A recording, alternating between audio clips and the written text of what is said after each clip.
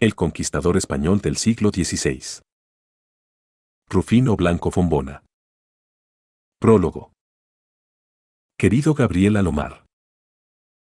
La última vez que vino usted a Madrid, como diputado republicano por Barcelona nos congregó un día en torno de su mesa a tres amigos.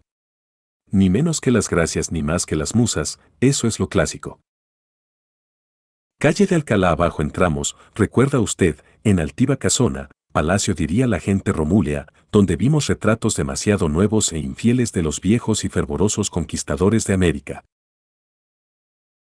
Mientras los otros dos conviviales, Eugenio Dors y Victoriano García Martí, malabareaban con algo de bizantinismo sobre si el terceto se inventó para la Divina Comedia o la Divina Comedia se produjo para el terceto nosotros hablamos de los gerifaltes españoles del siglo XVI. Usted los atacaba a flecha limpia, misericordia, porque usted no glorifica sino a los héroes de la libertad. Yo, bien que mal los iba defendiendo y escudando contra la huida lluvia de dardos. Las razones últimas de mi defensa las expone este libro. Por eso en recuerdo de aquel choque de pareceres, en hora amena y locuaz, se lo dedico a usted. Por eso, y porque deseo rendir público homenaje al amigo insuperable, al espíritu excelso, al pensador probo, al escritor de pluma maestra, al campeador cívico, al hombre bueno, a Gabriel Alomar. No se lo dedico, sin embargo, sin cierto recelo. Francamente, y lo digo sin falsa modestia, no es digna esta obra del honor que le hago colocando a su frente el nombre de usted. No estaba, ni aún estoy, preparado para escribirla. Confieso que he debido seguir y no seguí el consejo lírico y práctico del siempre divino Leonardo. Chinon pat que el chebol, que el chepat bogliache que el chenon po, folie volere, adum que sagio e ele da tenere cheda que el chenon po, su boule toglia. Compuse este libro, además de modo absurdo. La Génesis fue un prólogo que me encargó, honrándome en ello, el señor Leviller, actual jefe de la Embajada Argentina en Madrid, para copioso volumen de documentos extraídos de los archivos de España y publicados por disposición del Congreso argentino. Después ampliado el prólogo, formé lo que es ahora segunda parte de esta obra. Era un librito, lo llevé a un editor. Ya impreso, lo recogí, y me puse a hacer lo que es ahora primera parte. Más absurda composición no cabe. De ello se resiente la obra. Si ahora, un poco más conocedor del asunto, me pusiese a escribirla de nuevo la reduciría a la mitad.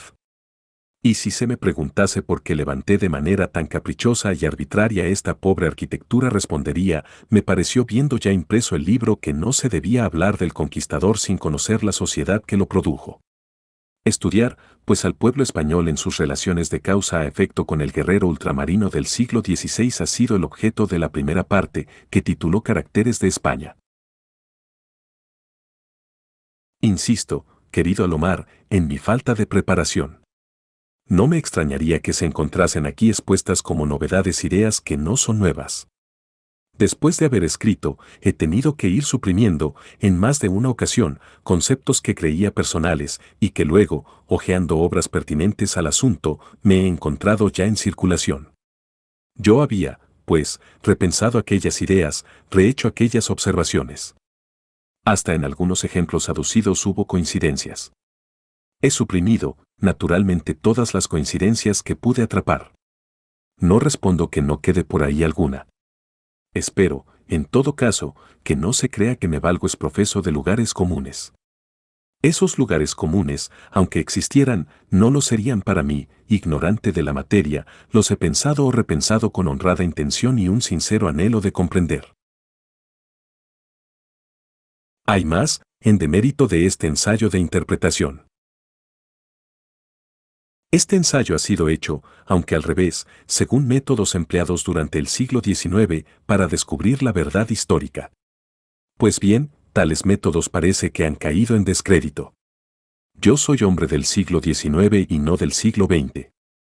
A mis clásicos me atengo y no a novedades que necesitarían de otra ideología y de otros estudios. Creeré en la superioridad de los teóricos del siglo XX cuando este siglo produzca nombres que alcancen o superen en esta clase de estudios y a los grandes nombres del siglo XIX desde Mansen hasta Renan. Entre tanto esperemos, sin imaginar que la actividad y la aptitud de renovación del espíritu humano vayan a estancarse en las ideas y procedimientos de una centuria cualquiera. El espíritu, por fortuna, fluye incesante, haciendo reverdecer, florecer y frutecer las épocas, es decir, las márgenes del cauce, o digamos del tiempo, por donde corre. Si a algún opilado patriotero se le encrespa la patriotería española y me censura, le tildaré de incomprensivo. En efecto, no dedica uno su tiempo ni su trabajo a lo que no admira o quiere, en suma, a lo que no le interesa. Además, en esta obra no se polemiza, sino se trata de esclarecer fenómenos sociales. De todos modos, la veneración incondicional se rinde únicamente a lo que ya no existe. Y creo que España vive, actúa, se remoza y florece en naciones. Venzo mi natural temor, querido Alomar, respecto a competencia para tratar de lo que aquí se trata y pongo su resplandeciente nombre al frente de estas páginas. El faro ignora lo que alumbra. Su amigo, Rufino Blanco Fombona. Primera parte. Caracteres de España. Introducción. El grupo de españoles, relativamente mínimo, que descubrió, exploró y conquistó la mayor parte del Nuevo Mundo ha sido considerado hasta ahora, con casi unánime injusticia, como una serie de monstruos. Los amigos de la libertad, principalmente, los han aborrecido, los héroes de la conquista aparecen como esclavizadores y espoliadores, como personajes que inician un cruento y luctuoso drama de esclavitud, drama en tres actos, cada uno de los cuales dura un siglo. Son caras de bandidos, cubiertas con antifaz de guerreros. Enrique Eine, espíritu desligado de toda preocupación gregaria, llama pequeño a Cortés, el mayor de aquellos conquistadores, y lamenta como injuria inferida a la gloria de Colón, y lo lamenta maravillosamente en aquel maravilloso poema que lleva por título el nombre del sanguinario ídolo azteca, Vitzliputzl, el que Hernán Cortés figure en la historia junto al descubridor. Te hubiera valido más, exclama dirigiendo su lírico apóstrofe a la sombra del almirante, te hubiera valido más no nacer, o permanecer anónimo en medio de la multitud, primero de que tu nombre, tan puro y grande, sufra el contacto infame de aquel nombre de bandido. En los últimos años se inicia reacción favorable a los héroes de la conquista, por obra exclusiva de escritores y entidades de América, esto es, del conglomerado de pueblos del Nuevo Mundo que hemos convenido en llamar también Hispanoamérica. Esta reacción coincide con el acercamiento de América a España y no coincide por capricho del azar. El estudio desprevenido de la actuación histórica de España en el Nuevo Mundo viene a culminar en homenaje indeliberado, pero evidente, de aquellos pueblos al pueblo fundador. No faltan, como en toda reacción, las exageraciones, ni en los extravíos de un sentimiento tan gaseoso y expansivo como el amor, quien pretenda descaracterizar a los duros conquistadores pintándolos poco menos que como a hermanos de San Francisco de Asís.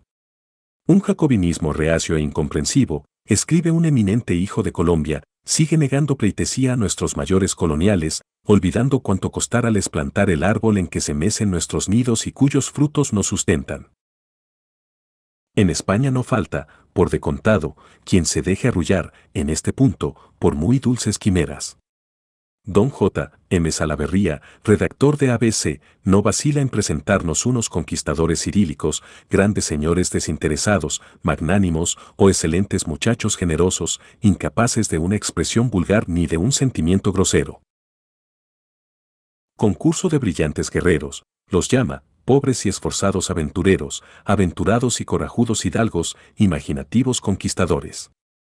Como ellos, es decir, como los hermanos de Santa Teresa, marchan innumerables hidalgos y caballeros y ya hemos visto de qué manera estaban criados los hermanos de la Santa. Los que marchaban a la aventura con el alma menos limpia, los intemperantes y los crueles, pueden tomarse como ejemplos típicos del conquistador. En toda empresa levantada no es el malo quien da el tono, sino el bueno. Magnífica filosofía. Los conquistadores no pueden quedar mejor descaracterizados.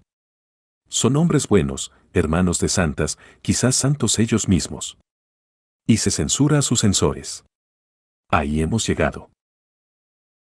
A este fraterno instinto de una raza dispersa que se está buscando a sí propia, hasta en sus personalidades más discutidas, únense voces extranjeras, menos desinteresadas e idealistas.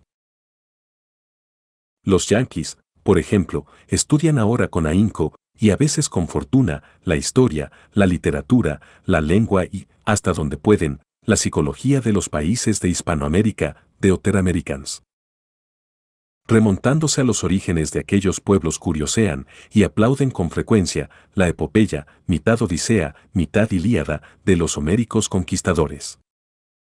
Nada de extraño que Yanquilandia los aplauda. No descubren en ellos, aunque empleada en otra forma, aquella energía dinámica que caracterizara a los sobrinos de Lunele? Además, si España tiene a los conquistadores, Yanquilandia tiene a los bucaneros. Desacreditar a los unos, como venía haciéndolo hasta ahora, resulta de rechazo atentar contra los otros. La conveniencia indica más diplomáticos procedimientos. Ya insinúa el UNEL Sam, por medio de libros adecuados, que los polluelos del águila boreal debieran volar sobre los pasos de aquellos adalides que, desde los ríos Arkansas y Colorado hasta el estrecho del Portugués y los cielos de Patagonia, se adueñaron, por derecho bismarequiano, de las tierras del hombre rojo mera equivocación de tiempo y de raza. El siglo XX, con su enredijo de intereses internacionales, capaz de producir, como en el caso de Serbia, en 1914, una conflagración de continentes con motivo de un paisecito microscópico, no se parece en nada, en punto a derecho e intereses políticos y en punto a cuestiones económicas, al remoto siglo XVI. Además, el hombre rojo no existe como elemento rector, sino como elemento integrante de la masa popular en las nuevas sociedades de América, hijas, herederas y prolongación de la Europa latina. El elemento dirigente en América es de raza, cultura y aspiraciones caucásicas. Las ambiciones imperialistas de los Estados Unidos no irían a arrancar tierras al indio bárbaro para difundir en ellas la civilización que decimos cristiana. El aspecto del conflicto entre las dos Américas no es tampoco el que la pedantesca suficiencia del francés Gustavo Le Bon imagina, de un lado todos los vicios políticos, del otro, todas las virtudes. Es decir, los siete pecados capitales y las siete virtudes teologales que se disputan, no ya como en el poema de Rubén Darío, el alma del hombre, sino las tierras y la riqueza de un continente. El aspecto del conflicto entre las dos Américas es otro.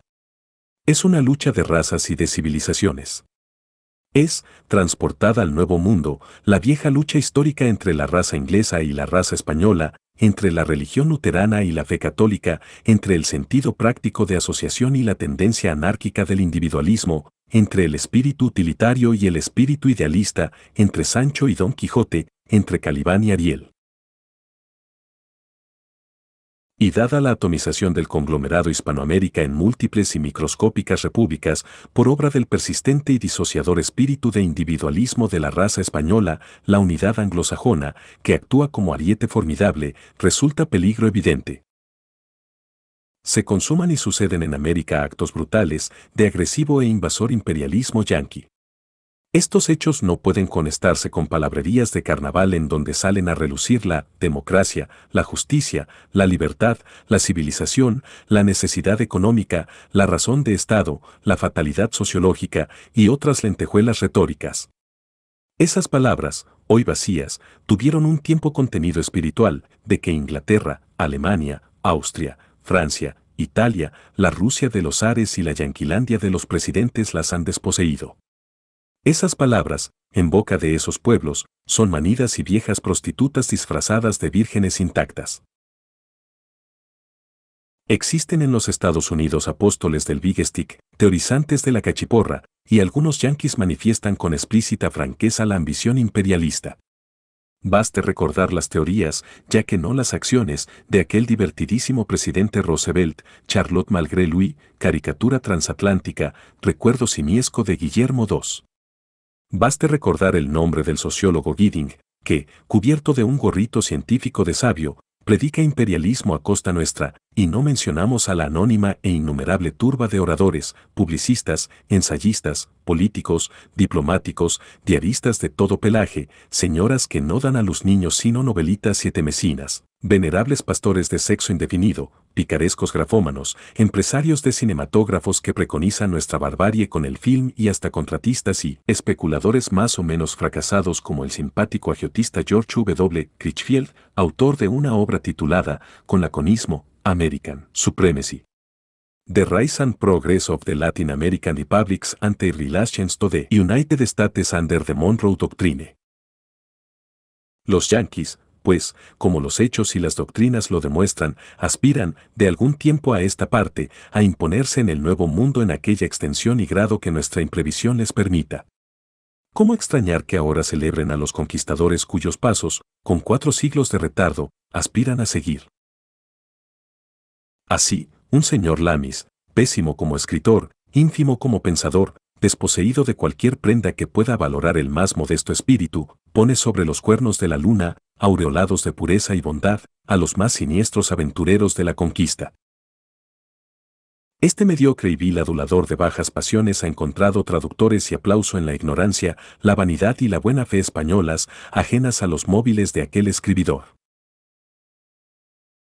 Estos cándidos españoles, satisfechos hoy con el aplauso extranjero, ellos, antes tan altivos y despectivos con todo lo que no fue indígena, parecen no alcanzar que, en último análisis, ese aplauso desbordante, cegador y amañado, disimula un golpe que se quiere asestar a lo que España tiene de más culminador, su espíritu hecho carne de pueblos. Los conquistadores, vistos con ojos ecuánimes, no resultan ni el bandolero de Eine ni menos el hermano de San Francisco tampoco representan al héroe paradigmático cuyos pasos y ejemplos deban seguir los soldados de una gran potencia industrial y democrática en el siglo XX. ¿Qué son, pues? Son simplemente españoles, aventureros españoles del siglo XVI. En ellos vemos resplandecer virtudes del país y de la época a que pertenecen. También advertimos en ellos defectos nacionales contemporáneos, agravados tal vez por el teatro bárbaro y distante en que actúan y por la casi completa irresponsabilidad con que manifiestan y expanden su personalidad. Para saber qué son, en puridad, los conquistadores, es necesario conocer antes, aunque sea de modo somero, el pueblo de donde salen y la época en que aparecen.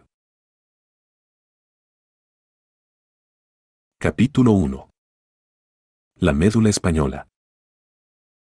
El carácter de un pueblo, en lo que tiene de esencial, se refleja en los grupos sociales que lo integran, clero, ejército, literatos, etc., y se refleja por consiguiente en la acción de estos grupos, modo de ser religioso, manera de conducirse en la guerra, literatura, etc. Muchas de estas manifestaciones psicológicas se condicionan a agentes externos variables, adventicios, pero es fácil descubrir el terreno firme, bajo las hojas secas que esteran el suelo del bosque. Existen, en cada pueblo, caracteres permanentes que lo individualizan. O con otras palabras, la continuidad de un pueblo o de una raza en su manera especial de desenvolverse en la vida le imprime sello, constituye carácter. Para conocer el modo de ser español, en algunos de sus rasgos esenciales, se empleará aquí la palabra raza, no en sentido antropológico, sino como grupo de gentes con determinados caracteres físicos y psíquicos, preferentemente psíquicos, que durante largos periodos de tiempo se han desenvuelto en circunstancias que les permiten tener y conservar ciertas características. Y se tomará en bloque lo denominado español, aunque, en rigor étnico y geográfico, este español no exista o exista con pronunciados matices diferenciales. El vizcaíno, en cuanto a raza, parece distinto del resto de los hispanos, aunque pueda tener una raíz africana común con casi todos ellos. El portugués, variedad española, posee una sensibilidad y una capacidad literaria, principalmente para la poesía lírica, superiores a los demás ibéricos. La mayoría de las provincias habla en lenguas vernáculas. Portugal ha logrado la independencia política, Cataluña aspira a lograrla. La geología parece que aleja y enemista a las regiones de la península ibérica. Los montes se interponen, aisladores, entre algunas de ellas. Diversos climas obran de diverso modo y favorecen caracteres, costumbres y producciones diversos. Los valles húmedos, bajos, en muchas partes marítimos, de Galicia, Vescounia y Asturias envuelven al hombre y al país en atmósfera antípoda de la que al castellano rodea en su meseta alta, seca, mediterránea. Los cultivos, los medios de producción, la economía de unas a otras regiones es distinta, a veces el bienestar de alguna pugna con el de otras. Cataluña es industrial, Valencia, agrícola, Sevilla, pecuaria. Pero todas estas diversidades han tenido un cerco de hierro que las unifica en as, han tenido a Castilla. Castilla les dio lengua, las adicionó, las gobernó. Castilla, no puede negarse, tiene grandes limitaciones. Muchas de las demás provincias ibéricas la superan en tales o cuales calidades. En conjunto, no. En conjunto, Castilla ha sido superior a todas, aquilata más personalidad que todas. A pesar de cuantas deficiencias supongamos, y algunas más, Castilla se ha impuesto a todas las regiones y a todas ha impreso, con la complicidad de los siglos y con otras complicidades, ciertos rasgos comunes. No existen razones, por ejemplo, para que un pintor de Vescounie, hijo de la bruma y la humedad, se parezca a un pintor de la radiante Castilla. Su lo haga, sin embargo, parece tan castellano como Velázquez, que tampoco era de Castilla. ¿Por qué? por la potencia irradiante y mánica de la enorme personalidad castellana. Ignacio de Loyola, en el siglo XVI, y Miguel de Unamuno, en nuestros días, también son vizcaínos, ambos se sienten movidos por una inquietud espiritual, noble, desinteresada y, en el más alto sentido, religiosa. Ambos, aunque diversamente, sienten y proceden a la castellana. San Ignacio como energético, Unamuno aunque fuera de los credos o iglesias, con una religiosidad trágica, con un misticismo. Desgarrador, violento, actuante, muy dentro de la tradición castiza de Santa Teresa, con cuyo espíritu queda emparentado. Gracias a Castilla, podemos hablar de España, y por lo que de castellano descubrimos en todos los españoles podemos considerar al hombre de la península ibérica como tipo diferenciado del resto de Europa, tipo único en medio de variedades de menor cuantía, que no pueden negarse ni deben desconocerse.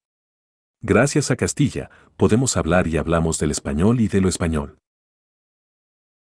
No parece difícil indagar aquellos comunes aspectos esenciales que permitan advertir, en el conglomerado español, a pesar de relativas divergencias, una psicología colectiva. ¿En qué consiste el carácter español? ¿Cuáles son sus rasgos dominantes o permanentes?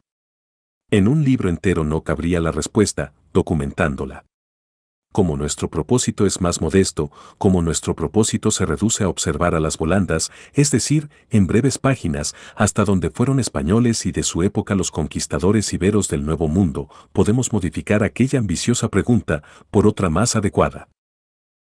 ¿Tuvieron los conquistadores, personalmente y en cuanto a agrupación, caracteres que les sean comunes con el país originario? ¿Se puede reconocer en ellos la médula de España? Desde ahora puede afirmarse que poseyeron, en grado máximo, la virtud, muy española, del heroísmo. Fueron individualistas, españoles del siglo XVI, fueron de estricto fanatismo religioso, de una religiosidad carnicera, y tuvieron la dureza, muy racias pero también muy de época, que los parangona a los guerreros contra el Islam y, buscando la comparación fuera de España, a los tiranos de las repúblicas de Italia fatalistas, dieron al azar en sus empresas más cabida que al cálculo. Carecieron de curiosidad intelectual ante el espectáculo único de civilizaciones interesantísimas que veían desmoronarse.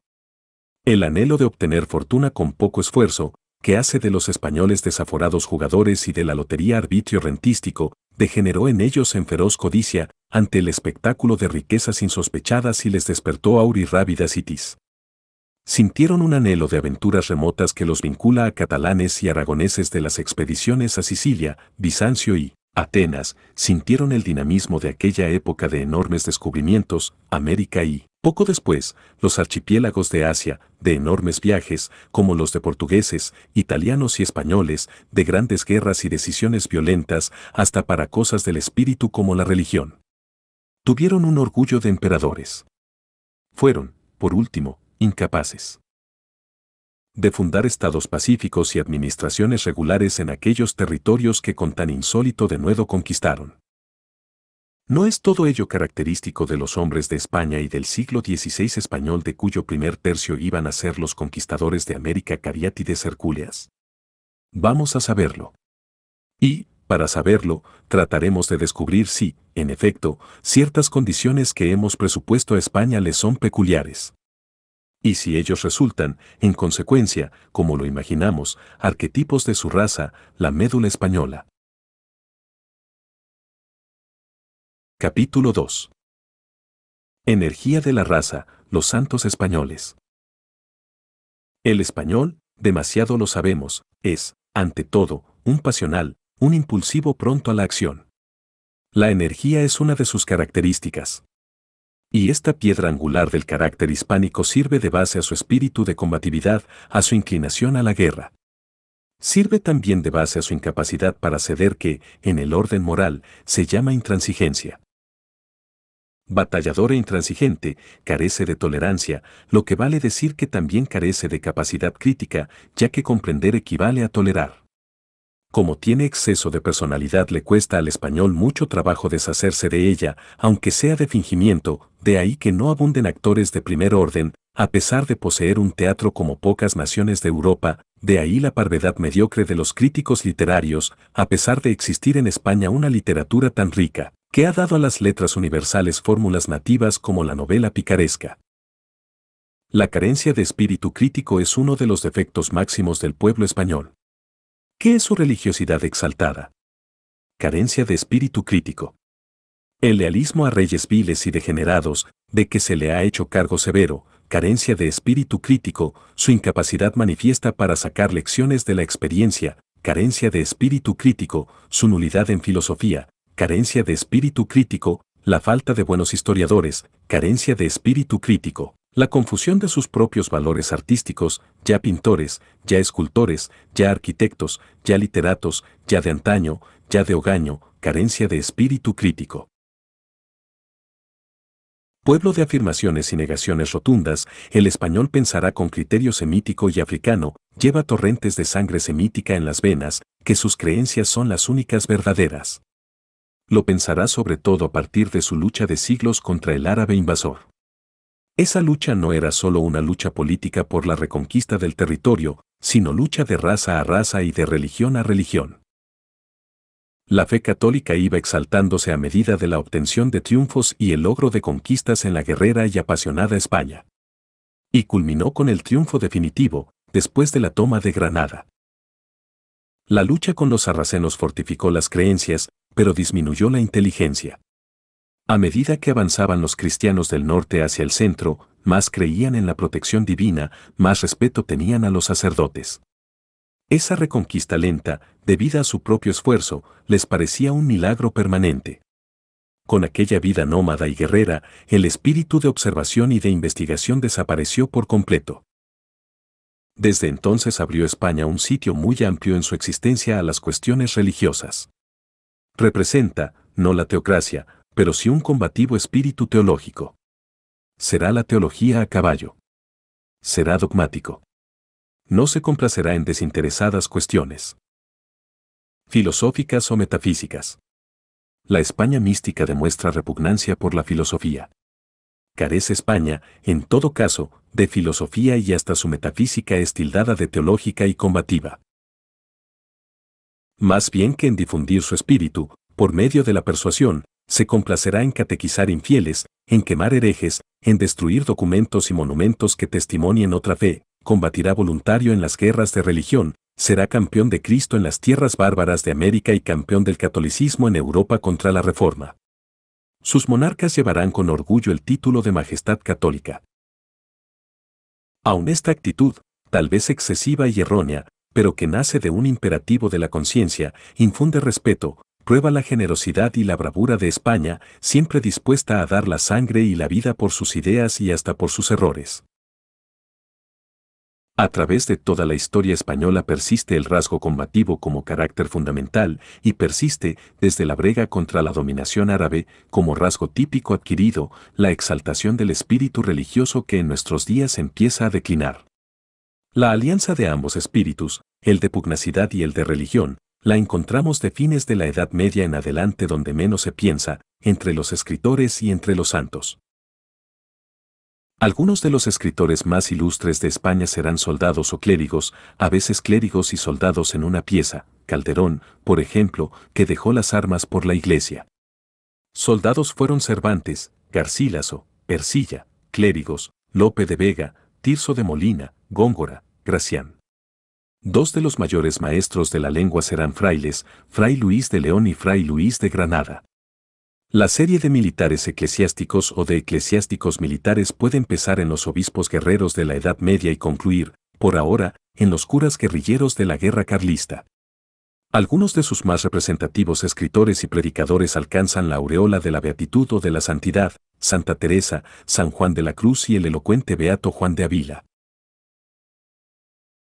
Y ningún santo español es fácil que se confunda con los santos de otra raza, el santo español no será, por lo común, manso, humilde, bueno, como el italiano Francisco de Asís o el francés Vicente de Paul, sino enérgico, batallador, dinámico, gente de acción. El santo español será un santo heroico. Lo mismo actuará Santo Domingo de Guzmán en el siglo XIII que San Ignacio de Loyola, San Francisco Javier y Santa Teresa de Jesús en el siglo XVI. Santo Domingo de Guzmán, castellano viejo, de 1170 a 1221, es uno de estos santos inquietos, viajeros, batalladores, predicadores, fundadores de órdenes católico-militares y enérgico destructor de herejías. En 1204 acompaña al obispo de Osma en una misión a Francia. Al viajar por el mediodía francés observa los progresos de la herejía albigense y resuelve quedarse allí para combatirla. Durante un año o poco más predica, exhorta, convence, opera milagros. En 1206 resuelve crear una sociedad de mujeres y luego otra de hombres para practicar la enseñanza de menores y captar, desde los primeros años, el alma de los niños. No contento con lo lento de aquel procedimiento, funda la Orden Tercera, que es una orden militar cuyos miembros se comprometen a tomar las armas contra la herejía. La historia de esta orden es célebre en los fastos de la crueldad fanática. Le parece poco, le parece que anda con lentitud la difusión de la verdad. Lo que escapa a la escuela. Lo que escapa a la espada de los terciarios, ¿a dónde irá? Es menester que venga al seno de la iglesia, funda la orden de los predicadores. No le basta para mantener fija en Dios, durante horas y horas, la conciencia de los hombres, crea la institución del rosario, que obliga a rezo interminable. Pero el mundo es ancho y hay que hacer en todo el mundo. Domingo de Guzmán parte para Roma y en Roma profesa teología. Escribe, además, comentarios teológicos. Los conventos de su orden se multiplican. Domingo, en ansia de holocausto y de acción, renuncia al generalato de su orden y se dispone a partir para Hungría, a someter por la espada o catequizar por la doctrina nuevos infieles. A punto de realizar su proyecto La muerte lo sorprende en Bolonia el 26 de abril de 1221. Había vivido 51 años de una vida heroica, de una vida de guerras, viajes, prédicas, fundando órdenes, catequizando infieles, destruyendo herejes, sirviendo a Dios. España, pues, y sus tipos representativos proceden a la manera semita, clásica desde los judíos del Antiguo Testamento hasta los árabes de Mahoma, convence por la espada. Proceder lógico. España es el país más semita de Europa. En ello no paran mientes sus detractores, tampoco parecen sospecharlo sus apologistas. Otros santos, siglos más tarde, procederán como Santo Domingo, lo que prueba la persistencia del espíritu semítico que enciende su alma y mueve su brazo. San Francisco Javier es otro de estos santos españoles, hombres de fe y de acción. Los observadores lo han presentado ya, lo mismo que a Raimundo Lulio, como tipo característico de español. Nace este santo navarro cerca de Pamplona en 1506. Siente el ansia de proselitismo y parte a conquistar el mundo, en la medida hercúlea de sus fuerzas, para el catolicismo. En 1534, está en París, donde profesa filosofía. En 1537 está en Venecia con Iñigo de Loyola. Va a Roma, va a Bolonia, en cuya célebre universidad enseña la verdad teológica. En 1540 se le encuentra en Lisboa. En 1541 parte para las Indias portuguesas. De 1542 a 1544 instruye a los paganos del Cabo Comorín en las doctrinas del crucificado. En el Bajalato de Travancore bautiza a 10.000 bárbaros en un mes. De 1545 a 1548 recorre las Islas Molucas. En 1549 se dirige al Japón, es el primer misionero cristiano que pisa las Islas del Sol Naciente. No le basta, en 1552 parte para la China ignota. Una fiebre lo mata en la bahía de Cantón, el 2 de diciembre de 1552. San Ignacio de Loyola, el antilutero, es de sobra conocido. Soldado del Rey, se convierte en soldado de Cristo y funda la formidable milicia de Jesús, la famosa compañía, de rígida regla, que tanta influencia, en el transcurso de los últimos siglos, ha tenido en el mundo. El plan de este ambicioso, ambicioso para sus ideas, desinteresado para sí, fue nada menos que modelar según sus propias ideas el espíritu humano. Para ello organizó sus graves y sinuosas milicias. La captación del espíritu, ¿no es obra máxima de acción? Que lo diga Iñigo de Loyola. Estos santos de España, o son personalmente dinámicos y combativos o bien, cuando deciden asociarse, gustan de organizarse al modo militar personal o colectivamente siempre están prontos a luchar e imponerse. Son de veras españoles.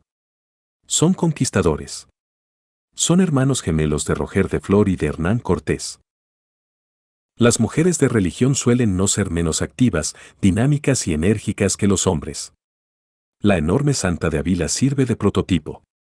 Espíritu inquieto, mujer activa, energía inquebrantable, fe ardorosa, recorre en su buena muy a las carreteras, pueblucos y ciudades de Castilla, lucha contra la hostilidad de órdenes y conventos, enciende en llamas de amor celeste a los espíritus más gélidos, penetra en los corazones más impermeables, escribe cartas maravillosas, escribe páginas abrazadas de fe, llenas de transportes, de efusión, de pasiones, donde resplandece doble hermosura, la hermosura de un selecto espíritu y la de una docta pluma. No es todo, funda 16 monasterios. Más que contemplativa, su vida es de acción. Es una mozuela apenas y ya seduce a su hermano Rodrigo y ambos parten con intención de irse a la lucha contra los infieles moros y conseguir el martirio, tal vez la muerte. Así pasó la vida, poniendo por obra su voluntad. Así la sorprende la muerte. Estenuada de inanición y de cansancio llega un día a Alba de Torres. Pónese en cama, pero a la mañana siguiente, a pesar de todo, se levanta, comulga y practica todos los actos de comunidad durante nueve días. Por fin no puede más y cae abatida. A las cinco de la tarde, víspera de San Francisco, dice una de sus compañeras, pidió el Santísimo Sacramento. Estaba tan postrada que no se podía mover, dos religiosas la ayudaban. El viático llega, Teresa de Jesús, con estar tan rendida, arrodíllase en la cama y aún intenta arrojarse de ella. Dijo el Señor cosas tan altas y divinas que a todos poma gran devoción. Al otro día expira. Parece que el continuo batallar acrece el subido tempel de este portentoso espíritu.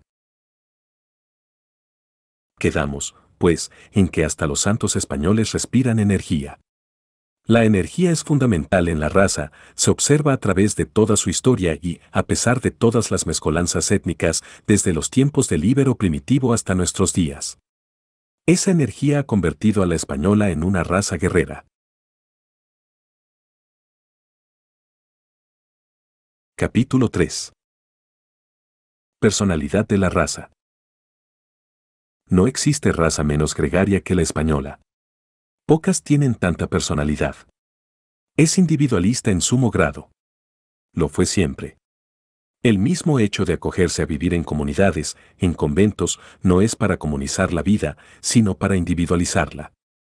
A lo sumo se llega, por obediencia, por espíritu de sacrificio, para ser grato a Dios, a confundir la vida propia con la del monasterio o comunidad en cuyo seno se habita, entonces el convento es mi convento, la orden es mi orden. Hubo un tiempo en que a las órdenes se las llamaba religiones. Mi religión, nuestra religión, decían, por ejemplo, los dominicos, como si los jesuitas, los benedictinos pertenecieran a otra fe. En el extranjero decíase otro tanto, pero es muy probable que la expresión se haya formado en España cuya voz, entonces, repercutía en el mundo, y el mundo solía devolverla como un eco. Es muy frecuente que unas a otras comunidades se odien y declaren guerra sin cuartel. También surgen a veces en los conventos de España individualistas a prueba de reglas. San Pedro de Alcántara estuvo 36 meses en un monasterio sin hablar con nadie, sin mirar siquiera la cara a sus compañeros de reclusión. Luego vivió 30 años en el yermo, de rodillas. Los trapistas, fenómenos de antisociabilidad que han desaparecido de casi todo el mundo, aún perduran y florecen en algunos rincones de España. El bravío individualismo español lo induce a desamar la acción asociada. En nuestros días, desde el juicio por jurados hasta el parlamentarismo han hecho bancarrota en España. En cambio han florecido espontáneamente, siempre que la ocasión fue propicia, en política, el cacique, en religión, el cenobita, y como una morbosidad social, el bandolero. El bandido fue tipo muy popular y muy prestigioso en Andalucía, donde el carácter regional y el terreno lo favorecieron mientras no hubo telégrafos, ferrocarriles y guardia civil. Ahora la Guardia Civil, ayudada por la prensa, el telégrafo, el ferrocarril y los fusiles de repetición, ha exterminado a los bandoleros.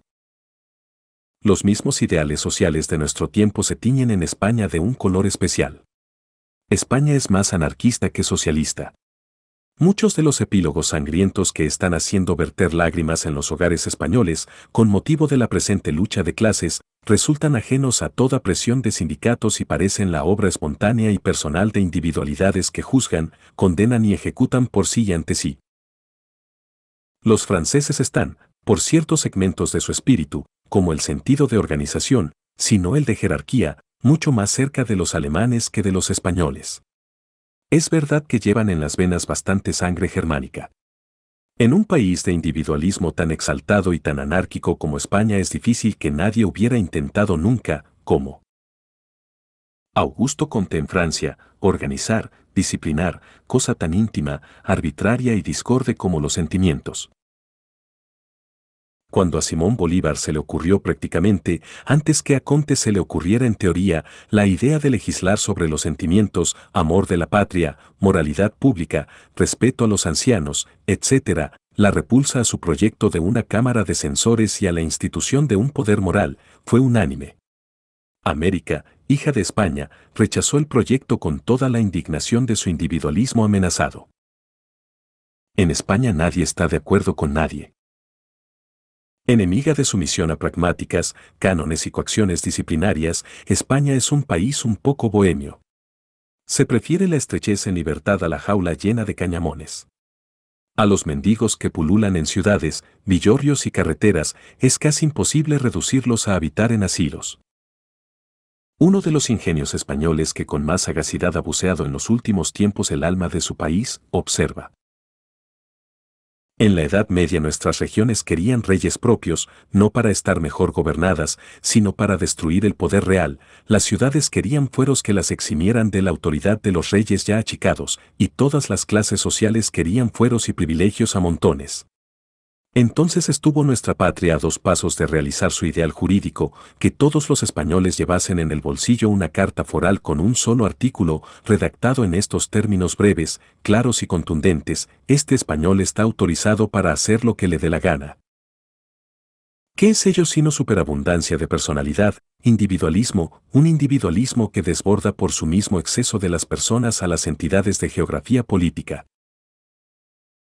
El individualismo español lo patentiza, entre otras cosas, su manera de guerrear, desde los tiempos de Viriato y Sertorio hasta Espos y Mina, el empecinado y demás guerrilleros de la lucha contra Napoleón. En España nace la guerra de guerrillas, único medio de que cada localidad posea su caudillo y su hueste, único medio de que cada jefecito, es decir, cada jefe de guerrilleros se imagine jefe de ejércitos, factor de primer orden en todo momento de peligro. En esta forma de combatir cada soldado, en vez de reducirse al número de tropas sin voz ni voto, cuya personalidad desaparece en la del cuerpo que integra, tiene iniciativas personales, combate como ser humano, no como mera máquina, y puede, en algún momento decisivo, significarse con las proporciones de héroe. Los conquistadores de América no son sino guerrilleros, algunos de gran talento militar, como Cortés, o de vastos planes, como Balboa. Y fuera de Bolívar, Miranda, Sucre, San Martín y Piar, que fueron los caudillos de nuestra emancipación sino guerrilleros, algunos estupendos y casi fabulosos. como Páez. Los americanos heredaron de España la aptitud guerrera y la forma de combatir. ¿Se quiere algo más individualista que estos mismos hombres que realizaron la epopeya de América en el siglo XVI? Ellos que miraron, como Nietzsche, más allá del bien y del mal, practicaron en carne viva, lo que siglos más tarde Nietzsche preconizó sobre el papel, tuvieron, no la moral de los esclavos, sino la moral de los amos. La moral de los amos no consiste en la exaltación del individualismo, en desarrollar al máximo la voluntad de potencia del individuo. ¿Qué otra cosa hicieron aquellos ínclitos guerrilleros de la conquista? Este sentimiento de exagerado individualismo se extiende a la región, puede llamarse regionalismo. Este sentimiento, que también heredó América, ha sido perjudicial en América y en España. La raza española, aunque imperialista, es enemiga del imperio rechaza la unidad y tiende a la independencia provincial y de comunas. La unidad imperial la realizan en España monarcas extranjeros y absolutistas. Lo castellano es el municipio libre, dentro del Estado, las provincias independientes con fueros propios, la libertad federativa, no la unidad autocrática. En España, desde los tiempos de las invasiones históricas, que se llevan a cabo con increíble facilidad, hasta los actuales gérmenes de separatismo en Cataluña y Vasconia, el espíritu de localidad o regionalismo es talón de Aquiles. Ese mismo espíritu la ha salvado o dignificado, con todo, en más de una ocasión. Los invasores se estrellan, a menudo, contra la tenacidad defensiva de alguna ciudad heroica, los cartagineses, contra Sagunto, los romanos, tiempo adelante, contra Numancia, los franceses, en nuestros días, contra Zaragoza y Gerona. Porque estas defensas no son como la defensa de Verdún contra los alemanes, un país entero y aún varios países representados por sus ejércitos, salvaguardando una ciudad fortificada, son las mismas ciudades, a veces casi inermes, entregadas a su propio esfuerzo, que luchan contra los invasores. La isla de Margarita, en las guerras americanas de emancipación, defendió sus pueblos hasta a pedradas, en la misma forma local e intransigente que Gerona, Zaragoza y Sagunto. Hubo entonces otros ejemplos análogos. América, junto con el exagerado individualismo, heredó la tendencia localista, el amor desenfrenado de la independencia y la ineptitud para constituir grandes unidades políticas. A ello se debe el que hoy no forme uno, dos o tres estados fuertes, sino caterva de microscópicas republiquitas.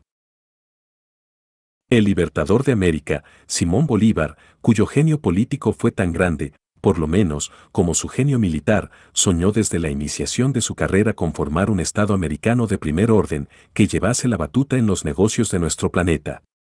Ya en 1813 un ministro suyo inspirado visiblemente por el Libertador, habla de un poder que pueda servir de contrapeso a Europa y establecer, dice, el equilibrio del universo. En 1815, en la célebre carta que, vencido por los españoles, desterrado por la anarquía criolla, dirige en Kingston a un caballero inglés, trata Bolívar de la posible creación de dos o tres grandes estados americanos. En 1818 escribe a Pueyrredón, director de las provincias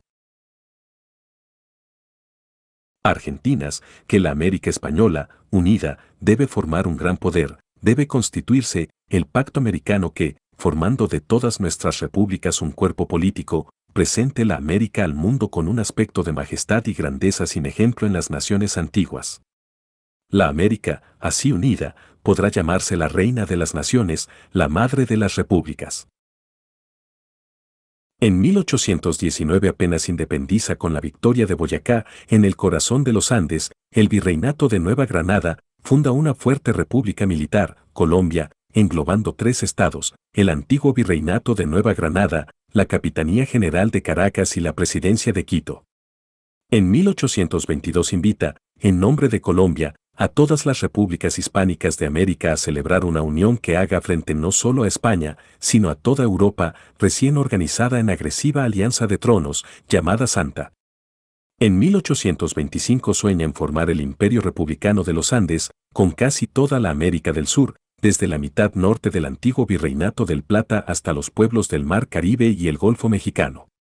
En 1826 convoca a todos los estados recién emancipados de España al Congreso Internacional de Panamá, con el fin de echar las bases del derecho público americano y erigir, a pesar de los celos locales, el gran poder interamericano, la sociedad de naciones.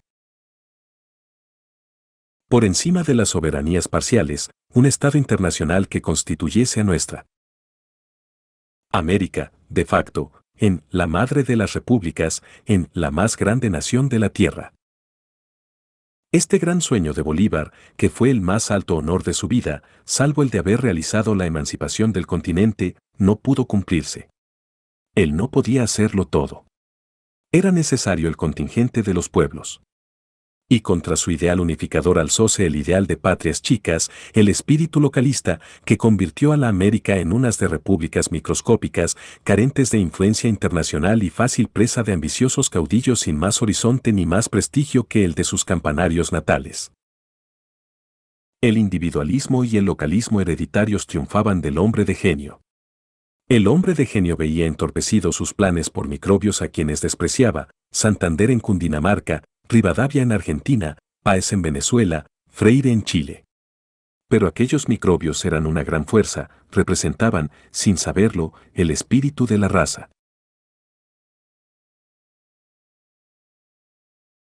Capítulo 4 La arrogancia española. Acostumbrado por su carácter enérgico y de combate a las decisiones de la fuerza, el español es orgulloso no cuenta en las grandes ocasiones sino consigo mismo, lo que le infunde conciencia, a menudo exagerada, del propio valer y de la propia personalidad. El orgullo español, que también puede llamarse arrogancia, porque no es callado, sino expresivo y visual, tiene su culminación en el siglo XVI. Y es natural, porque todo pueblo en sus épocas de esplendor se ensoberbece. Los romanos de Augusto, los franceses de Napoleón, los ingleses de Victoria, los alemanes de Guillermo II y hasta los yanquis de Wilson no han sido de un orgullo insufrible. Los españoles del tiempo de Carlos V y Felipe II también lo fueron. Se ha dicho que, en aquella época, se creían, como pueblo, superiores a todas las demás naciones. Brantome ve desfilar a los soldaditos de los tercios castellanos, y admirado prorrumpe, los llamaríais príncipes por su arrogancia. Esa misma arrogancia la descubren, más tarde, los tipos de soldados que inmortalizó el pincel de Velázquez en la rendición de Breda. Observación magnífica es la de que, por arrogante, osó España cometer empresas máximas con medios deficientes, aunque la arrogancia puede, en este caso, no ser considerada como factor exclusivo, sino que debe dársele parte a la imprevisión y a la tendencia a conceder puesto al azar en toda empresa pero la arrogancia luce patente. Individualista y orgulloso, cada español se cree el centro del universo. Imagina que de él brota no se sabe qué fuente de autoridad, superior a la autoridad reconocida. Hoy mismo puede advertirse cómo le cuesta trabajo obedecer al policía en la calle, al cobrador en el tranvía, al juez en el juzgado, al presidente de la Cámara en el Parlamento. Lo típico de esta arrogancia, ya personal, ya colectiva, no es que dé al aire penacho altivo y frondoso en épocas de fortuna y excelsitud nacional, que nunca se debieron en España sino a la espada, sino que jamás declina. Perdura a través de todas las edades y de todas las circunstancias.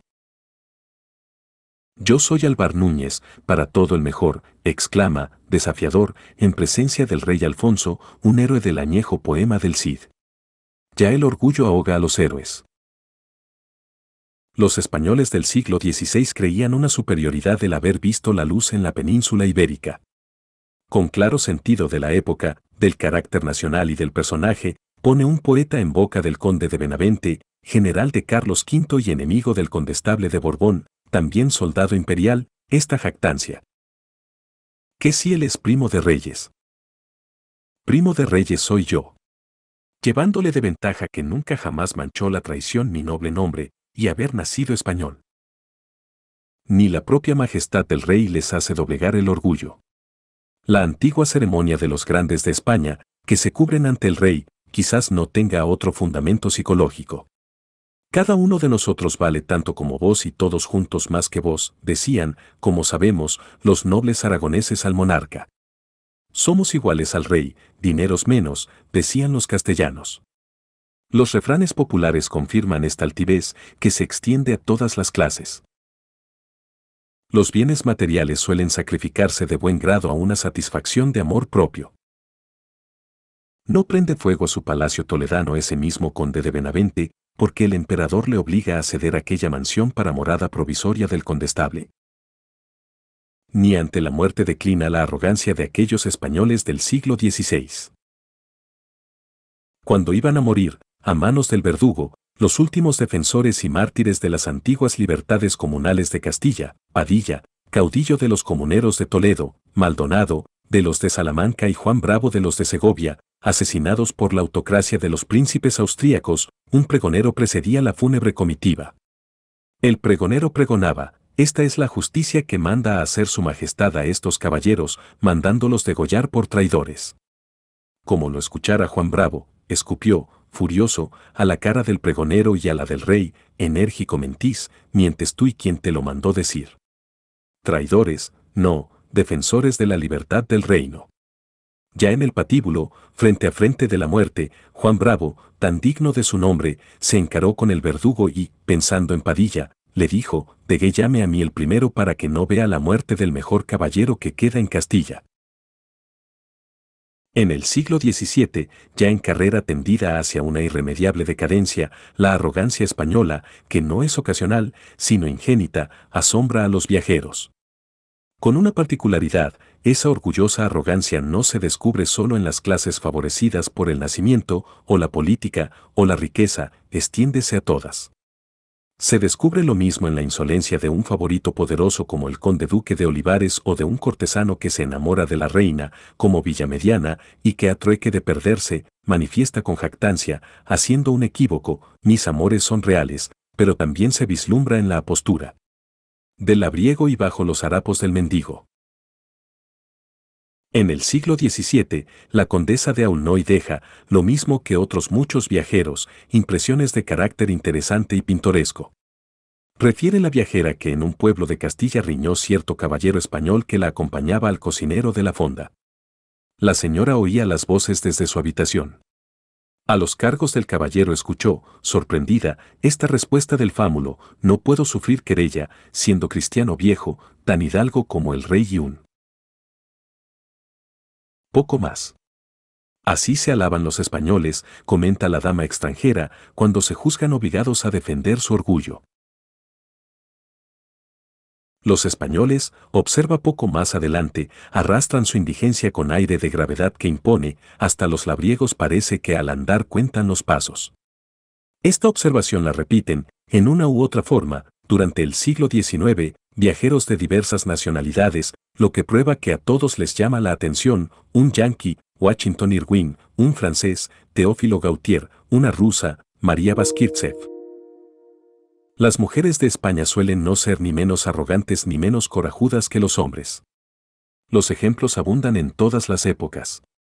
Podrían citarse desde Isabel la Católica, siempre a caballo en su jaca y en su energía, hasta la monja alférez, desde Doña María de Padilla hasta Agustina de Aragón, y desde las mujeres de Medina del Campo y Tordesillas, ciudades que preferían ser abrazadas a rendirse, en la guerra civil de las comunidades, hasta las manolas del 2 de mayo, en Madrid. Tirso de Molina pone en boca de una infanta española esta viril jactancia. Veréis si en vez de la aguja sabrá ejercitar la espada, y abatir lienzos de muro quien labra lienzos de Holanda. En la decadencia personal o de patria se mantiene erguido este arrogante y fiero orgullo. Y el contraste entre la persona o la patria venida a menos y la altivez altisonante e intempestiva produce honda impresión que a un tiempo lastima y mueve a risa. Ese es precisamente uno de los tesoros que explotó el genio de Cervantes, Don Quijote, desarmado, caído, vapuleado, sin poderse mover, en el colmo de la impotencia, discurre como Hércules y ofrece castigar o perdonar con absoluto desconocimiento de su triste estado. Leancito a mí, exclama en cierta ocasión, desdeñoso de la fiera y más león que los leones. Esta sublime ceguera, esta heroica y absurda actitud ha sido en ocasiones la de España en cuanto nación. A promedios del siglo XIX estaba España, como todos sabemos, bien decaída y de pronunciamiento en pronunciamiento acrecentaba su desprestigio. El arrogante patriotismo nada percibía, sino majestad, poderío en la nación y envidia de la grandeza española en los demás pueblos. Los poetas loan a su país como un romano del siglo de Augusto pudiera cantar a Roma. El pueblo que al mundo aterra, lo llama, embrioso apóstrofe, uno de los más celebrados poetas de entonces, en canto al 2 de mayo. Y no se trata de poetas, esto es, de exaltados e imaginativos, el país entero, y aún ya a fines del siglo, compartía la creencia en una grandeza nacional indeclinable. Eminente sociólogo de España lo confirma, por cierto teníamos el dicho de que cuando el león español sacudía la melena, el mundo se echaba a temblar. Muy adelantada la guerra de emancipación de América, establecidas ya repúblicas que funcionaban como entidades internacionales, después de ocho o diez años de incesante combatir, después de haber perecido en los campos del Nuevo Mundo, a manos de los soldados de Bolívar, múltiples expediciones europeas, una de las cuales, la conducida por el general don Pablo Morillo, ha sido considerada por el propio Morillo como la expedición militar más completa, aguerrida y numerosa que en cualquier tiempo hubiera salido a combatir fuera del territorio español, todavía en aquellas circunstancias ordena el gobierno de Madrid o permite que a los caudillos libertadores se les siga juicio personal como a vasallos rebeldes, es decir, como a traidores, aplicándoles el código medieval de las siete partidas, y no se les considere como a beligerantes, según el derecho de gentes. Un fiscal del rey, en la Real Audiencia de Caracas, don Andrés Lebel de Goda, hombre donoso, de agudísima intención y abierto al espíritu de los tiempos nuevos, escribe a su majestad que no se pueden seguir juicios en rebeldía contra aquellos triunfadores caudillos de ejércitos y contra jefes de Estado. Esto no es tumulto ni cofradía, expone, es guerra en toda forma, y los que nos la hacen son nuestros enemigos. Respecto de los juicios demuestra con humor de buena ley lo ridículo del procedimiento. Se pregona en algunas de las escasas poblaciones aún sin tomar por los patriotas que tal o cual de aquellos caudillos debe comparecer ante la justicia bajo el apercibimiento de incurrir en las penas de la ley. Como factor de alguna operación militar, preséntase algún día ante la ciudad del pregón ese caudillo u otro y ¿qué ocurre? Todos corremos, dice Lebel, y el pueblo con nosotros. Llamar a un reo, comenta el fiscal en su documento al monarca, llamar a un reo por edictos y pregones, venir el reo y huir el juez, escribano y pregonero porque no le quieren aguardar ni aun ver su cara, la penetración de vuestra majestad no solamente lo encontrará indecoroso a la real audiencia, que es viva imagen de vuestra majestad, sino también muy cómico y un objeto adecuado a las páginas del famoso romance de Cervantes. Por boca y pluma de aquel magistrado del antiguo régimen, de aquel funcionario del rey, salían las ideas modernas de la revolución de Hispanoamérica, era la filtración de las ideas ambientes en uno de sus opositores.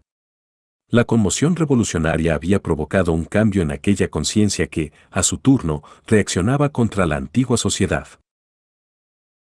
En Madrid, por aquel tiempo, 1819, la reacción triunfante asume la actitud de Don Quijote, molido a palos y hablando de exterminar. En vísperas de la guerra de España con Yanquilandia, que decían algunos de los más importantes periódicos de Madrid, diarios serios, rectores de opinión, les parecía pesadilla irrealizable, y así lo preconizaban, que advenedizos mercachifles de Nueva York y sudados tocineros de Chicago pudiesen encorvar la cerviz del soberbio león íbero. Casi nadie echó cuentas, casi nadie titubeó. A Pi y Margall y a algún otro espíritu clarividente que aconsejaban un poco de liberalismo con la isla de Cuba, alzada en armas por sus libertades y motivo de la guerra, se les desoyó y se les despreció. En cuanto a los yanquis, nadie pensó en su riqueza, ni en su marina, ni en sus tropas, ni en sus recursos múltiples de defensa y ataque. El oro solo no obtendría victorias. Los barcos. Debían ser de madera, las tropas ni la raza sentirían el sentimiento patriótico, no es un pueblo de aluvión, retorta de razas diversas, producto de pueblos múltiples. Con ideas tan arrogantes como erróneas, España, ciega de cólera y de orgullo, se lanzó a la guerra. Fracasar. ¿Cómo sería posible?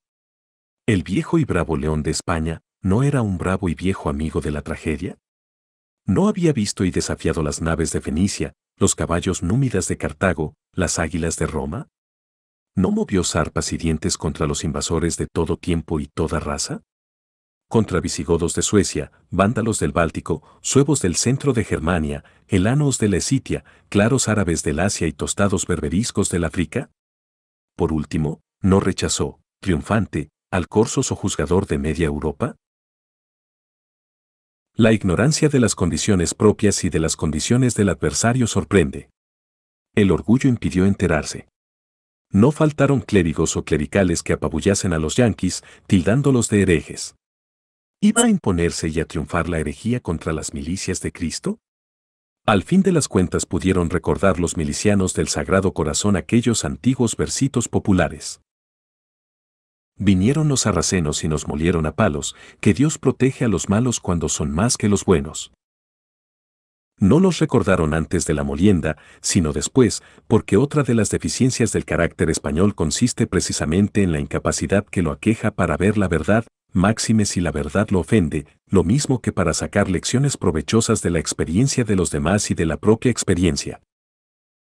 Un pensador hispano de altura y autoridad expone, España entró en la guerra con los Estados Unidos por un desconocimiento de las circunstancias sin precedente en la historia.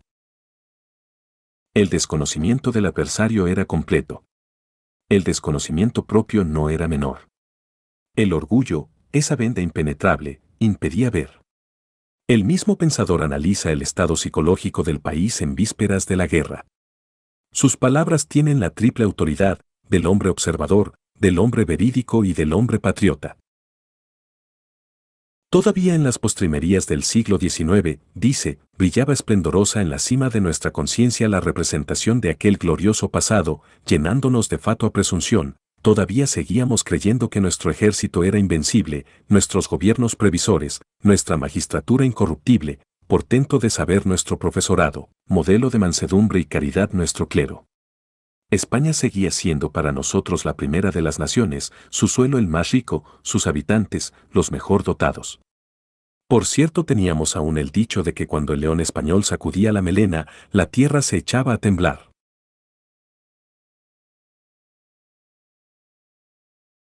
Era la gota serena del orgullo que impedía ver claro. Heroica y lamentable ceguera. Fue la de España, también en aquella ocasión, la actitud de Don Quijote, Liancito Usamí.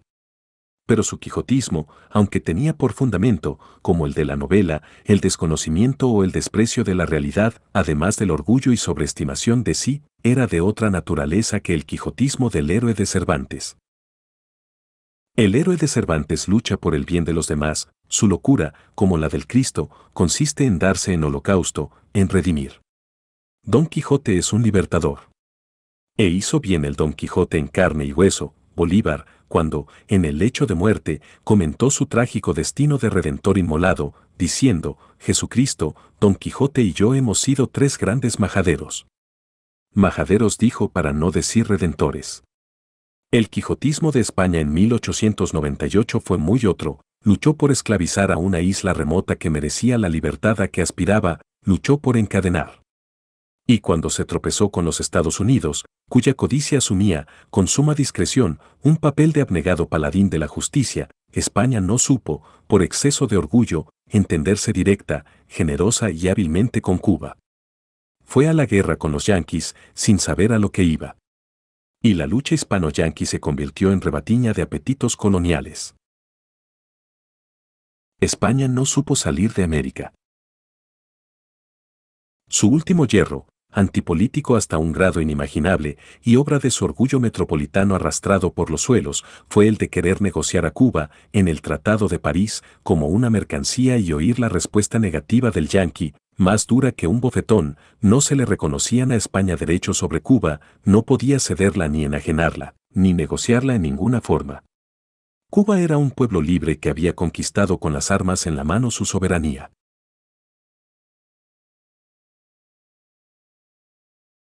Capítulo 5 El espíritu filosófico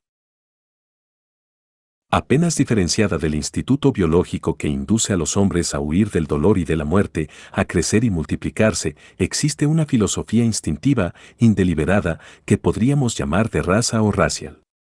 Merced a esta deliberada filosofía, cada pueblo, cada raza busca su camino, de acuerdo con sus propios medios y con las circunstancias que lo rodean, expansiona su personalidad, desempeña el papel que le toca representar en el mundo. ¿Hacia qué filosofía se orientará por instinto el espíritu de este recio pueblo español? Este pueblo valiente, sufrido, fatalista y tan lleno de orgullo, se inclinará hacia el estoicismo. El estoicismo es, se ha escrito, de fundamental filosofía and almost the religion of Spain. Lo mismo da, es una expresión estoica digna de estas almas sombrías y enérgicas. No en vano Séneca fue hijo de la tierra española. Muchos españoles, en todas las épocas, han sido vivientes ejemplares de senequismo, sin saberlo. ¿Qué es, en suma, el senequismo? Una moral fundada en el orgullo. Obra por propio decoro, bien y con entereza. Ante la adversidad, ante la fortuna, se siempre un hombre. Pueblo de tan potente energía ha podido vivir, en sus mejores horas y en sus mejores tipos ese altanero ideal. Lo ha vivido. Restemos, con todo, lo que haya que restar de cualquier generalización. Siempre quedará, después de lavar la tierra y cernirla por el sedazo, en los terrenos auríferos, una fina y luminosa arenilla de oro. Con el estoicismo confúndese en el español el fatalismo, heredado con la sangre del árabe. Luce constante y patente en el Hijo de España esa filosofía de la resignación a fuerzas superiores que rigen el destino del hombre.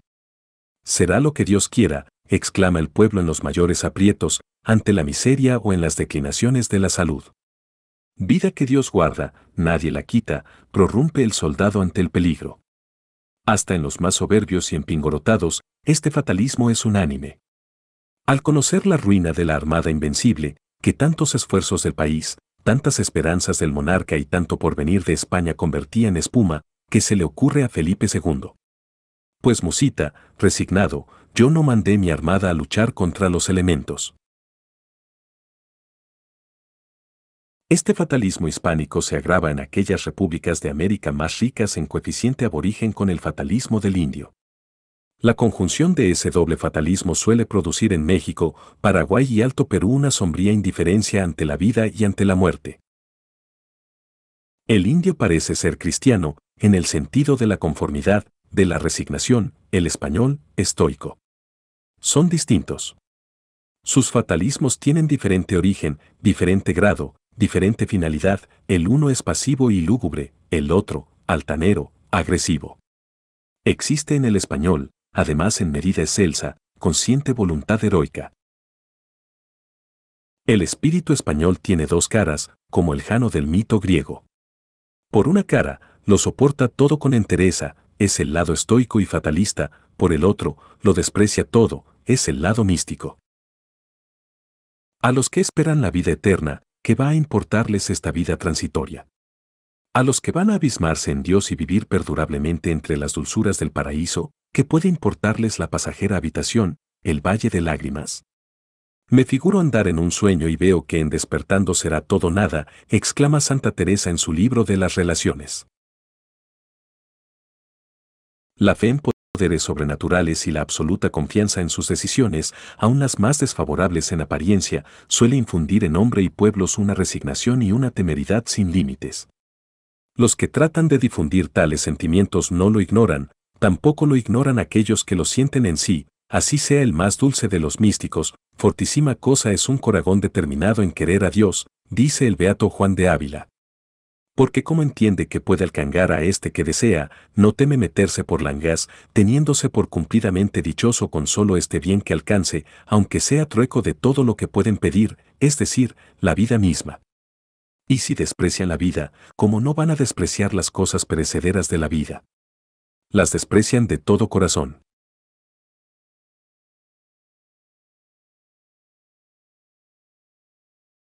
Así, la escasa curiosidad del espíritu español, por las cosas de nuestro bajo mundo, toca a veces en lo increíble. Los españoles presencian los primeros las maravillas del nuevo mundo, sin atribuirles importancia, ellos son superiores a todas las maravillas. Se comprende tal actitud, a quienes espera Dios con los brazos abiertos, a quienes la gloria y sus encantos van a servir de eterno regocijo, que podrían interesar razas, civilizaciones, climas, faunas distintos de los ya conocidos, cualesquiera pequeñeces de nuestro pobre planeta? Sin embargo, les interesó el oro. Por lo demás, en vez de observar las nuevas tierras, las nuevas razas, las nuevas civilizaciones que en México, Perú y Nueva Granada tenían ante los ojos, crearon leyendas. La curiosidad científica no es española. España descubrió el Nuevo Mundo y fue, entre los pueblos de Europa, uno de los que menos se conmovió con el descubrimiento. A ella le bastaba con haber cumplido, sin darle mayor importancia, la insólita empresa. Los europeos de entonces querían conocer las cosas de los indios, informarse del nuevo mundo recién abierto a la inquisitiva mirada de Europa. En vano encargaban libros a España, no lo sabía. Miser Andrés Navajero, el embajador de Venecia, escribe desde Toledo, el 12 de septiembre de 1525, al gentilhombre veneciano Juan Bautista Ramucio, y le dice, Aquí no se encuentra impreso nada sobre las cosas de las Indias, pero con el tiempo os enviaré tanto que os arte, pues tengo medio de enterarme de todo, así por mi ser Pedro Mártir, que es mi gran amigo, como por el presidente del Consejo de las Indias y por otros consejeros. He visto en poder del presidente un pájaro, la cosa más bella del mundo, venido de aquellas tierras, ya muerto, pero maravilloso de ver. Todos los días se ven objetos nuevos. Asimismo os escribiré acerca de lo que me preguntáis de Panamá, pero ahora no lo hago, aunque no dejaré de escribir diariamente sobre esta materia lo que se vaya entendiendo. El español tiene los ojos puestos en algo más alto y distante. Su curiosidad no es de este mundo. Limitado para ver, estudiar y comprender las cosas humanas, es un águila para las cosas ultraterrenas. Sus místicos ven a Dios. El misticismo español, dado el carácter de la raza, no se contentó siempre con visiones celestes ni deliquios piadosos. La misma Santa Teresa reacciona contra esos instantes de ensoñación estéril y se convierte en mística práctica, en santa ejecutiva, y parte a fundar conventos, a organizarlos, a regirlos. Este misticismo español carece de vaporosidad, nebulosidad, abstracción, toca tierra. Es, como toda la raza, realista, expresivo, concreto y, en cierto modo, algo burdo, materialista o antropomorfista. Dios se les aparece a los místicos españoles, no como una entelequia, sino como ser tangible. ¿Y si lo ven en carne y hueso, cuando lo ven? En las horas más prosaicas o en los menesteres más útiles de la vida. Dios anda entre los pucheros, llega a decir la Santa Abulense, y confiesa que algunas veces, mientras lee junto a un crucificado, Dios se introduce en la habitación adquiere por aquel transitorio nexo sensible con la divinidad nueva y más alta inspiración? No. Ella crea su visión, su visión no crea nada en ella. La religiosidad de la raza es de acción, lo hemos visto, y preferentemente guerrera.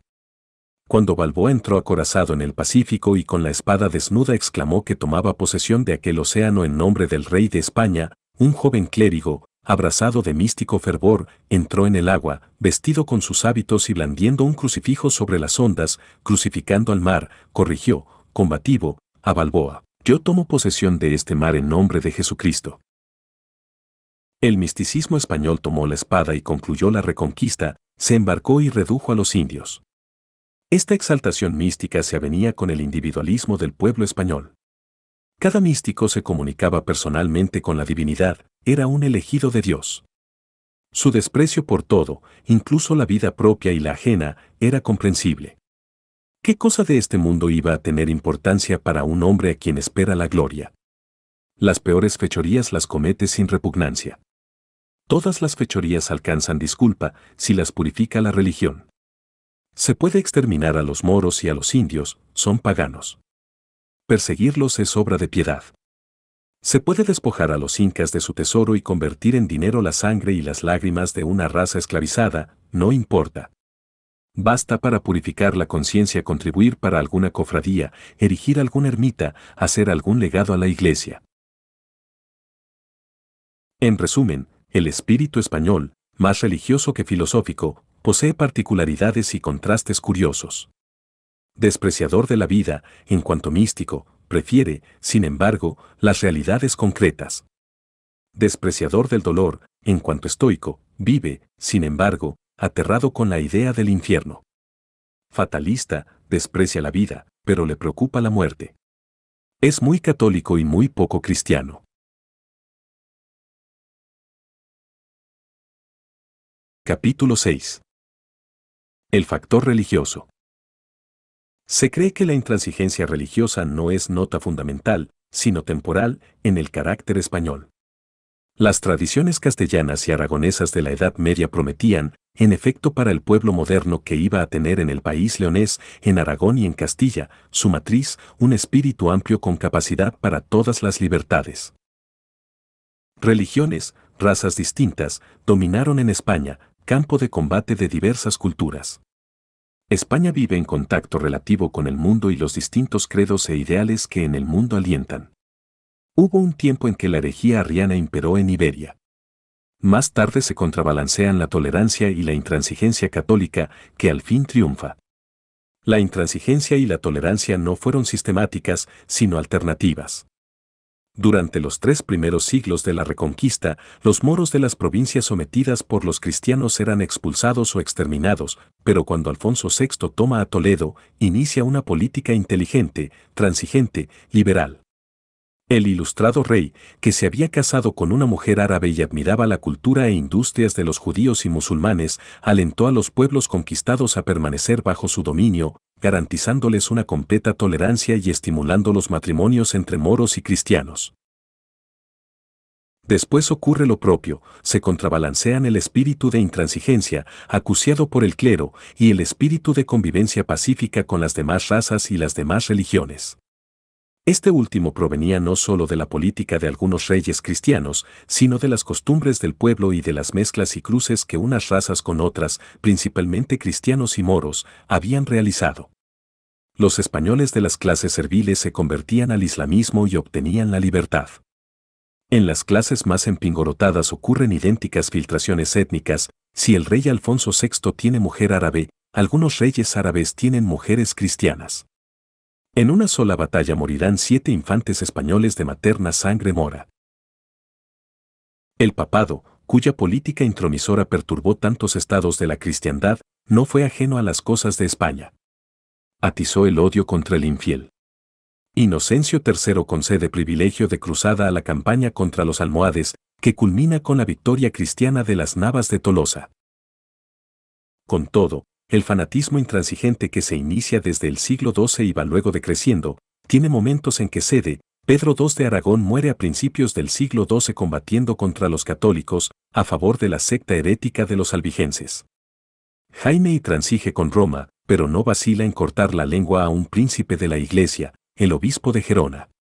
Pedro III de Aragón, hijo de Jaime, inaugura su política exterior negándole vasallaje al Papa va más allá y arrebata la isla de Sicilia al pontífice. Este declara a los vasallos de Pedro III desligados del juramento de fidelidad y apoya al rey de Francia contra el de Aragón. Todo esto, sin embargo, es obra de política más que de fe. Lo cierto es que Ufiure a mesure que se va reconquistando el territorio nacional, el espíritu religioso va en aumento. Varias razones militan para que así ocurra. Mientras más débiles van siendo los árabes, menos se necesita de la diplomacia y la transigencia con ellos.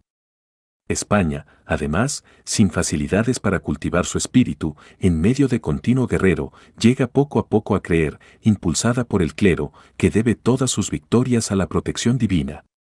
Sierra, Santiago, es voz de guerra, y en esa voz invócase como real el auxilio quimérico del apóstol, patrón del país.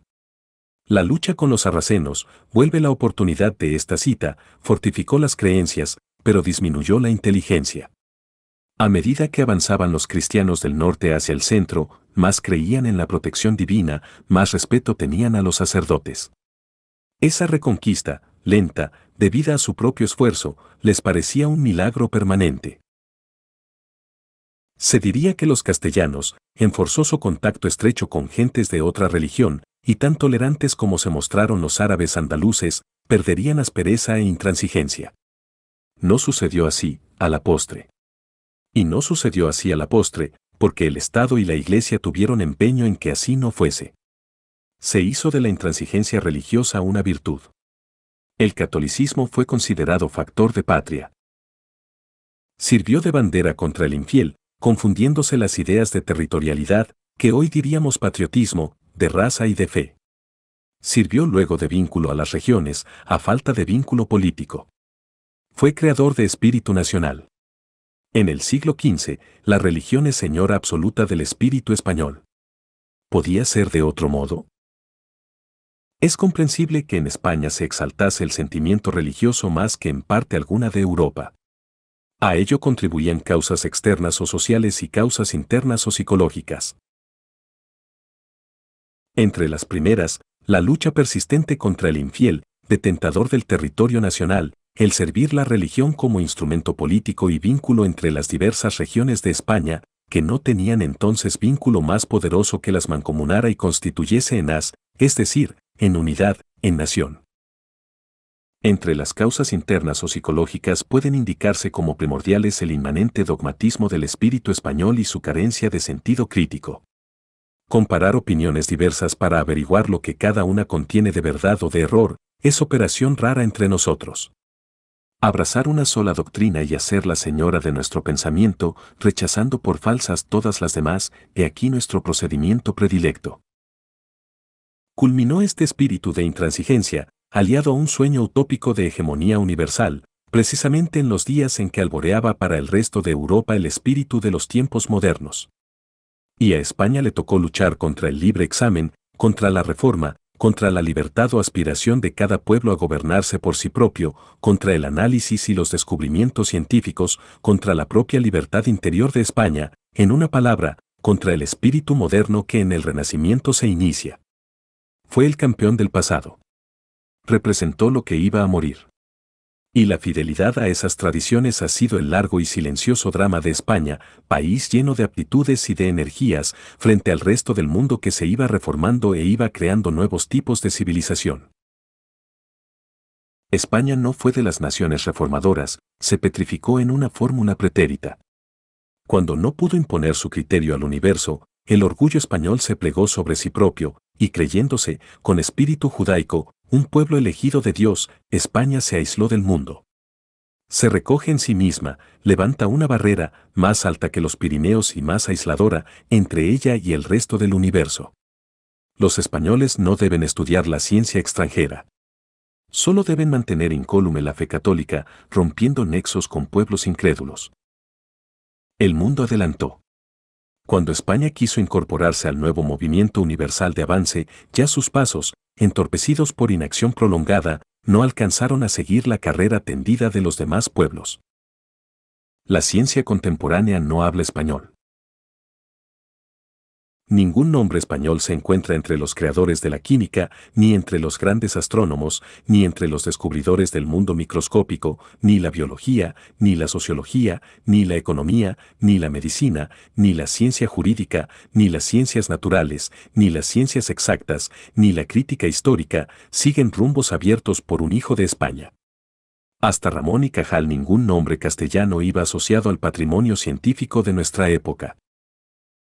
Europa llegó un día hasta preguntarse, con manifiesta injusticia, ¿qué debe la civilización a España? Y la respuesta fue cruelmente negativa. Por fortuna, los mismos extranjeros, volviendo sobre el odioso estigma de aquella negación, han respondido luego a la aviesa pregunta con más sereno espíritu y mayor equidad. Los españoles, confiesan, han contribuido en grande escala a la civilización del mundo. Un pueblo de espíritu teológico que va siendo teológico, obra teológicamente. La reconquista española fue obra de guerra y religión. A la unidad, al engrandecimiento nacional de España, alia su espíritu y sus intereses el catolicismo. Cuando otra grande empresa como el descubrimiento, conquista y civilización de América mueve el alma española, es lógico que no se prescinda de tan eficaz fuerza nacional como la religión, sino que se le conceda una amplia participación en la vasta obra que se emprende. Como la España arábiga debía reconquistarse para la fe de Cristo, a las Indias gentiles debía sometérselas para catequizarlas y difundir por aquellas bárbaras tierras la palabra de Dios. El imponer la religión, el catolicismo, fue uno de los númenes de la conquista de América. El clero fue uno de los factores primordiales de la reducción de indígenas. La Iglesia, ya obtenida la dominación, una de las mayores piedras básicas de la colonia. Los conventos, los depósitos de saber en la época colonial. Los misioneros, los transmisores de rudimentos de cultura europea al indígena americano. La religión, el principal aliado del rey. Así, pues, el catolicismo es factor principalísimo en la creación y españolización de América. Fue elemento civilizador. Es imposible prescindir no ya de considerar este factor, sino su influencia decisiva al estudiar los estados modernos que han salido de las ruinas del antiguo imperio hispano-católico. Muy grande fue la acción militar de España en América, pero quizá no fue superior a su obra religiosa. Dado el carácter dogmático y guerrero de la civilización española en aquel tiempo, la espada y la cruz fueron los medios que tuvo para imponer su brazo y su espíritu. La obra de su brazo ha desaparecido, la de su espíritu perdura. Durante largo periodo de su historia, España hizo de la religión, lo hemos visto, un arma de combate. Esta arma, a la postre, se le clavó a la nación en su propio pecho. Para desarrollar su acción religioso-política, necesitó poseer o adquirir cierta aptitud espiritual, o bien, por haber adquirido o poseer cierta aptitud espiritual, pudo desarrollar su acción político-religiosa? Cuando los necesita, abundan en España agentes de su espiritualismo, milicias de la fe. Se producen toda suerte de obreros para la gran edificación nacional, apóstoles que prediquen, misioneros que catequicen, místicos que arrebaten, ascetas que ejemplaricen, hasta persecutores que aterren. Los apóstoles y los misioneros surgen de la levadura combativa del pueblo, ambos son conquistadores, conquistadores de almas. El aparecer los místicos también tiene fácil explicación. El rasgo fundamental del espíritu español, se ha observado, es el predominio del sentir sobre el pensar, del afecto sobre la idea, de la intuición sobre la reflexión. Nada más propicio al misticismo. El místico precisamente no se distingue por el razonamiento y por la claridad de espíritu, sino por una mezcla de sentimiento y de adivinación. Su conciencia es nebulosa. Se roza con el misterio. Es más intuitivo que razonador. En su luz hay siempre niebla y en su niebla puede haber luz. Qué raro que semejantes estados de espíritu se produjeran con frecuencia en una raza intuitiva, de hondo sentir, poco razonadora y predispuesta a la exaltación religiosa por su semitismo y por su evolución histórica. En cuanto a los ascetas y a los torquemades, los torquemades son crueles, los ascetas, individualistas. En un país cruel e individualista, qué extraño que aparezcan. El ascetismo, como el bandolerismo, es una exageración del individualismo o es el individualismo llevado a extremo el más antisocial. Individualista como el bandolero, el egoísmo de la zeta es mucho más grande y su crueldad a veces peor, esta crueldad se ejerce en forma de indiferencia contra los demás, cuyas penalidades, aislándose de la sociedad, ni comparte ni auxilia, y contra sí propio, en forma de renunciación a los bienes y goces terrenales y de mortificación de los sentidos, con el interesado propósito de sobornar a Dios. Su único fin es colarse en el cielo y disfrutar personal y exclusivamente la eterna dicha la salvación de los demás le tiene sin cuidado. El Torquemada obra al revés. Los Torquemades pierden a los demás para salvarlos, los atormentan para hacerlos gozar, los matan para hacerlos vivir. Místicos, ascetas y Torquemades son a menudo enfermos mentales y a menudo pertenecen a la enorme y difundida familia de los neurópatas y semilocos. El erotismo verbal de los místicos es evidente y los emparenta con los eretómanos vulgares suelen ser como en el caso de dos místicos españoles, Santa Teresa y San Juan de la Cruz, amorosos sin objeto corporal del amor. Su misticismo, en cierto modo, es una desviación del instinto sexual. Santa Teresa exclama, Vivo ya fuera de mí después que muero de amor, porque vivo en el Señor que me quiso para sí. Esta divina unión y el amor con que yo vivo hace a Dios ser mi cautivo y libre mi corazón. San Juan de la Cruz, por su parte, se descoyunta en insufribles discreteos almibarados. Oíd cómo se arrullan la esposa y el esposo del cántico espiritual. ¿A dónde te escondiste, amado, y me dejaste con gemido? Descubre tu presencia y máteme tu vista y hermosura. Mira que la dolencia de amor que no se cura sino con la presencia y la figura. gocémonos, amado, y vámonos a ver en tu hermosura al monte y al collado. A ella y me mostrarías aquello que mi alma pretendía, y luego me darías allí, tú, vida mía, aquello que me diste el otro día. Esto en cuanto a los místicos. En cuanto al Torquemada, su carencia de sensibilidad sobrepuja, en ocasiones, a la del criminal más endurecido. Y el ascetismo, no resulta, casi. Siempre, síntoma patológico?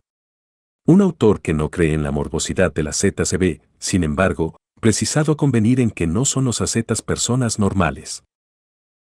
Les ascetes cretian, dice, son presctio judes catofach. Rían de, excepcionel dan le cade, une añes de Jesús abalán le de, une cancerus el echan le pude, une plecú el bene de panse, ni dan soluide, un marguerit maria balan, elusi, desbon mismon, e por se punir de, y un utle sergen suañan un disentéricu, en absorbant la dejección. Entran, pues, quieras o no, en la amplia esfera de los nerviosos, de los perturbados, de los semilocos. Por eso también difunden con tanta facilidad su morbosismo. Un loco hace ciento, enseña el refrán. La psiquiatría demuestra que los anómalos se buscan, se comprenden, se alían, se contagian recíprocamente. Una normal en potencia puede perder con facilidad la chaveta, aunque en apariencia siga siendo sujeto perfectamente cuerdo y responsable, en contacto con otro chiflado o si le toca vivir en periodos de agitación social. Le demifas son facilmon victims de la contagion. De ahí que pululen en épocas de exaltación política o exaltación religiosa y que parezcan unas veces patriotas y otras veces santos. Es en momentos de hiperestesia de los sentimientos de religiosidad, como en la época en que se estableció la Inquisición en España, cuando aparecen fanatismos que en todo pensamiento o acción ajeno descubren un ataque a la fe, la actuación del Santo Tribunal tal vez no reconozca otro móvil más íntimo. En épocas de exacerbación de la fe, suelen presentarse, además de misticismos y fanatismos ortodoxos, turbaciones o enfermedades del sentimiento religioso, de monopatías, obsesiones sacrílegas, supersticiones. Quizás muchos de los quemados por la Santa Inquisición fueron casos patológicos, enfermos del mismo mal, pero en otro sentido, que sus verdugos. Y quizás España, en vez de enorgullecerse de sus torquemades, de sus ascetas y de sus místicos, debiera abrir una clínica histórica para estudiarlos. La fe española en el siglo XV realiza milagros de paciente esfuerzo y corona con la toma de Granada, la reconquista, se embriaga de triunfo y, en el siglo XVI, es una amenaza para Europa.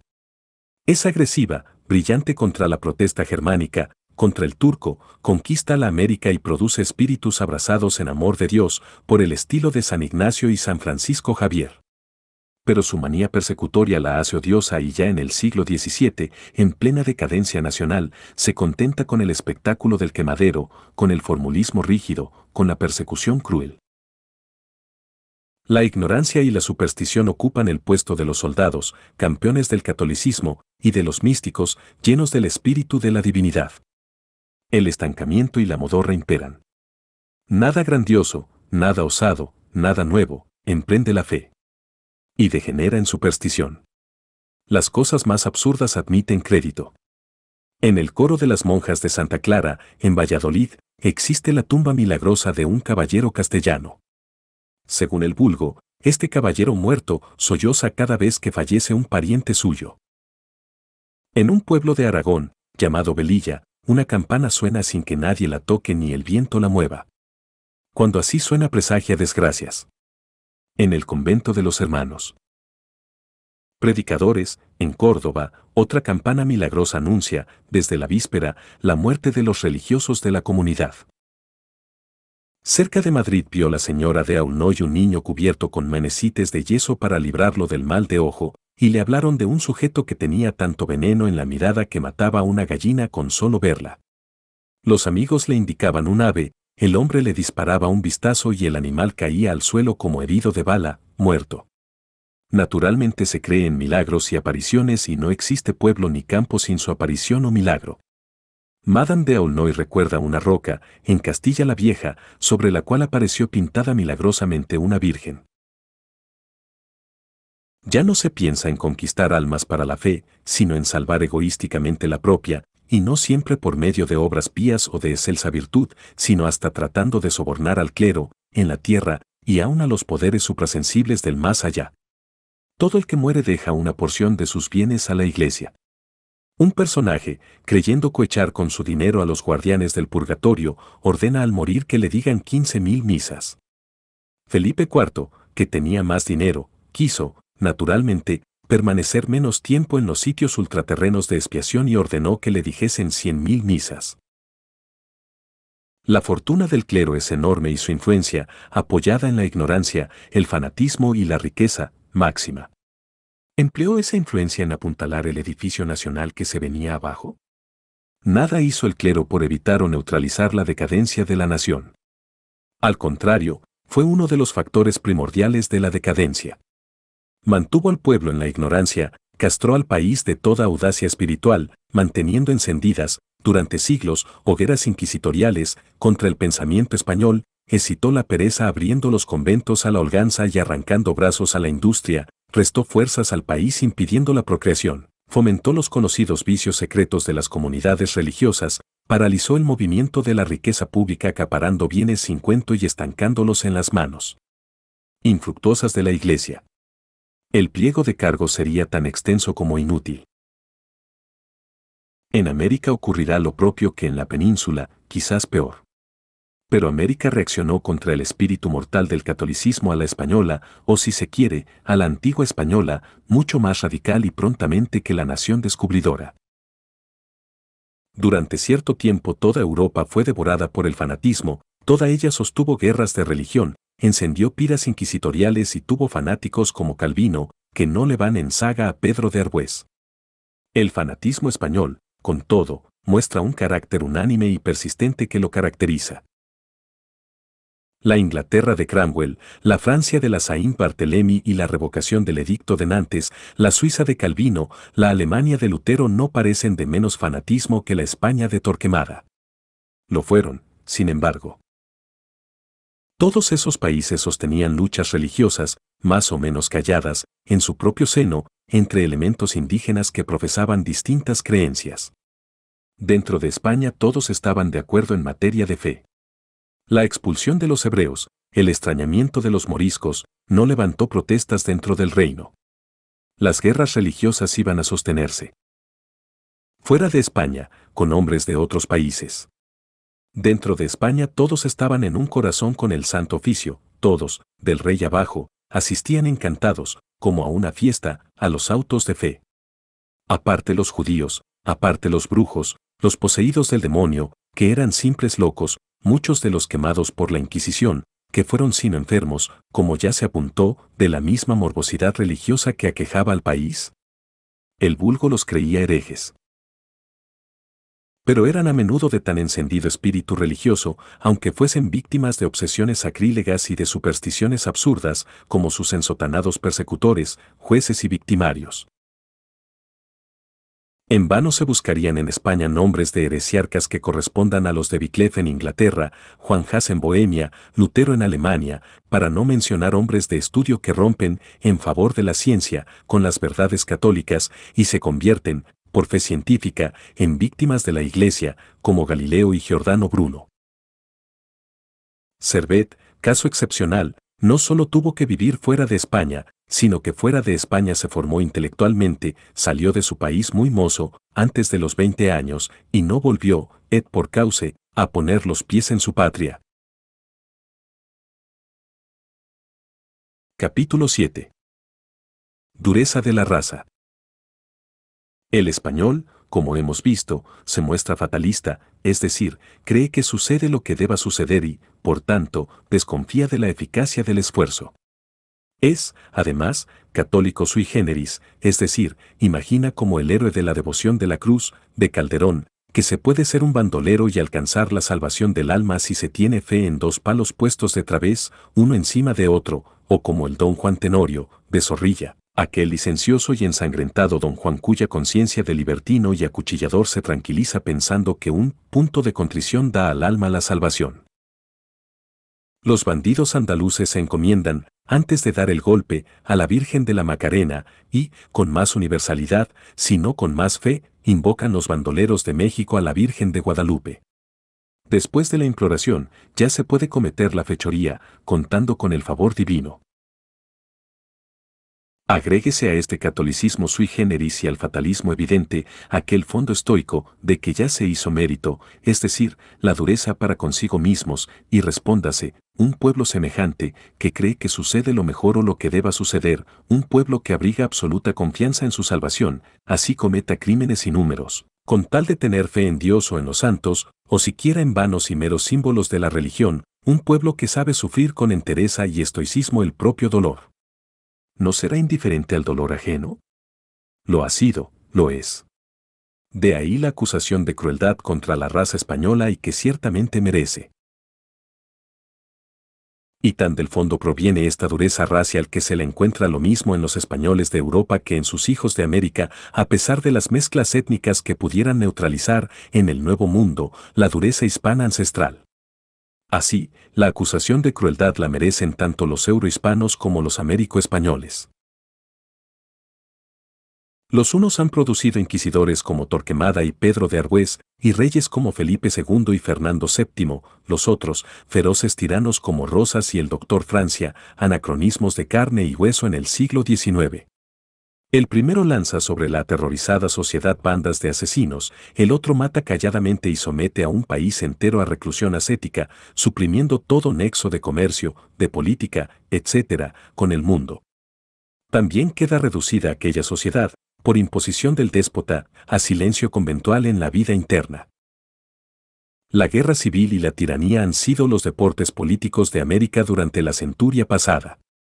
Crueldades inéditas, como la de los enchipados del Uruguay, que consiste en meter a las víctimas dentro de pieles frescas de res y dejar que estas pieles se vayan encogiendo al sol, se han puesto en moda. Juan Vicente Gómez, el actual asesino de Venezuela, tan cobarde y rapaz como cruel, infecta adrede ciertos calabozos de sus prisiones con virus de difteria, de tifus, de tuberculosis, para que las víctimas, a quienes se priva de todo auxilio médico, mueran de tal o cual morbo, en tanto cuanto tiempo. Nadie ha llegado a donde ha llegado este monstruo, tímido, soez, alevoso. Melgarejo y Belzú, dictadores de Bolivia, son dos figuras cubiertas de sangre. Lilis, la pantera negra de Santo Domingo, llevaba en el bolsillo, cuando fue asesinado, una larga lista de ciudadanos que, por su orden, debían morir. El feroz pedagogo de Guatemala, Estrada Cabrera, asesina por miedo y con crueldad, un oscuro bárbaro y letrado. El famoso Juan Vicente Gómez, a quien se apoda Juan Bisonte, escala por traición el poder en Venezuela y lo ejerce como bárbaro y como traidor. 5 o 6 mil personas mantiene en las cárceles, 5 o 6 mil en el destierro, muchos ciudadanos desaparecen sin que ni su familia ni nadie sepa más de ellos, a otros se les arruina cobrándoles precios fantásticos por lo que se les da de comer en la prisión. Este paranoico, como Estrada Cabrera y mucho más que Estrada Cabrera, persigue porque se cree perseguido. Vive temblando y matando. La ley de fuga, que está poniendo ahora en práctica contra sindicalistas y comunistas, según dicen, el gobernador de Barcelona, y que consiste en que los presos políticos sean enviados de un sitio a otro y se les fusile, so pretexto de que han intentado fugarse, es invención del cocodrilesco Porfirio Díaz, el déspota llorón y sanguinario de México, uno de los mandones más glaciales y antipáticos, destructor de los indios yaquis, en favor de una plutocracia mexicana y extranjera. El chileno Portales y el ecuatoriano García Moreno llevan la energía hasta la crueldad, lo mismo que el héroe nacional del Paraguay, el mariscal Francisco Solano López, el más erguido y soberbio de estos hombres de hierro, el único de entre ellos magnificado por un patriotismo puro, por una abnegación sincera, por un heroísmo sin parangón, por un martirio inmerecido. El argentino Rosas es conocido como el más feroz tirano de América. Rosas hace levantar un censo de opiniones políticas y a todo el que no sea de su partido le entrega a la cuchilla infatigable de la mazorca durante siete años. El retrato de Rosas, colocado en los altares, primero, pasa después a ser parte del equipo de cada hombre, que debe llevarlo en el pecho en señal de amor intenso a la persona del restaurador. A tal tirano, tales sicarios. La Mazorca, Mazorca, Cuerpo de Policía Entusiasta, Federal, tiene por encargo y oficio echar lavativas de ají y aguarrás a los descontentos, primero, y después, no bastando este tratamiento flogístico, degollar a aquellos que se le indique. El monstruo tiene a su servicio algunos sotamonstruos que lo rivalizan en ferocidad. El más célebre de estos tiranos subalternos es Facundo Quiroga, a quien el enérgico cincel de un escritor insigne ha esculpido, inmortalizándolo en el oprobio. Sus contemporáneos le temían como no se teme sino a la peste y a las fieras. Facundo se presenta un día en una casa a preguntar por la señora, hermosa viuda que había atraído sus miradas lascivas a un grupo de chiquillos. El más avispado contesta que no está. Dile que yo he estado aquí. ¿Y quién es usted? Soy Facundo Quiroga. El niño cae redondo y solo el año pasado ha empezado a dar indicios de recobrar un poco la razón, los otros echan a correr, llorando a gritos, uno se sube a un árbol, otro salta a unas tapias y se da un terrible golpe. La guerra entre eurohispanos y américo-españoles por la emancipación de América duró 15 años, sirvió de motivo, en uno y otro bando, a empresas militares y heroicas de primer orden, que no tienen nada que envidiar a las páginas más conspicuas de la historia universal, pero también dio margen a crueldades espantosas. En México, en Perú, en las regiones o provincias nórdicas del antiguo virreinato rioplatense, hoy Bolivia, en Nueva Granada, en Chile, se cometieron tropelías de toda suerte. Pero en ninguna parte se encendieron las pasiones al punto que en Venezuela, como que este país fue teatro de la más encarnizada lucha, de él salieron los mayores libertadores, y a su suelo llegaron y en su suelo permanecieron y combatieron las más numerosas y constantes expediciones que envió España contra los revolucionarios del Nuevo Mundo. Además, en Venezuela se levantaron inúmeros y espontáneos caudillos españoles que valiéndose del sentimiento realista y tradicionalista de las masas y del innato carácter guerrero de aquel pueblo fueron, durante largo periodo, los más peligrosos adversarios de los libertadores. Bobes, el mayor de aquellos caudillos españoles, por su prestigio, actividad, energía y otras virtudes guerreras, fue también uno de los hombres más crueles de que pueda tenerse noticia lo menos que discurría era colocar cuernos de toro en la frente de sus enemigos los patriotas, los republicanos, y distraerse haciéndolos lancear. Daba bailes que terminaban con la muerte de todos los asistentes, incluso los músicos. Exterminaba por sistema a todos los americanos blancos. Las clases de color lo temían y lo amaban. Él les permitía todo, y los asusaba, entre otras cosas, a que los esclavos negros violasen a sus antiguas amas. Otro bárbaro, el vizcaíno Sosola, despalma a los patriotas y los obliga a correr sobre arenas encendidas. Otro, Antoñanzas, remite cajones repletos con orejas de rebeldes al gobierno español. Rosete marca con una R, en la espalda, a los revolucionarios. El canario José Tomás Morales, a quien no puede compararse con chacales ni tigres, para no ser injusto con estas alimañas, mata con deleite, sin aspavientos, al por mayor, la unidad de sus crímenes es el millar. Ninguno de ellos, ni otros muchos, da cuartel. Los venezolanos, por su parte, corresponden a esas barbaridades con otras análogas. Antonio Nicolás Briceño, descendiente de conquistadores, abogado, secretario del primer Congreso Nacional en 1811, hombre civilizado en suma, corta a pacíficos españoles la cabeza y escribe cartas con la sangre de las víctimas. Arismendi hace pronunciar la palabra naranja a los sospechosos, y el que no sepa pronunciar a la criolla y delate por ello su nacionalidad muere al punto. Bermúdez no perdona. Piar tampoco. José Félix Rivas, primer teniente de Bolívar en 1813 y 1814, presencia las atrocidades cometidas en Ocumare por el peninsular Rosete, a quien ha vencido, y hace un juramento terrible de exterminio contra los españoles. El 21 de febrero de 1814 escribe el tremendo soldado de la independencia, reitero mi juramento y ofrezco que no perdonaré medios de castigar y exterminar a esta maldita raza. Al día siguiente Arismendi, gobernador de Caracas por los republicanos, proclama a su turno, os juro, caraqueños, que yo, horrorizado de tantas maldades, las cometidas por los jefes españoles, no perdonaré jamás a ningún español enemigo, su Sangre será vertida por mis órdenes, seguro de que el libertador se haya animado de los mismos deseos. Ese Bobes, ese caudillo máximo de los realistas durante aquella época luctuosa, 1813 a 1814, manda castigar a todos los patriotas de Venezuela con la muerte, en la inteligencia, ordena, de que solo un creo se les dará para que encomienden su alma al Criador. Y el 23 de mayo de 1814 oficia al Justicia Mayor de Camatagua, trate usted de reunir toda la gente útil que se halle por los campos, y el que no comparezca a la voz del rey se tendrá por traidor y se le pasará por las armas. En carta del 29 de diciembre de 1814 deja el gobernador español don Manuel Fierro, hombre que pasaba por bueno, el resumen de aquel año asiago, hemos concluido con cuantos se nos han presentado, y para extinguir esta canalla americana era necesario no dejar uno vivo publicada en la Gaceta de Caracas, 11 de octubre de 1821. Pero ya hemos visto, y veremos de nuevo, cómo los patriotas republicanos de Venezuela, que luchaban por emanciparse, no les iban en saga a los caudillos realistas españoles, que luchaban por mantenernos esclavizados al yugo de Fernando VII, Así el general José Félix Rivas, emulando al mismo Bobes, había decretado desde el 15 de noviembre de 1813, se repetirá el toque de alarma a las 4 de la tarde de este día, y todo el que no se presente en la Plaza Mayor o en el Cantón de Capuchinos, y se le encuentre en la calle o en su casa, será pasado por las armas, sin más que tres horas de capilla.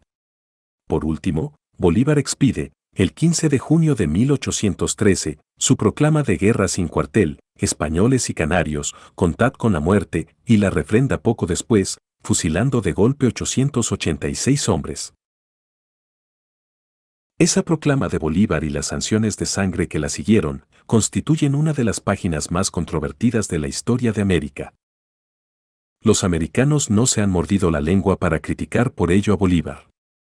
De inhumano ha sido tildado con ese motivo, como por otros motivos lo fueron otros héroes de su talla, César, Aníbal, Napoleón.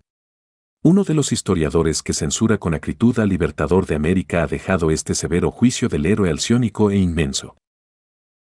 Tenía la visión, los destellos, las súbitas iluminaciones y las grandiosas concepciones del genio, arrebatadora, deslumbrante, inagotable elocuencia, templado valor personal, capaz de llegar hasta el heroísmo, inquebrantable constancia, pasmosa actividad, total, absoluto desprendimiento de la riqueza y de los bienes de la fortuna, pero le faltaba la más simpática, la más noble de todas las calidades de la grandeza, la magnanimidad, la piedad, la humanidad, en una palabra, esa inefable. Simpatía, esa divina conmiseración por la vida y el dolor de nuestros hermanos. El héroe simbólico, el héroe representativo de la raza hispanoamericana, es un hombre que lleva la dureza hasta la crueldad. Los caudillos españoles que se le opusieron no solo en Venezuela, sino en las demás secciones de América, también lo fueron. El general Morillo pasó por las armas a casi toda la aristocracia de la Nueva Granada, el brigadier Maroto, héroe español de las guerras de Chile, no fue precisamente un pan de azúcar, el general Canterac y el virrey La Serna, en el Perú, fusilaban con inquebrantable energía y eran de los mejores, el virrey Sámano, de Nueva Granada, fue un malhechor cubierto de sangre, el general Olañeta, en las provincias. Argentinas del Norte, mataba en nombre de Fernando VII y del Sagrado Corazón de Jesús. De la crueldad de Calleja, en México, no hay para qué hablar, fue tan malo que Fernando VII premió sus crímenes con títulos nobiliarios, como hizo con Morillo y como hubiera hecho con Bobes, si Bobes no perece engarzado en una lanza llanera. La guerra entre tales contendores no podía ser un idilio. No lo fue. Fue dura. ¿Cómo no? He aquí la explicación que de ello da un historiador americano, Juan Vicente González, biógrafo del general José Félix Rivas, luchaban los españoles con sus hijos. Es verdad, aquella crueldad recíproca era muy española. ¿La misma fiesta nacional de España, en qué consiste? En un espectáculo de sangre y de muerte. Y la nota de crueldad para los pueblos de esta raza no se fundamenta en que hayan producido inquisidores y tiranos y en que se diviertan con el dolor, todos los pueblos se han manchado con sangre, sino en la persistencia del sufrimiento como espectáculo, del asesinato en nombre de la fe y de la tiranía como arbitrio político. Antes de la fiesta nacional de los toros, hubo la fiesta nacional de los autos de fe. Los espectadores no solo gozan con el dolor de sus semejantes, sino lo agravan con insultos, pedradas, estocadas a los que van a morir. Los mismos clérigos que están cerca de los reos para consolarlos en el último trance, complacense en hacerlos sufrir más. Ni el Coliseo, en Roma, presenció mayores crueldades. El pueblo solía entretener sus horas de hambre, que era pavorosa y nacional en el siglo XVII, con el espectáculo gratuito de los autos de fe. El 30 de junio de 1680, por ejemplo, celebróse en la Plaza Mayor de Madrid un auto con numerosas víctimas, duró desde las 7 de la mañana hasta las 9 de la noche. Al día siguiente por la noche quemaron a 18 condenados a la hoguera. Un francés, embajador de Luis XIV, el marqués de Villers, aunque militar y de país de harta intolerancia religiosa, deja horrorizado relato de aquella carnicera escena. Fueron quemados, dice, sobre un terreno elevado expresamente, donde aquellos miserables, antes de ser ejecutados, hubieron de sufrir miles de tormentos, hasta los monjes que los asistían los quemaban poco a poco con antorchas.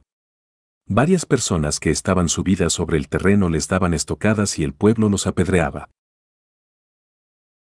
Y recuérdese que la barbarie feroz de la Inquisición española duró siglos y siglos, desde los reyes católicos en el siglo XV hasta Fernando VII, en pleno siglo XIX. En América la abolió la Revolución de Independencia.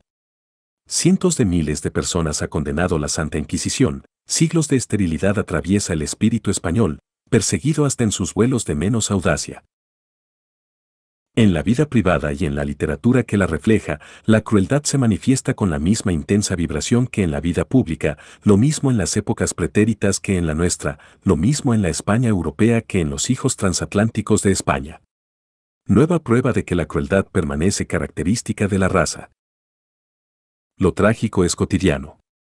Los artistas rinden culto a la violencia, como los demás españoles, y son ya tétricos y duros como Rivera, ya exasperados como Valdés Leal, ya trágicos como él. Goya de los fusilamientos madrileños de 1808. Los literatos, lo mismo, el romancero, lo más hermoso, lo más espontáneo, lo más popular de la España antigua no es, en su mayoría, sino relato rítmico de casos violentos. En todo el teatro clásico abundan maridos que, en nombre del honor, imponen la muerte y cometen desaguisados cruentos. Uno, el médico de su honra, mata a la esposa por medio del sangredo que la asiste. A secreto agravio, secreta venganza se titula con título expresivo otro drama de Calderón. Lope, que era un cura libertino, tiene personajes semejantes. Lo mismo Rojas. En Tirso, descúbrese un concepto semejante del honor. Llevan en sus comedias el punto de honor hasta el delito. Nadie perdona. El orgullo herido no se cree satisfecho sino con la sangre del ofensor, máxime si quien ofende es la esposa. No son celos de amor, sino de honra, los que sienten esos personajes los sangrientos desenlaces que idearon Lope, Calderón y Rojas. Venían a satisfacer las exigencias de un público que solo se conmovía cuando la nota dramática se elevaba a la altura del asesinato. Era el mismo público del auto de fe que buscaba en el teatro la aproximación de las terribles emociones gustadas por él en la realidad del otro espectáculo. Hasta las ideas más generosas tiñense de rojo. El cumplimiento del deber llevado a extremos de desoír los más tiernos afectos del corazón ocurre a menudo en la realidad y en la ficción artística, trasunto de la realidad vivida. El conde de Alarcos, en el drama sugerido por el romance clásico, no vacila en matar a su inocente esposa para obedecer una real orden. Guzmán, apellidado el bueno no solo consciente, para salvar la plaza de Tarifa en el sacrificio de su hijo, sino que hasta entrega, con repulsiva jactancia, el arma con que ha de victimársele. Pospone la vida del vástago a los desórdenes y pasiones de una guerra civil, a los intereses que defiende de un reyesuelo usurpador. Pues bien, pocas acciones alcanzarán, en plumas y bocas españolas, más loanza. Oficialmente se concede a Guzmán el título de bueno. La posteridad le confirma aquel título los historiadores de todas las tendencias lo elevan a las nubes. Los poetas lo cantan. Los dramaturgos llevan a la escena, en más de una ocasión, el hecho atroz, Luis Vélez de Guevara en 1620 y el viejo Moratín en 1717. En pleno siglo XX se da el nombre de Guzmán el Bueno a una calle de Madrid. Este heroísmo de Guzmán a costa de los propios sentimientos, suponiendo que Guzmán fuera un hombre normal, revela no ya crueldad contra los demás, sino contra sí mismo. Equivale, en lo político, a lo que ocurre con los ascetas en religión. Los ascetas ejercen contra sí propios la dureza que los malvados ejercen contra terceras personas.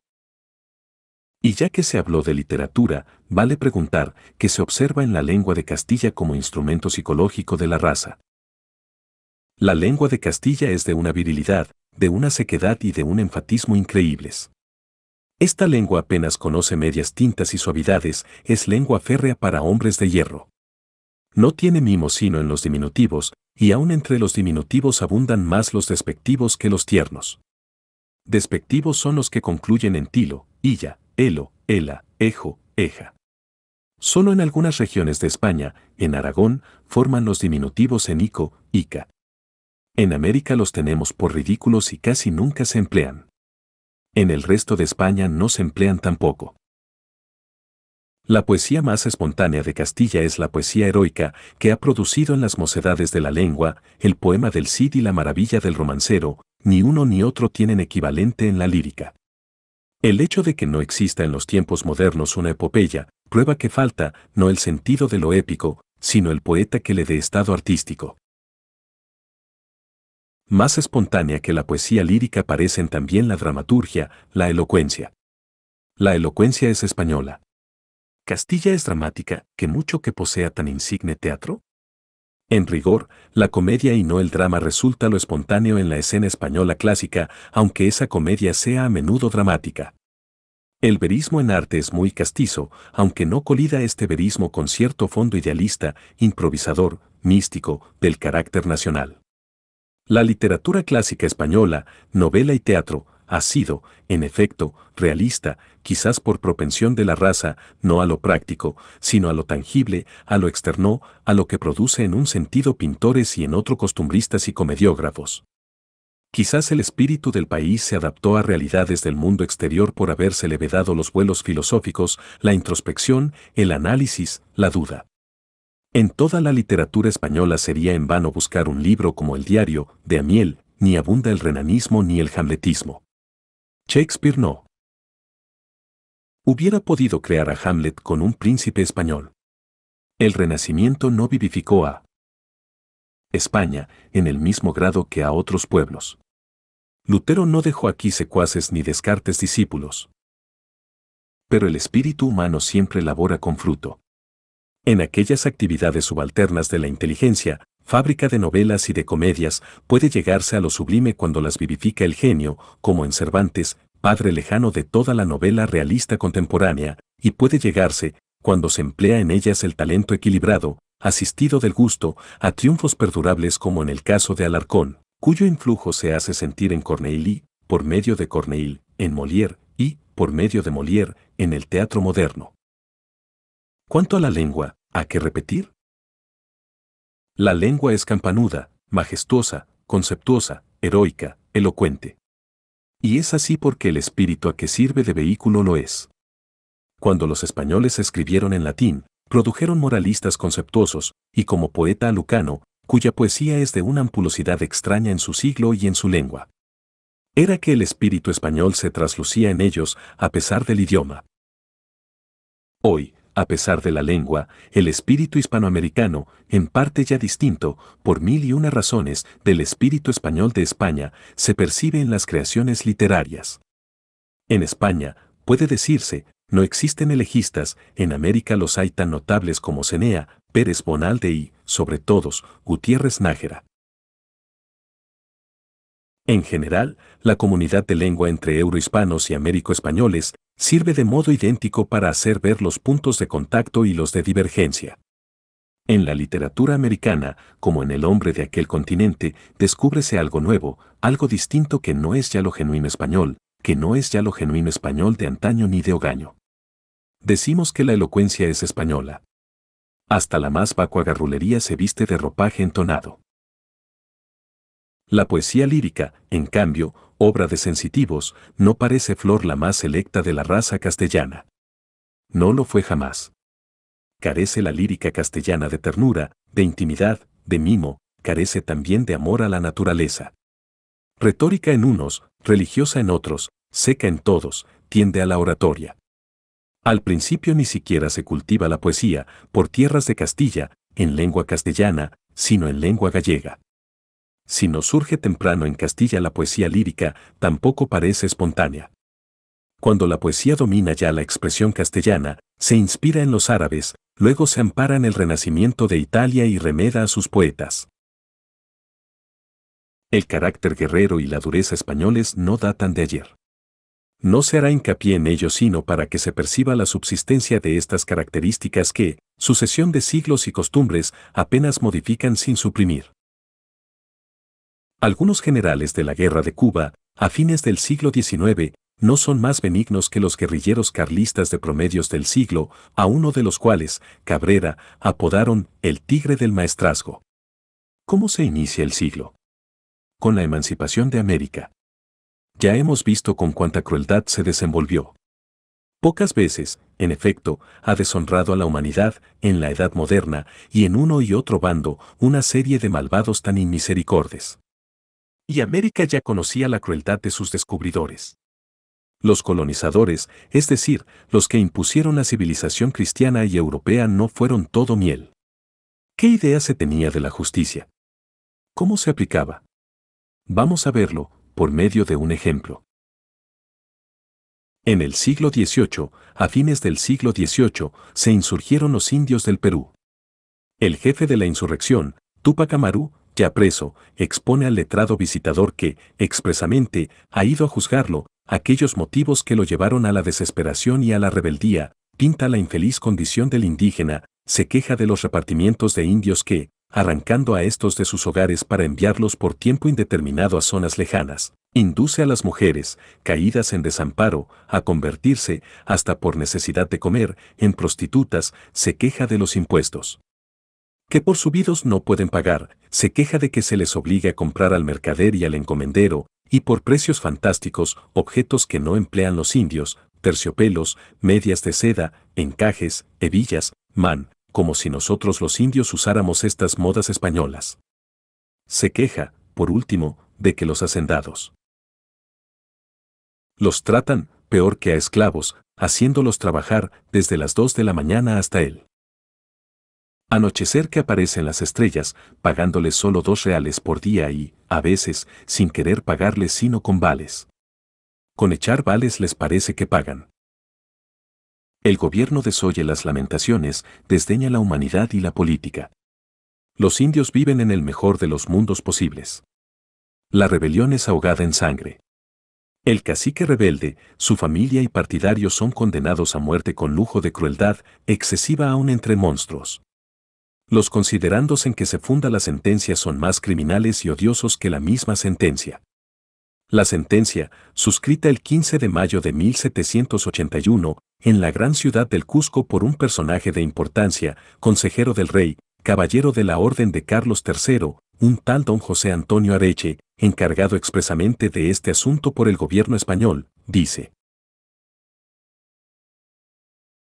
Debo condenar y condeno a José Gabriel Tupac Amará a que sea sacado a la plaza principal y pública de esta ciudad, arrastrado hasta el lugar del suplicio donde presencie la ejecución de las sentencias que se dieren a su mujer Micaela Bastidas, a sus hijos Hipólito y Fernando Tupac Amarú, a su cuñado Antonio Bastidas y a algunos de los otros capitanes y auxiliadores de su inicua y perversa, SIC, intención o proyecto, los cuales han de morir en el propio día, y concluidas estas sentencias se le cortará por el verdugo la lengua y después, amarrado o atado por cada uno de los brazos y pies con cuerdas fuertes, y de modo que cada una de estas puedan atar o prender con facilidad a otras que pendan de las hinchas, SIC, de cuatro caballos, para que puesto en este modo, o de suerte que cada uno tire de su lado, mirando a otras cuatro esquinas o puntas de la plaza, marchen, partan y arranquen a una vez los caballos, de forma que quede dividido su cuerpo en otras tantas partes.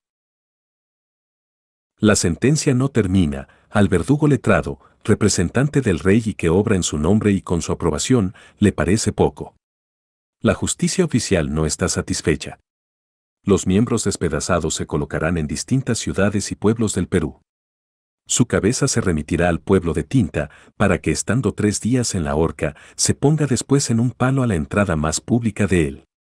Uno de los brazos irá a ser expuesto en Tungazuca, otro, a la capital de Carabaya, una pierna al pueblo de Libitaca y la restante al de Santa Rosa. No es todo. Hay que perseguir más allá de la muerte y el descuartizamiento. El cuerpo será incinerado en el cerro, sic o altura llamada de Piccho, echando sus cenizas al aire. No es todo. La casa de Tupac Amaru y las de todos los individuos de su familia serán derribadas y el suelo donde se levantaban será sembrado de sal. Tanta ferocidad aún no parece suficiente. Hay que herir a un linaje íntegro hasta en los seres que aún no han nacido, hasta en los días por venir. Así, todos los parientes del cacique Tupac Amaru queden infames e inhábiles para adquirir, poseer y obtener de cualquier modo herencia alguna, con esta ferocidad oficial se gobernaba a la América a fines del siglo XVIII. Y si esta ferocidad se derrocha cuando se tiene la ley en la mano, como sería en los tiempos en que se blandió no la ley, sino la espada? ¿Reservábase aquella crueldad exclusivamente para América? No. Recuérdese cómo se combatió a los holandeses que luchaban por el derecho a gobernarse por sí propios se les combatió con energía cruenta, en los campos de Neerlandia jugaban a la pelota los soldados de España con rubias cabezas de indígenas. Por esos tiempos, ¿qué inquisidor, dentro de la propia España, habría dudado de su derecho a quemar herejes? Campanella y otros pensadores que, movidos de curiosidad científica, abren la edad moderna, asignan a la existencia del hombre un valor que, aún más tarde, no se le sospecha en España. Las guerras civiles de Castilla, en épocas anteriores, ¿cómo se realizan? No se realizan con puñados de rosas. En las gradas que ascienden al trono brillan en ocasiones salpicaduras rojas. Uno de aquellos reyes, apellidado Cruel, aun en aquellos tiempos de violencia cotidiana, mata a su hermano para escalar el trono y pierde el reino y la vida a manos de otro hermano. La violencia es constante e indeclinable en la historia del país. No se olvide lo que se deba a la barbarie de los tiempos, que hacían no españoles, sino universales, los procedimientos de sangre. Con todo, el sentimiento guerrero y la ninguna vacilación ante las decisiones rigurosas caracterizan a la península y sus distintos pobladores desde los tiempos más remotos, los iberos defienden el territorio con tenacidad, son taciturnos, violentos. Los celtas españoles se infligían la muerte cuando caían prisioneros. Los vascos eran tan bravos que los romanos significaban lo imposible con esta expresión, hacer volver las espaldas a un cántabro. Aníbal tropezó con Sagunto, donde las mujeres quitaban la existencia a sus hijos y entregaron voluntariamente la vida propia al hierro y a la hoguera. Viriato fue la inquietud, sino el terror de la dominación romana, e hizo morder el polvo en cien ocasiones a generales y cónsules de Roma. Numancia fue luego para Roma lo que Sagunto para Cartago.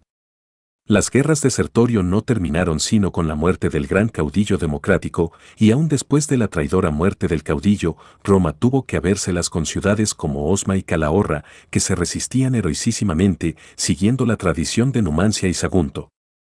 La colonización romana se asentó, por de contado, sobre el dominio de las armas. Los bárbaros conquistan a España y se devoran. Entre sí. Su gobierno es militar. Los visigodos, ya cristianos, empiezan en 680 la persecución contra los judíos españoles, arrebatan a los israelitas los hijos desde que alcanzan siete años para convertirlos al cristianismo, doble violencia odiosa, contra el corazón y contra la conciencia. Y ya eran menos rudos y brutales que los primeros invasores bárbaros. Los árabes, como todos los conquistadores, se presentan espada en mano. La lucha de los cristianos con los árabes empieza al día siguiente de la conquista.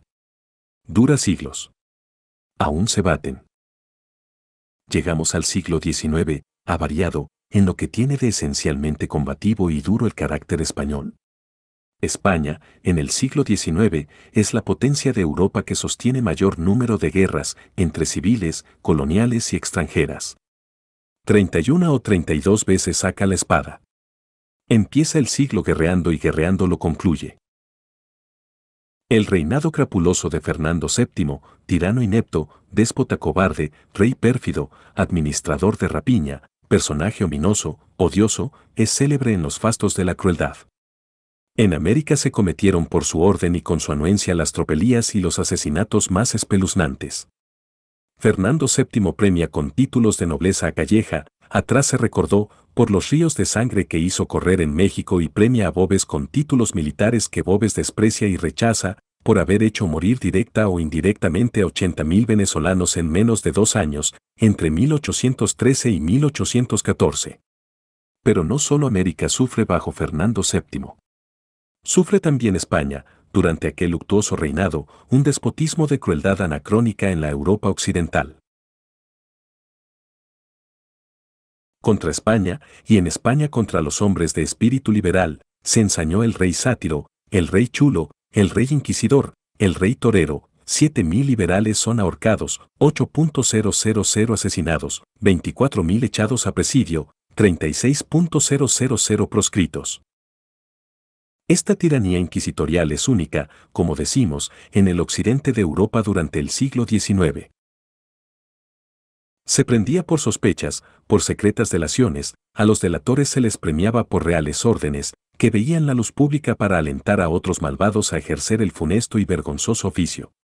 Se abrían las cartas en el correo, no se estaba seguro en las reuniones privadas, ni en las tertulias de los cafés, el pánico se apoderó de las familias, porque en secreto se hablaba de individuos, honrados ciudadanos que, sin poder despedirse de sus esposas y de sus hijos, eran conducidos a Ceuta, a Filipinas, a Fernando Po, por conversaciones mal interpretadas en las calles o en las plazas, por haber escrito en algún periódico o por haberle leído en público con entusiasmo.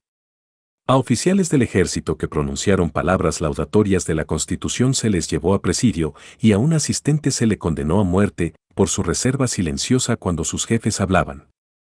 Algunos entusiastas liberales de Cádiz que asistieron a las sesiones de las Cortes fueron ahorcados. Por habérseles probado que habían aplaudido ciertos discursos. Hombres que se hallaban.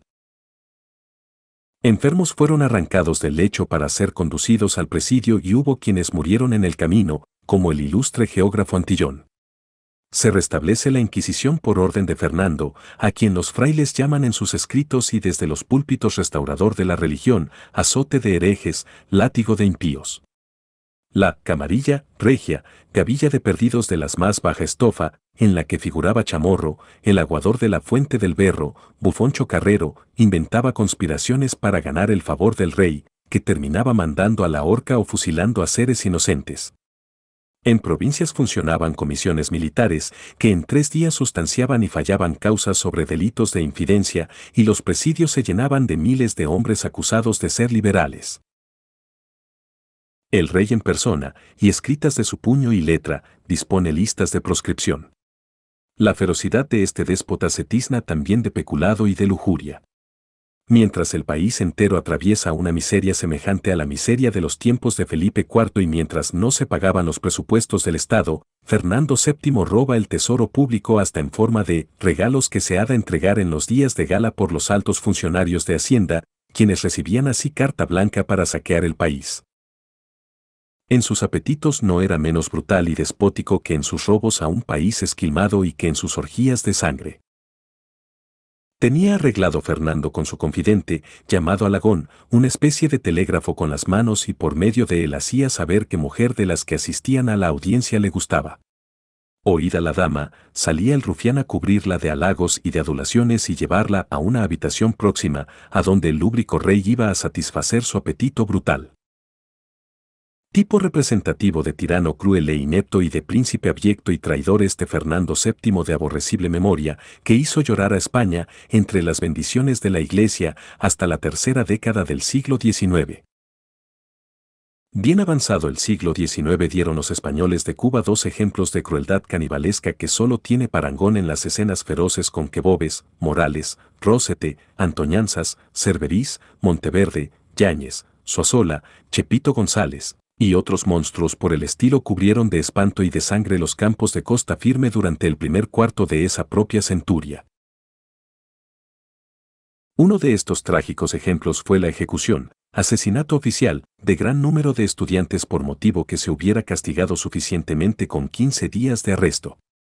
Otro fue el fusilar a Narciso López y sus compañeros, o, mejor dicho, las escenas canibalescas después del ajusticiamiento. Para ajusticiar a los estudiantes no hubo derecho, ni la política justificaba aquel crimen inútil y aborrecible. La muerte de Narciso López sí puede disculparse, no así la profanación de sus restos.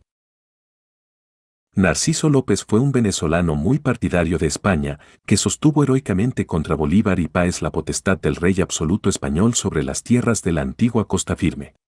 Mal correspondido por Fernando VII y sus satélites, viendo la gloria que los caudillos libertadores de América habían alcanzado y ya abierto su espíritu a ideas más generosas y liberales, concibió el proyecto, que puso por obra con el auxilio de los yanquis, de libertar a Cuba de las garras de España. El año de 1851 desembarcó en Cuba con una breve expedición emancipadora. En los combates se portó con la bravura que siempre demostrara. Pero la suerte y las circunstancias le fueron adversas.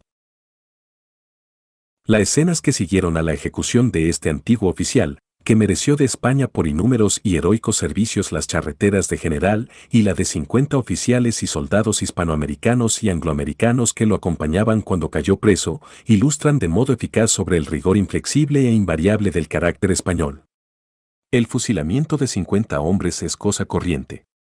Lo es menos la profanación de sus cadáveres y el que un gobierno celebre aquellos fusilamientos que ordena y aquella profanación que consiente. Este caso produjo en la conciencia internacional mucho daño a España. Aún se lo causa. Oigamos la referencia de aquel delirio canibalesco. 50 hombres norteamericanos casi todos, pertenecientes a la expedición libertadora que desembarcó en Cuba el año 1851 a las órdenes del general Narciso López, fueron sorprendidos en un bote cerca de la isla por un vapor de guerra español el vapor los encontró desarmados y rendidos a discreción. Fueron conducidos a La Habana. Gobernaba la isla el general don José de la Concha, quien convocó una junta de autoridades para decidir lo que con esos prisioneros debía hacerse. La junta, a la cual asistió el obispo de La Habana de Francisco Fleix y Solans, acordó unánimemente que fuesen fusilados diez de ellos, designándolos por suerte. Tal fue el único trámite del bárbaro proceso, y así se ordenó ejecutar. Pocos minutos después cambió de parecer el general Concha y despachó precipitadamente un mensaje a las faldas del castillo de Atares, donde aguardaban el fallo los 50 hombres, con la orden verbal de que fuesen todos fusilados. Así se hizo. Consumado el sacrificio, se adelantó un oficial español, clavó su espada en el pecho de uno de los moribundos y enjugó con su pañuelo la sangre que goteaba para guardarla como preciosa reliquia. A esa señal, precipitóse sobre los cadáveres la turba numerosa de españoles que había ido a presenciar la ejecución, para despojarlos de sus vestidos y mutilarlos infamemente. Formáronse luego en procesión y recorrieron la ciudad llevando en varas las ropas ensangrentadas y miembros palpitantes de las víctimas. El suceso fue celebrado aquel día y aquella noche con luminarias, cortinas, colgaduras y fuegos artificiales, como una fiesta nacional. Pobre Narciso López, tardío amigo de la libertad. Existen pequeños detalles de la vida de todos los días que si no demuestran los sentimientos de una raza con el aparato que ejemplos históricos de bulto los patentizan no obstante con relieve. La crueldad española podremos verla por medio de algunas observaciones, en potencia, en estado de insensibilidad. De la insensibilidad proviene la crueleza, como el río del manantial. España, principalmente Castilla, es dura y lo es hoy como lo fue ayer y como lo fue siempre. Hoy mismo, en pleno siglo XX, cuantos viajen por Castilla y tengan ojos para ver y seso para juzgar, advertirán en detalles, al parecer insignificantes, huellas de la insensibilidad castellana. El jamón se come crudo, y en el corazón de Castilla, en la provincia de Ávila, por ejemplo, se corta una pierna de toro, se pone en sal durante algún tiempo y luego se devora así. ¿Qué denota que el festín de antropófagos? Carencia de paladar, insensibilidad. Las casas de la clase media y del pueblo, aun en Madrid, carecen de calefacción, a pesar del rigor del invierno castellano, las gentes padecen frío y se atufan con el irrespirable brasero, insensibilidad. El verano es también riguroso, pues bien, no hay árboles en los alrededores de las casas de campo, soportan bravamente la canícula. Tampoco hay pájaros, a los pocos que aparecen, los chicos los cazan con onda, los grandes se los comen fritos. Tampoco hay fuentes, o hay pocas, a pesar de la tradición. Arábiga, de apego al agua cantarina. Vivir sin agua, sin pájaros, sin árboles, se quieren. ¿Más pruebas de desamor a la naturaleza? Soportar con estoicismo el calor y el frío, el fuego y el hielo de un clima de extremos, se quieren otras pruebas de escasa sensibilidad. En ninguna parte, además, se trata a los animales domésticos, bueyes, mulos, caballos, aun perros, con mayor dureza. A los bueyes se les pincha con aguijones en las encías, a las caballerías se las golpea, en los corvejones, en la cabeza, en el espinazo. Por lo que toca a las personas, el autor ha conocido, durante su permanencia en España, casos elocuentes. Las monjas trinitarias recogen chicas perdularias o pretexto de corregirlas y en realidad para servirse de obreras que no devengan jornal en las varias industrias que, sin pagar patente, ejercen las reverendas madres. Las chicas en secuestro que logran escaparse, o las que por algún medio se redimen de aquella servidumbre, cuentan horrores de la crueldad con que se las trata y de la indiferencia con que se las ve enfermar y morir.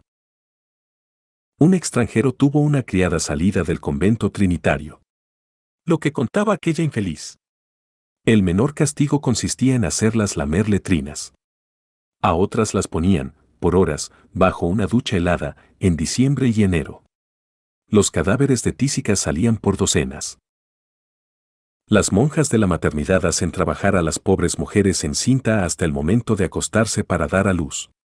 El escándalo de la inclusa que el protomedicato madrileño promovió, movido de sentimiento científico, patriótico, humanitario, es bastante reciente. Las religiosas, un año y otro año, dejaban morir el 100% de los niños que ingresaban al benéfico asilo, angelitos para el cielo, decían.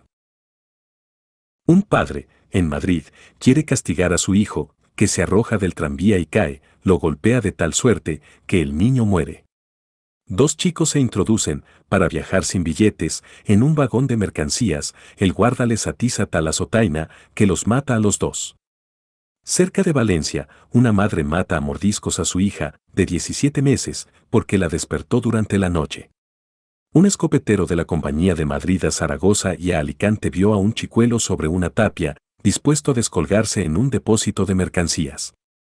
Parecía un gorrión. El escopetero disparó y mató al niño. Y el veterano del diarismo que trae la noticia comenta con un hondo sentido humanitario, no se quiere a los niños. Obsérvese que en ninguno de los casos referidos, y en mil más que pudieran referirse, ha habido intención criminal, Hubo solo dureza, carencia de fibra sensible. La policía hace viajar por las carreteras, en invierno y en verano, a pie y a través de toda España, a niños de menos de 15 años y a viejecillos de más de 70, mendigos, vagabundos o simplemente sospechados de sindicalistas y comunistas. La prensa ha levantado protesta ruidosa y unánime contra estas crueles conducciones de presos por carreteras, máxime cuando se trata de niños. Pues bien, el conde Coello de Portugal, ministro de la Gobernación, contesta a la prensa y a la opinión, categórico, que el Estado no hará viajar a los niños ni a los ancianos por ferrocarril, irán a pie. El que enferme o muera, no importa. Ese es su destino. Con todo, inclínase uno a pensar que la crueldad no es española, ni de tal o cual raza, sino humana. El hombre es animal carnicero. Son de sobra conocidos los cargos que han acumulado contra España los demás pueblos.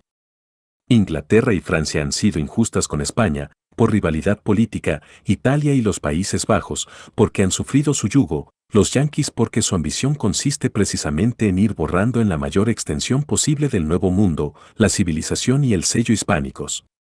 Un alemán, que no tiene motivos nacionales para aborrecer a España, hombre de ciencia además, en cuanto cultivador de psicología etnológica, Lazarus, juzga así, los españoles, como colectividad nacional, se han mostrado destituidos del sentimiento de la justicia y de una crueldad feroz. Han devastado y despoblado la América y los Países Bajos, se han devorado ellos mismos entre sí por diferencias de política y de religión. Su nacionalidad queda simbolizada en Pizarro y en el Duque de Alba. La opinión de la brutalidad germánica sobre la brutalidad española la de relieve un hecho. A Bismarck, apóstol de la violencia, precursor práctico de los Treitschke, de los von Bernari y demás teóricos del exterminio, en que abundó el imperio, como lo han llamado en Alemania. Pues a Bismarck lo han llamado en Alemania un político a la española. Ninguna de las actuales potencias colonizadoras puede acusar a España de crímenes que no haya cometido o esté cometiendo. Ninguna, desde Inglaterra hasta Francia. En cuanto a Alemania, fresco está el recuerdo de sus ferocidades en Bélgica y norte de Francia. Algunos generales del ejército alemán dictaron órdenes de exterminio que recuerdan a las de Bobes. El Austria, en Serbia, rivalizó con Alemania. Los yanquis, que se titulan campeones del derecho ante Europa, son modelo de atropello e injusticia en Nicaragua, de rapiña en Honduras, de abuso de la fuerza en Panamá, de política desleal en México, de imperialismo en Cuba, de opresión en Filipinas y de ferocidad cobarde y alevosa en Santo Domingo. Se dice en el país de la igualdad, y los negros carecen, en Yanquilandia, de hecho, de derechos políticos y de derechos sociales, al negro que chista, lo linchan. Terribles acusaciones se les han enrostrado, con justicia, en el Congreso de las Razas y no han podido responder sino con un silencioso bajar de cabeza. Se pintan como pueblo de progreso político y representan ante Rusia, por ejemplo, cuya revolución combaten, una fuerza retardataria. Se dice en el país de la libertad y en ninguna parte existe mayor opresión política, los socialistas eligen una y otra vez diputados de su partido, y las cámaras, una y otra vez, los rechazan. En aquellos escaños de la libertad no se arrellanan. Sino posaderas burguesas, mollares capitalistas, nalgas democráticas. En ninguna parte del mundo se persigue con más encono a los libertarios, que hablen los socialistas, los anarquistas, los bolcheviques. En Centroamérica, en las Antillas, en los archipiélagos del Asia, a donde quiera que llegó la garra de su emblemática ave de rapiña, ha padecido el derecho y ha muerto la libertad. España puede no ser absuelta por sus crímenes históricos, pero, ¿quién va a tirarle la primera piedra? La Francia de Madagascar, la Inglaterra de los Boers, la Alemania de los Gererous, en el este africano, la Italia de Somalilán, la Bélgica del Congo, la Holanda de Java, el Japón de Corea, los Estados Unidos de Santo Domingo, que han hecho olvidar, por sus robos y por sus crímenes, a Lilis, el tiranuelo etiópico, la pantera negra del Caribe? No, el hombre no es bueno. Y el hombre español es de los menos accesibles a la piedad. La española es una raza dura. Conviene apuntar aquí, aunque sea a título de mera curiosidad, que cuatro de los más inmisericordes malhechores aparecidos en los tiempos modernos y que actuaron fuera de España, tienen todo sangre española. Descendientes de españoles fueron el italiano César Borgia, el francés Merat y el argentino Rosas. El otro es Bobes, Astur, de Gijón. Capítulo 8 Incapacidad administrativa desde Alfonso X hasta Isabel y Fernando la incapacidad política y, como una de sus consecuencias o manifestaciones más lamentables y de mayor trascendencia, la incapacidad administrativa, aparece a modo de lacra inveterada en la nación española. Fijémonos en la incapacidad administrativa principalmente. Se la puede considerar como una de las causas eficientes de la decadencia del país. Toda la historia de América bajo la dominación de España resulta glosa lamentable a la incapacidad política y administrativa del pueblo gobernador. No debe extrañar, pues, la importancia que a esa incapacidad se le asigne en estas páginas. Hay otra razón. Al hablar con relativo detenimiento de la política de España, con motivo de las cuestiones económicas, podrá comprobarse por medio de los hechos una evidente verdad histórica, a partir de Carlos I, los reyes de España, con la única excepción de Carlos III, han sido, o procedieron como si fueran, los peores enemigos de España. ¿Qué divorcio tan radical, en medio de uniformidad aparente, entre esos reyes y el pueblo español? La razón consiste en que esos reyes, aunque nacieran en España, no tenían en las venas sangre española, eran extranjeros. Amaban el poder, no. Amaban al país. Y aunque lo amasen, su levadura era distinta de la levadura del pueblo. La cuestión de razas no es vana palabrería, sino realidad con estado científico. Una de las muchas desgracias políticas de España consiste en eso precisamente, en que desde Isabel y Fernando, sus monarcas son de raza extranjera. Por tanto, sienten, piensan y obran de modo distinto que el hombre de raza española. España realizó cruenta guerra de independencia para no soportar una dinastía venida de fuera. Si guerreó porque esa dinastía era imposición impolítica, muy bien, si luchó porque los Bonaparte fuesen extranjeros, luchó por una quimera. ¿No eran los Borbones y los austríacos tan extranjeros como los Bonaparte? Secuela de mala educación política o deficiencia innata y hereditaria, la incapacidad administrativa de España impidió que las Indias convirtiesen a la metrópoli española en la más rica de las naciones modernas. Los conquistadores no fundaron administraciones regulares.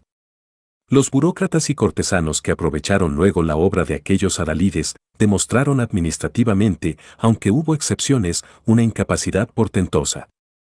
La civilización ganó, sin embargo, con que la obra de los guerreros pasara a manos de personajes de bufete que, bien que mal y lentamente, la fueron consolidando. Esa deficiencia parece fundamental en la raza. Es de todos los tiempos.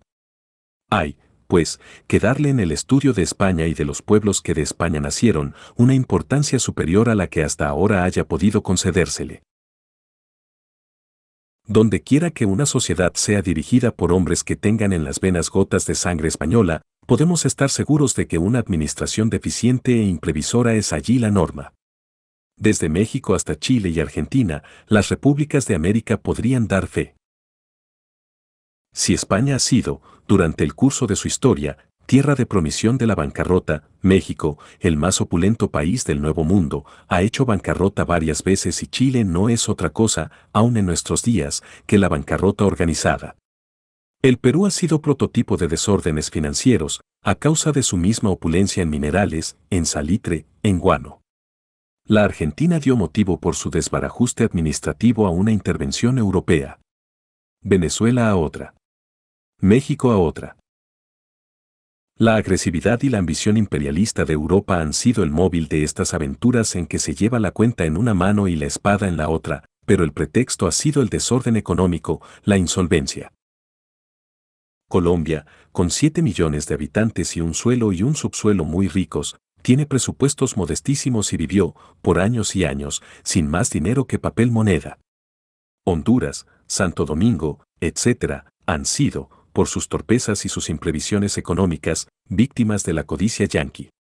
El ideal de los Estados Unidos sería agarrar a casi todos esos pueblos por el estómago, es decir, ser sus acreedores y poderse cobrar, no solo en beneficios comerciales y financieros, sino en influencia política y en tierras, cuando a bien lo tengan.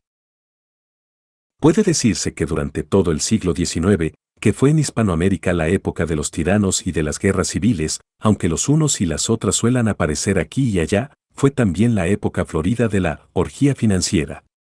A cada paso se recurrió a los empréstitos extranjeros. Y ya lo dijo un gran conocedor de aquellos países, en la historia de la América Latina, los empréstitos simbolizan el desorden político, la imprevisión, el derroche. Ferrocarriles, muelles, líneas de vapores, bancos, arterias de la vida económica, son demasiado a menudo, si no siempre, extranjeros. Minas, yacimientos de petróleo también lo son con demasiada frecuencia. Aquellos países carecen de medios para explotar sus riquezas naturales. Carecen también de fuerzas proporcionadas a la defensa de su opulentísimo territorio, lo que despierta y acucia la codicia de las grandes potencias y promueve esos dramas internacionales que suelen ocurrir, como el de España en el Pacífico, el de Francia en México, el de Francia e Inglaterra en Argentina, el de Inglaterra, primero, y luego el de Inglaterra y Alemania, con Italia de Ataché, en Venezuela, el de los Estados Unidos en Colombia. Si no han sucumbido durante el siglo XIX esos pueblos es por la distancia a que están de Europa, por la contigüidad del territorio que poseen, por su carácter bravo y guerrero, por su orgulloso amor de la independencia, por lo dificultoso de dominar, tierra adentro, esos territorios, por el espíritu de solidaridad que suele despertárseles en los momentos de agresión extranjera, por la rivalidad entre las grandes potencias y por la doctrina de Monroe. Pero el viejo Monroe abre ahora las bien dentadas fauces. Es nuestro vecino. Sabe dividir, aspira a reinar. Por eso el peligro de un solo pueblo agresor, en las condiciones en que están los Estados Unidos respecto a nosotros, es mayor que el de cualquier acción, única o mancomunada, de pueblos de Europa. Las grandes y medianas potencias, fracasadas en América militarmente, Inglaterra y Francia, en el Plata, España, en Perú, Inglaterra y Alemania, en Venezuela, Francia, en México, sueñan ahora principalmente en la explotación económica. Nuestra pobreza de medios para fomentar la riqueza territorial y nuestras pésimas administraciones son nuestro talón de Aquiles. Con dificultades enormes se ha luchado y se lucha para nacionalizar ciertas empresas que no solo se llevan fuera del país ríos de oro, sino que le merman, en ocasiones, independencia. El nuevo mundo hispánico, se ha dicho, libre políticamente, es vasallo en el orden económico. No fue otro el ideal de la Inglaterra de Pitt y de Canning, una América libre de España por lo que respecta a la política y unida con Inglaterra por la dependencia económica. Hoy mismo embarga algunas cabezas españolas ese bello sueño ambicioso que no pudo Inglaterra convertir en realidad. ¿Tocará a los Estados Unidos hacerlo práctico? ¿No podrán redimirse en su totalidad aquellos países de la esclavitud económica? Las repúblicas de la América Latina representan entre los países del mundo lo que representan los obreros para las clases capitalistas, son los trabajadores, los jornaleros, los demás, capitalistas que cobran su cupón y patronos que mandan. Nunca comprenderán claramente aquellas repúblicas que la base de toda emancipación ya personal, ya de una clase, ya de un pueblo, es la emancipación económica. En cuanto a España, ¿qué advertimos en ella, hoy mismo? En este viejo país, que ha tenido tiempo a todo lo largo de su historia para realizar múltiples ensayos, ha adelantado la ciencia administrativa paralelamente a otras actividades de la inteligencia? No tenemos Estado, hablando administrativamente, concluyen los peritos en materias económicas y financieras. Y los hechos sacan buenas las observaciones de los teóricos. El gran drama económico de España consiste en que, no siendo país de industrias, sino país agrícola, carece de aguas para la mayor parte de su territorio cultivable. ¿Es imposible convertir en terrenos de regadío esas tierras ardidas de sol? No. Mucho y muy bien, por doctas plumas y sobre todo por locuaces bocas, se ha tratado el asunto. ¿Qué se ha hecho? Nada. Un patriota observador, cuya voz es para muchos la voz de la infalibilidad científica, decía 15 o 20 años atrás.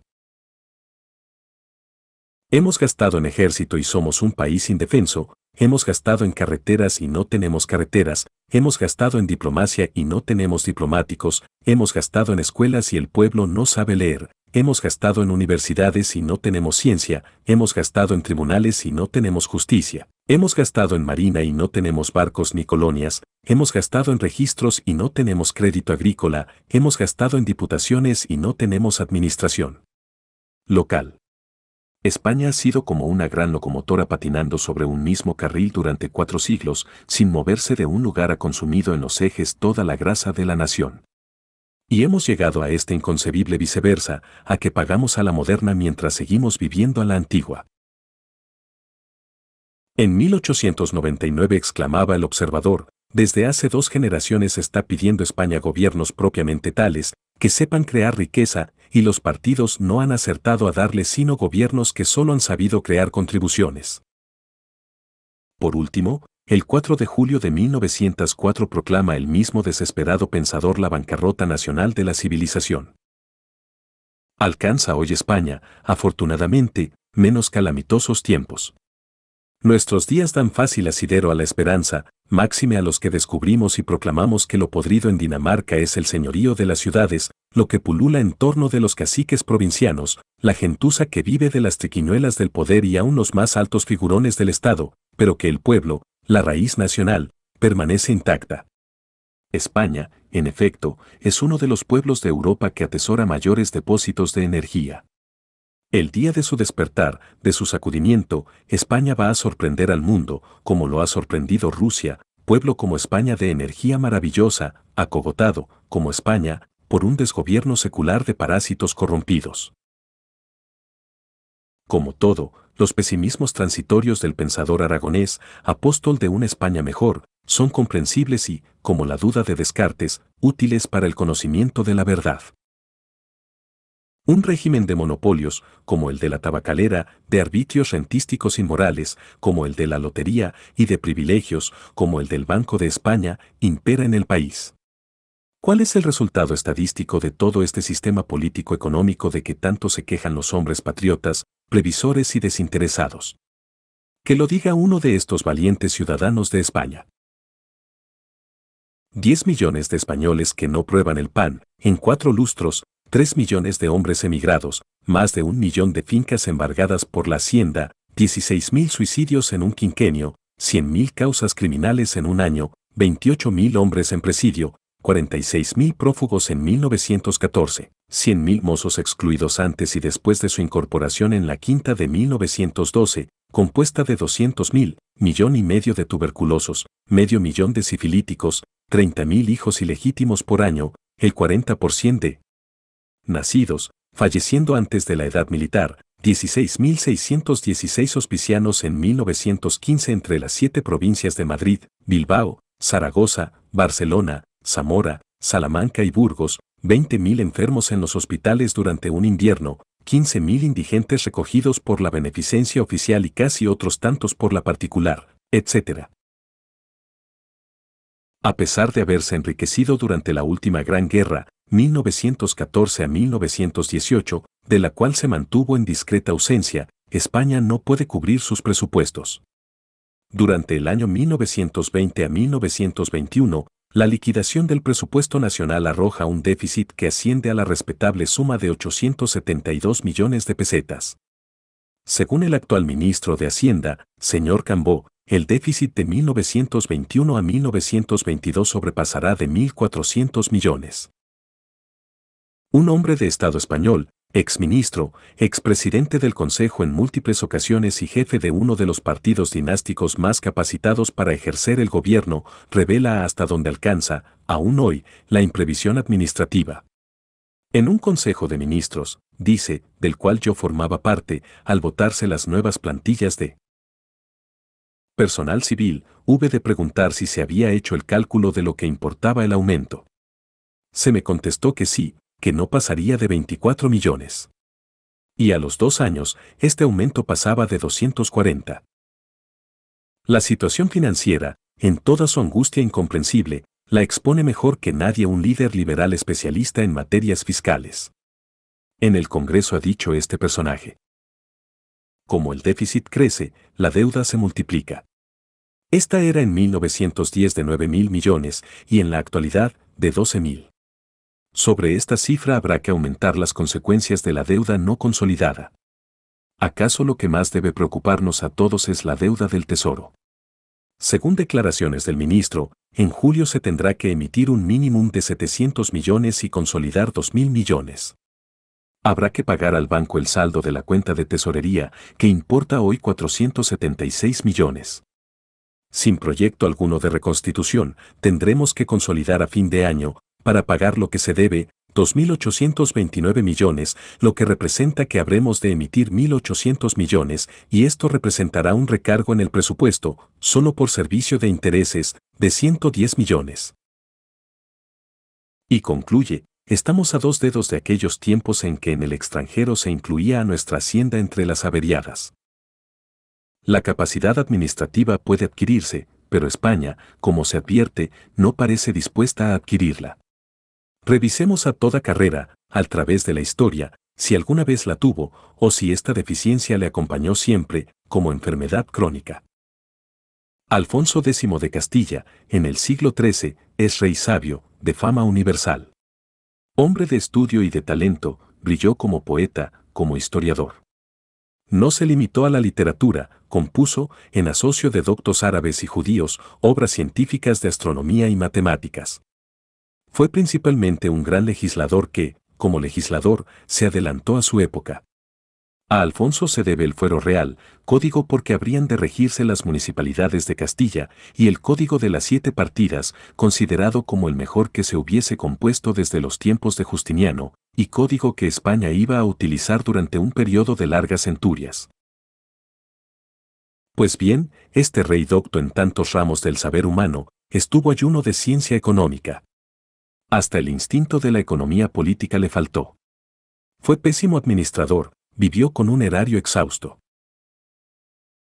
Para luchar contra la revoltosa e insolente nobleza y sostener el fausto de su corte, tomó absurdas medidas financieras, como acuñar moneda de más baja ley que la existente, sin deprimirla de valor, esto produjo el descontento de los ricos y la ruina del comercio. Derrocha, además, sin clara noción de su situación económica. La miseria del tesoro no le impide cometer enormes desaciertos regala de golpe, sin poderlo, cien mil marcos de plata al hijo del emperador de Constantinopla, aumenta los sueldos de los palaciegos, gasta sin tasa en las bodas de su hijo primogénito. No sabe economizar, ni menos crear fuentes de riqueza. No se le ocurre sino alterar nuevamente la moneda y producir en la economía nacional nuevos trastornos. Puso también tasa a las mercancías, suspendió la tasa, volvió a establecerla. La situación económica, mala de por sí, fue empeorada por las medidas del rey. Causó aquel monarca grave daño a la economía de su pueblo. Terminó por empeñar su corona al rey de Marruecos en 60 mil doblas de oro. En el siglo XII, época de Alfonso el Sabio, nace en Europa un orden rentístico que durará siglos. Habrá privilegios odiosos que se mantendrán en pie hasta los días de la Revolución Francesa, pero se crean tributos e impuestos regulares que servirán de pauta a la vida económica del Estado, se comprende que los súbditos deben contribuir al sostenimiento del Estado, por medio de impuestos oficiales que satisfagan, y que el Estado no puede vivir, como un esclavo y un mendigo, de prestaciones caprichosas hechas al rey. Es una revolución, apunta nueva orientación en la conciencia colectiva, un ideal de nueva justicia económica, semejante en cierto modo a lo que está ocurriendo en nuestros días. Se oponen al nuevo ideal y a la nueva justicia entonces, como ahora, los privilegiados, entonces, los señores feudales y el clero, ahora, los plutócratas, los acaparadores y vampiros capitalistas. Aunque las rentas nacen y crecen, aunque el poder de los reyes se vigoriza, el desorden financiero del reino de Castilla no se corrige, antes puede asegurarse que empeora, si empeorar pudiera. En el siglo XIV, Castilla vive en quiebra. Los reyes que lo suceden y los validos de estos reyes no son mejores administradores que Alfonso X, alteran también la moneda, con idénticos resultados. Despojan a los judíos. Como arbitrio rentístico se crean y se venden empleos inútiles, se venden también las rentas públicas a quien adelanta sobre esas rentas un puño, a veces vil, de maravedís. Villas y lugares pasan a ser propiedad de particulares la insolente y batalladora nobleza de Castilla recobra el perdido predominio. La inseguridad de los caminos públicos interrumpe el tráfico de los mercaderes. Los soldados se convierten en bandoleros. El mismo patrimonio real se había disipado. Víctima del caos económico y de las usurpaciones de la nobleza, don Enrique III, llamado el Doliente, uno de aquellos monarcas de ánimo mezquino, en que fue fértil la casa de Trastamara, se vio en ocasiones sin pecunia, no ya para los gastos del reino, sino para sus gastos personales. Una noche, en Burgos, esperó en vano que se le sirviese la cena. No solo faltó dinero para comprarla, sino que nadie convino en darle crédito.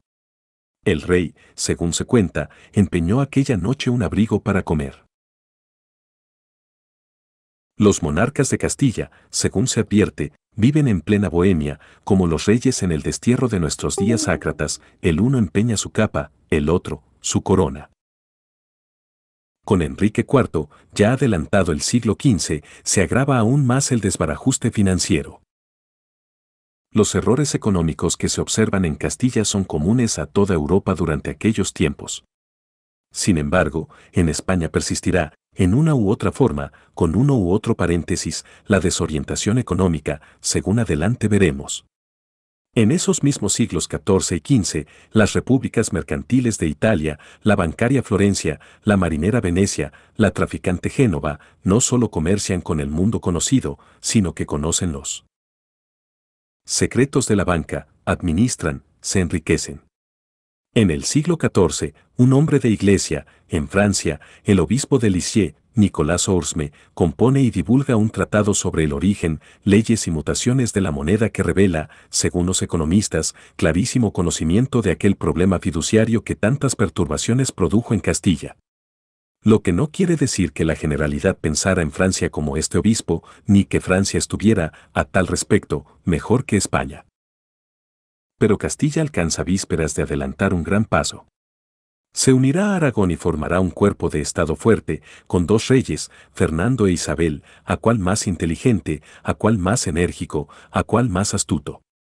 Grandes monarcas acometieron y realizaron grandes empresas. La primordial virtud de sus respectivos pueblos era la virtud guerrera y supieron explotarla con finalidad política. En medio de las mayores y más hábiles economías emprenderán guerras, como las de Portugal y Granada, que la tremenda virilidad de castellanos y aragoneses, bien dirigida, llevará a término con felicidad. El Estado se ensancha y se enriquece. La prosperidad sonríe. Isabel reina 30 años. Cuando sube al trono solo dispone de una renta anual de 10 millones de maravedís para cubrir los gastos del Estado y de la corte. Las demás rentas, 30 millones, habían sido enajenadas a perpetuidad por sus antecesores.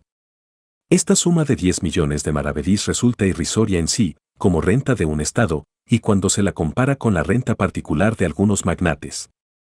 En 1504, año de la muerte de la reina, recuerda un sociólogo de nuestros días, las rentas comunes arrendadas importaron 341 millones líquidos, además de un servicio extraordinario de 210 millones votados por las Cortes. Este reinado fue, en casi todo, excepcional. Capítulo 9. Incapacidad administrativa, Carlos V y Felipe II. Llegamos a los grandes días de España, a las épocas de esplendor, triunfo, megalomanía y gloria. Una serie de circunstancias múltiples y la formidable vigorosidad de los españoles de entonces convierten a España, pequeño país de pocos millones de habitantes, en la primera potencia de Europa y en una amenaza constante para el mundo. Las Indias, primero, Luego, las Filipinas son suyas. El mar está cubierto con sus barcos. Las minas de México y del Perú engrosan el erario de España. Un solo virrey español de las Indias es más poderoso en territorios, en dinero, en súbditos, que muchos monarcas de Europa. Europa tiene envidia, combate a España, pero España es invencible. ¿Dónde, sobre quién no triunfa? Al rey de Francia lo tiene prisionero, al pontífice de la cristiandad también prisionero, con Roma entrada a saco, al gran turco lo vence, al holandés lo esclaviza, a Italia la gobierna por procónsules, a América por sátrapas. Su vigor, aunque primordialmente guerrero, abre campo a otros canales de energía. En aquel momento de exaltación racial se manifiesta la energía de la raza en varios órdenes de actividad aunque por lo común de carácter poco industrial, existen en la España de entonces industrias muy en auge. Toledo, Segovia, Cuenca, Ciudad Real, se han convertido en urbes manufactureras de importancia. Medina del Campo, Valladolid, Burgos, celebran ferias que atraen a innúmeros mercaderes de varios puntos de Europa. Más de mil buques mercantes españoles navegan todos los mares conocidos. La España arábiga, además, al realizarse la unidad española, integra el patrimonio nacional con su cultura científica, artística, industrial. La España muslímica había brillado, en efecto, no solo por su ciencia y por sus artes, por sus universidades y bibliotecas, por su tolerancia religiosa y el fausto de sus califas, sino también por su industria y por su agricultura. Bajo los califas árabes, España llegó a ser el país más rico, más populoso, más ilustrado de Europa. Nuevas industrias, particularmente la del tejido de seda, florecieron extraordinariamente hasta el punto de que solo en Córdoba existían 13.000 telares. La agricultura, a favor de sistemas de riego nuevos en Europa, se elevó a un alto grado de perfección, introduciéndose entonces muchos frutos, árboles y vegetales del oriente, desconocidos hasta entonces. Con la minería y la metalurgia, la fabricación del vidrio y el esmalte, vivían ocupadas y prósperas todas las poblaciones. De Málaga, Sevilla y Almería salían buques a todos los puertos del Mediterráneo, cargados con los ricos productos del gusto y la industria de la España musulmana y de la riqueza natural del país. Caravanas llevaban a la remota India y al África los preciosos tejidos, las maravillas de las obras de metal, los esmaltes y las piedras preciosas de España. Todo el lujo, refinamiento y belleza que el Oriente podía proporcionar afluye a las ciudades musulmanas de la península. ¿Supieron los monarcas cristianos contribuir al espontáneo desarrollo económico del país? ¿Supieron, siquiera, impedir que se paralizara? Ni lo uno ni lo otro. Parece más bien que hubieran puesto decidido empeño en arruinar las industrias nacionales. Se las entorpece con los más absurdos reglamentos, se las graba con impuestos. Se creyera que existe en los dirigentes un propósito deliberado de arruinar al país, hiriéndole en sus fuentes de vida. Con la agricultura ocurre algo semejante, la expulsión de los moriscos le dio golpe tremendo. Una de las industrias más prósperas de Castilla es la de paños. En 1549, Carlos V dicta la absurda pragmática por la cual se prohíbe la fabricación de paños finos. ¿Cuál era el objeto de esta medida que aconsejaron las Cortes de Valladolid en 1548? Obtener la baja de los precios y para obtener la baja de los precios, sin calcular que el alza era debida a la creciente riqueza del país, se hirió de muerte una de las más ricas industrias de España. A los que mejorasen la calidad de los paños más de lo reglamentado, se les condenaría al destierro y a la pérdida de sus bienes. A los que osasen poner en los paños su nombre o marca de fábrica, de modo que pudiese adquirir reputación la mercancía, se les amenazaba con fieros males. Poco después de tan peregrina pragmática se ponen trabas a la fabricación y venta de paños verbies negros. No parece bastante, y en 1552 se prohíbe la exportación de multitud de objetos de la industria lanera. Queda anulado, pues, el comercio de lanas que se hace con Génova, Florencia y Túnez. Otra industria muy perfeccionada es la de cueros finos. Contra ella también se decreta. Prohíbese la exportación de pieles adobadas, lo que equivale a asestar un puñal contra las fábricas de cueros, cordobanes, badanas, tan numerosas en Castilla. Hasta a los zapateros alcanzaba el rígido úcase imperial. Zapatero que no se sometiera a fabricar calzado según el capricho del gobierno sería constreñido a abandonar el oficio. No es todo. Ninguna industria nacional debe quedar en pie. El comercio de exportación debe restringirse. Así, el embarque de hierro y acero para el extranjero es necesario impedirlo, según consejo de las Cortes de Valladolid. Ni el pescado sobrante del consumo nacional conviene que lo exporten. No es difícil de imaginar las consecuencias de estos consejos y de estas medidas en la vida industrial y económica de España. Pero hay más, porque la imbecilidad humana es infinita. Una pragmática impide el libre comercio interior de granos, otra, el comercio de lanas, otra, el comercio de ganado vacuno, cabrío, lanar y porcino, otra, el comercio de ingredientes para tinte y obraje de paños, vedándose asimismo la venta de paños por mayor a quienes no tuvieran tienda abierta y para que éstos la expendiesen solo a la vara.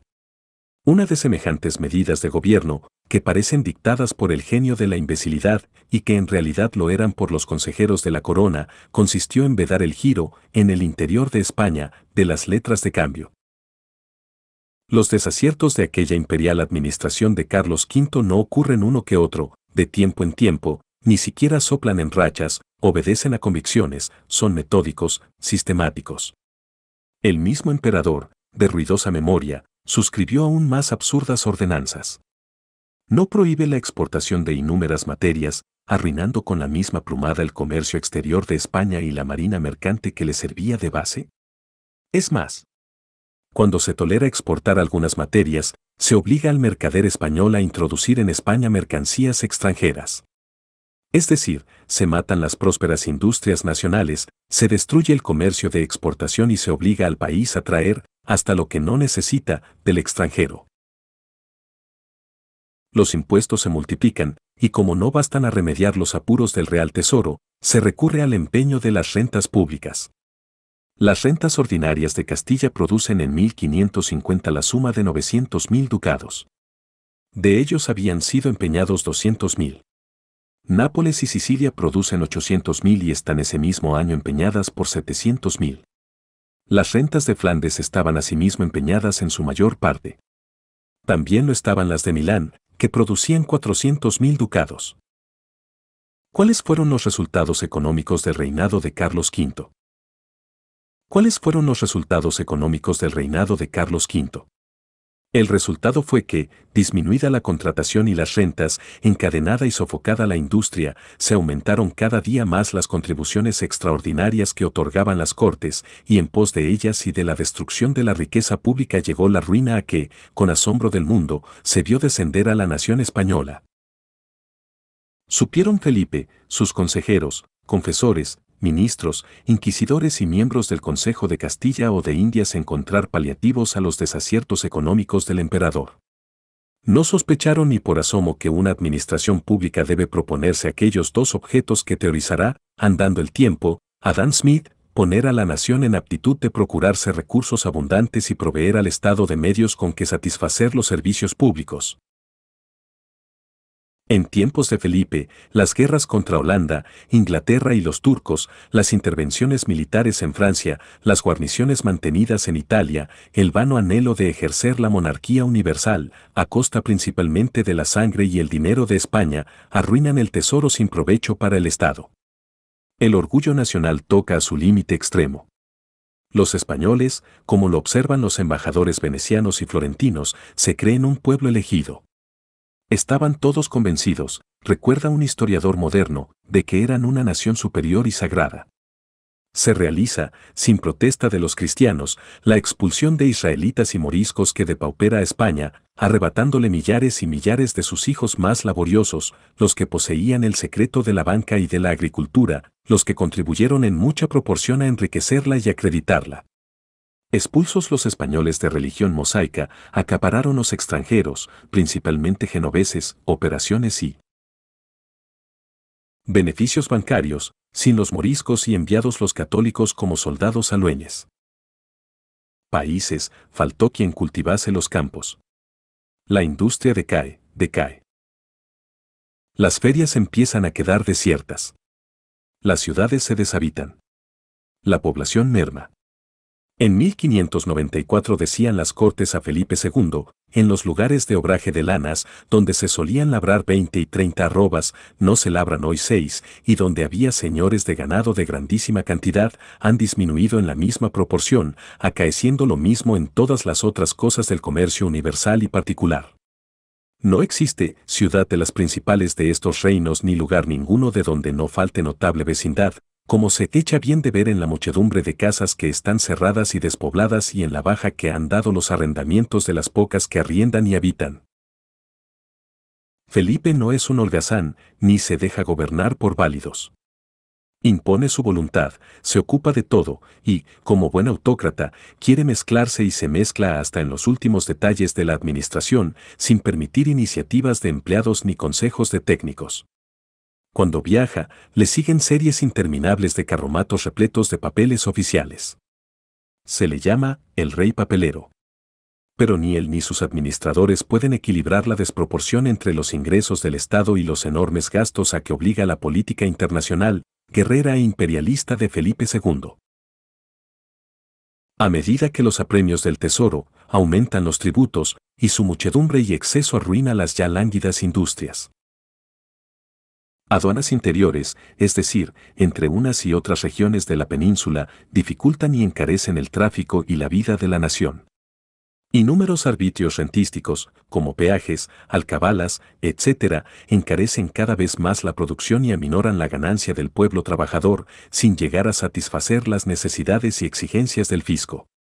Llegó un día en que Felipe II mandó pagar 400 reales, y la contaduría mayor no pudo pagarlos, no lo sabía. Títulos de nobleza se ponen en venta por la módica suma de seis mil reales, es decir, unas mil quinientas pesetas. Nobleza al alcance de todos los bolsillos. Y al alcance de todas las honorabilidades, aun las más humildes y maltrechas, Felipe II aconsejaba que no se fuera, en este punto, muy exigente. La cuestión era obtener dinero. Y cuando la expoliación y la venta de títulos y empleos no bastaron, se llegó aún más abajo, se llegó casi a mendigar. El fundador de El Escorial, el armador de la Invencible, el dueño, en fin, de las Indias, iba de puerta en puerta a solicitar los auxilios de los habitantes pudientes de la corte, por medio de una cuota vergonzosa, cual pudiera un mendigo. La escasez ha tocado a las puertas del Escorial. Y no solo toca a las puertas del soberbio palacio, sino a la puerta de los hogares españoles. Y todo por culpa de inconsultos administradores, que derrochan en fútiles o contraproducentes empresas políticas y guerreras las insospechables y profundas energías de una raza vigorosa, y que legislan y gobiernan contra el sentido común y contra los intereses del país. Hambreada la nación, Felipe se aviene, por último, a una medida que debió de herir su orgullo. En 1573, para salvar a su país de una completa ruina, tuvo al fin que abrir sus puertas al comercio inglés, sin restitución de la crecida suma que le habían saqueado cuatro años antes. Carlos V tuvo por año un déficit de más de 62 millones de reales de vellón. Este déficit creció durante el reinado de Felipe hasta 75 millones por término medio. Absurdo, como la política de Felipe, el resumen de aquel reinado, el territorio crece y la decadencia se inicia. O mejor dicho, el territorio del país o de los países sobre los cuales reina Felipe II se extiende y la decadencia de España, que entonces apunta en medio de los esplendores, también se extiende. Ni Carlos ni su hijo, ni los consejeros del uno y del otro, parecen haber sospechado, por vaga que sea la sospecha, cómo podrían crearse, distribuirse y consumirse las riquezas del Estado. Capítulo 10 los sucesores de Felipe II, Habsburgos y Borbones. En tiempo de los sucesores inmediatos de Felipe II, la situación económica empeora y la decadencia galopa. No surge ni un príncipe hábil ni un ministro de espíritu superior. Unos y otros se muestran fanáticos, sensuales, imprevisores, nulos. Los príncipes, en manos de validos, son francamente degenerados, imbéciles, besánicos. El idiota Carlos II no es excepción, sino tipo representativo del príncipe austríaco de aquella España. Carnes blandas, pieles blancuzcas, ojos sin expresión, labios colgantes, quijadas ponderosas, esos cuerpos, esos rostros revelan, a pesar de la lisonja de los pintores, el espíritu mortecino de aquella serie de idiotas coronados. Ninguno de estos hombres es un enérgico reformador a la manera de Enrique IV de Francia, que saca a su país de la postración en que lo sumieran 40 años de guerra. De ese pueblo arruinado, sin crédito, sin industrias, sin ejército, sin orden, dejó Enrique, al morir, un país con orden, con tropas, con espíritu de trabajo, con agricultura, con fábricas, con nuevas fuentes de riqueza, con paz, con elementos para humillar a la Casa de Austria y el rey de Francia pudo aspirar a ser el primer monarca de Europa. Tampoco los válidos y consejeros de los austríacos españoles poseen ideas claras ni voluntad para realizarlas, como poseyeron Sali u otros de los consejeros de Enrique, tales como Oliverio de Serres o la Femas. Los dos países yacen en condiciones deplorables. ¿Por qué no podrían levantarse ambos, máxime cuando España posee recursos y colonias que Francia no conoció nunca? ¿Por qué en el uno alternan los periodos de postración y de florecimiento y podrá salvarse, y el otro decae sin remedio? ¿Sin remedio? ¿Pero hubo quien lo aplicase? Esa fue precisamente la desgracia de España, le faltaron médicos al Estado, estadistas, ascendistas, administradores. Nadie advierte las complejas causas que contribuyen a la postración de España, nadie sugiere ni toma medidas de política eficiente. Por el contrario, las medidas oficiales conspiran, como se ha visto en el caso de Felipe II y de Carlos V, a precipitar la ruina de la nación. Ya no es esta la potencia comercial que enviaba al solo puerto de Brujas 40.000 fardos de lana cada año. Los 16.000 talleres de Sevilla se han reducido a 400. Esta nación marinera, que había poblado con sus naves de comercio todos los mares conocidos, olvida, poco a poco, el arte de construir buques, carece de cartas de mar. En 1656, a la patria de los pinzones le faltan hábiles pilotos, y el pueblo de Juan Sebastián Elcano carece de marinería competente. El ejército no anda en mucho mejores condiciones. Los soldados desertan o mueren de hambre, sin recibir el preo recibiéndole irregularmente. Las ciudades fronterizas están sin guarnición, los fuertes, en ruinas, los parques, sin armas, los arsenales, vacíos. La escuadra solo comprendía seis galeras. En semejantes condiciones, hasta el espíritu militar de esta nación tan guerrera se eclipsa parcial y momentáneamente. En la guerra de sucesión al trono de Carlos II, ningún militar español se señala. Los franceses imponen al primer Borbón en España. Voltaire trató sobre aquella guerra, de paso, en el siglo de Luis XIV, sin casi mencionar a los españoles en cuanto a factores de orden militar. El Estado, en quiebra, no puede hacer frente a sus compromisos. El rey, primer tramposo del reino, engaña a sus acreedores. ¿Cómo hace el rey tantas mercedes, fábricas y gastos? Pregúntase el embajador de la señoría de Venecia, Simón Contarini, en tiempos de Felipe III. Respondo a todo, escribe, que se hace no pagando. ¿De qué resultan tantos lamentos? pero como el Estado requiere gastos y los fondos públicos, malversados, se escurren de entre las manos y pasan no más a menudo a bolsillos particulares, se ocurre a empeños y a compromisos que gangrenan no más saneado del fisco. El gobierno vive, expone Contarini, empeñándose siempre con los genoveses para las provisiones de Flandes y otros gastos que se suceden, en que tienen consignaciones de cinco y seis años, dando por un ducado tres. Y así anda la hacienda con tan gran fatiga. Felipe III, señor absoluto de continentes, dueño del Perú y de México, productor único del oro que estaba inundando el mundo, no pagaba a sus criados y carecía de las superfluidades que creía de rigor para casar a su hija. A esta miseria absurda, por sin fundamento ni razón de ser, únense la vanidad, el derroche y el desbarajuste, tanto en los gastos públicos como en los privados.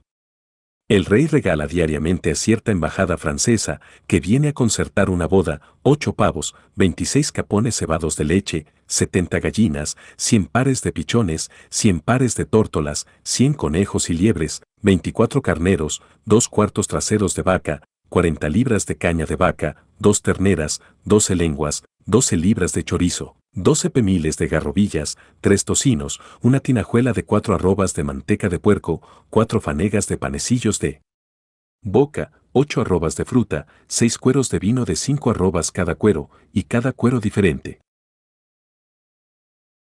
El duque de Lerma, ministro y válido de Felipe III, que gobierna en absoluto la escasa mentalidad del príncipe y se enmillona con el saqueo de las arcas públicas, gasta en un viaje aparatoso a la frontera de Francia 400 mil ducados. Felipe IV compra una góndola de juguete para el estanque del retiro en 30 mil ducados. Otros 30 mil los regala al marqués de Levis para que tome baños cuando el mismo Felipe IV conduce a Fuenterrabía a la infanta María Teresa, que iba a desposarse en Francia, llevaba la infanta un equipaje digno de la reina de Saba. Los carruajes ocupan un trayecto de seis leguas. ¿Qué comitiva?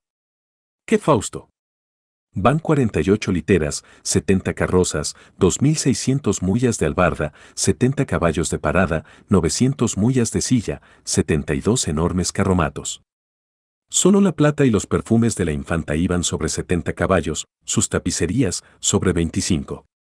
Veinte baúles cubiertos de satín rojo guarnecido de plata encierran sus trajes, otros veinte, su ropa blanca. En dos baúles cerrados en oro iban los guantes. Solo para limosnas dispone de 50.000 pistolas. Este Fausto, digno de los amos del Nuevo Mundo, encubre miseria auténtica se parece al brocado con que empingorotadas señoras de la Edad Media solían disimular la lepra que les estaba royendo el blanco seno. Este lujo desenfrenado era un insulto y un desafío a la pobreza de la nación. Pero la nación carecía de conciencia colectiva y no cobraba el insulto. ¿Quién iba a creer entonces que el pueblo tuviera derechos? Al pueblo se le exprimía impuestos para que los reyes derrochasen. Para la monarquía el dinero para el pueblo, la deuda. Aquello se creía, y aún se cree, lo natural. El pueblo paga. Los tributos crecen. Se impone sobre todo. El pueblo doliente llega a recelar no le echen gabela sobre el respirar. Dice el honrado y enérgico don Francisco de Quevedo al rey Felipe IV que le corresponde persiguiéndole. El desgobierno, la deficiencia administrativa y la miseria de la corte son peores en tiempos de Felipe IV que en tiempos de Felipe III, y, aunque parezca imposible, peores aún en tiempos de Carlos II que en tiempos de Felipe IV. Felipe IV, como su padre y como sus abuelos Felipe II y Carlos I, no vacila en apropiarse, para sus necesidades particulares, el oro que los americanos y los españoles de América remiten a España. Felipe IV, hombre disoluto y sin escrúpulos, aparte de los religiosos, que no le estorbaron en demasía para sus reales francachelas y sus menudas bribonadas, llegó a inútiles extremos de impudor. No hizo colocar en las iglesias un cepillo donde se podían echar limosnas para socorrer la miseria del rey de las Españas. A Carlos II se le mueren de hambre los caballos en las reales caballerizas, no hubo dinero con que comprar el pienso que debían comer y no comieron. Los caballos de Felipe V pasan tantos aprietos que a un embajador se le ocurre esta humorada, la suerte más lamentable es la de los caballos, que no pueden pedir limosna. En el otoño de 1630 tenían los reyes, principalmente la reina, vivos deseos de ir a gozar el encanto de la estación en los bellos jardines de Aranjuez. El viaje, ya dispuesto, hubo que interrumpirlo por falta de dinero. Se dio como pretexto que había peste en Málaga. Para engañar a la reina, se ocurrió a la ridícula comedia de hacer partir un arria de muyas cargadas con el regio equipaje y que debía devolverse con cualquier pretexto. La reina, a cuyos oídos llegó la verdad, enfadóse de la burla. Entonces los ministros determinaron un viaje al vecino Escorial.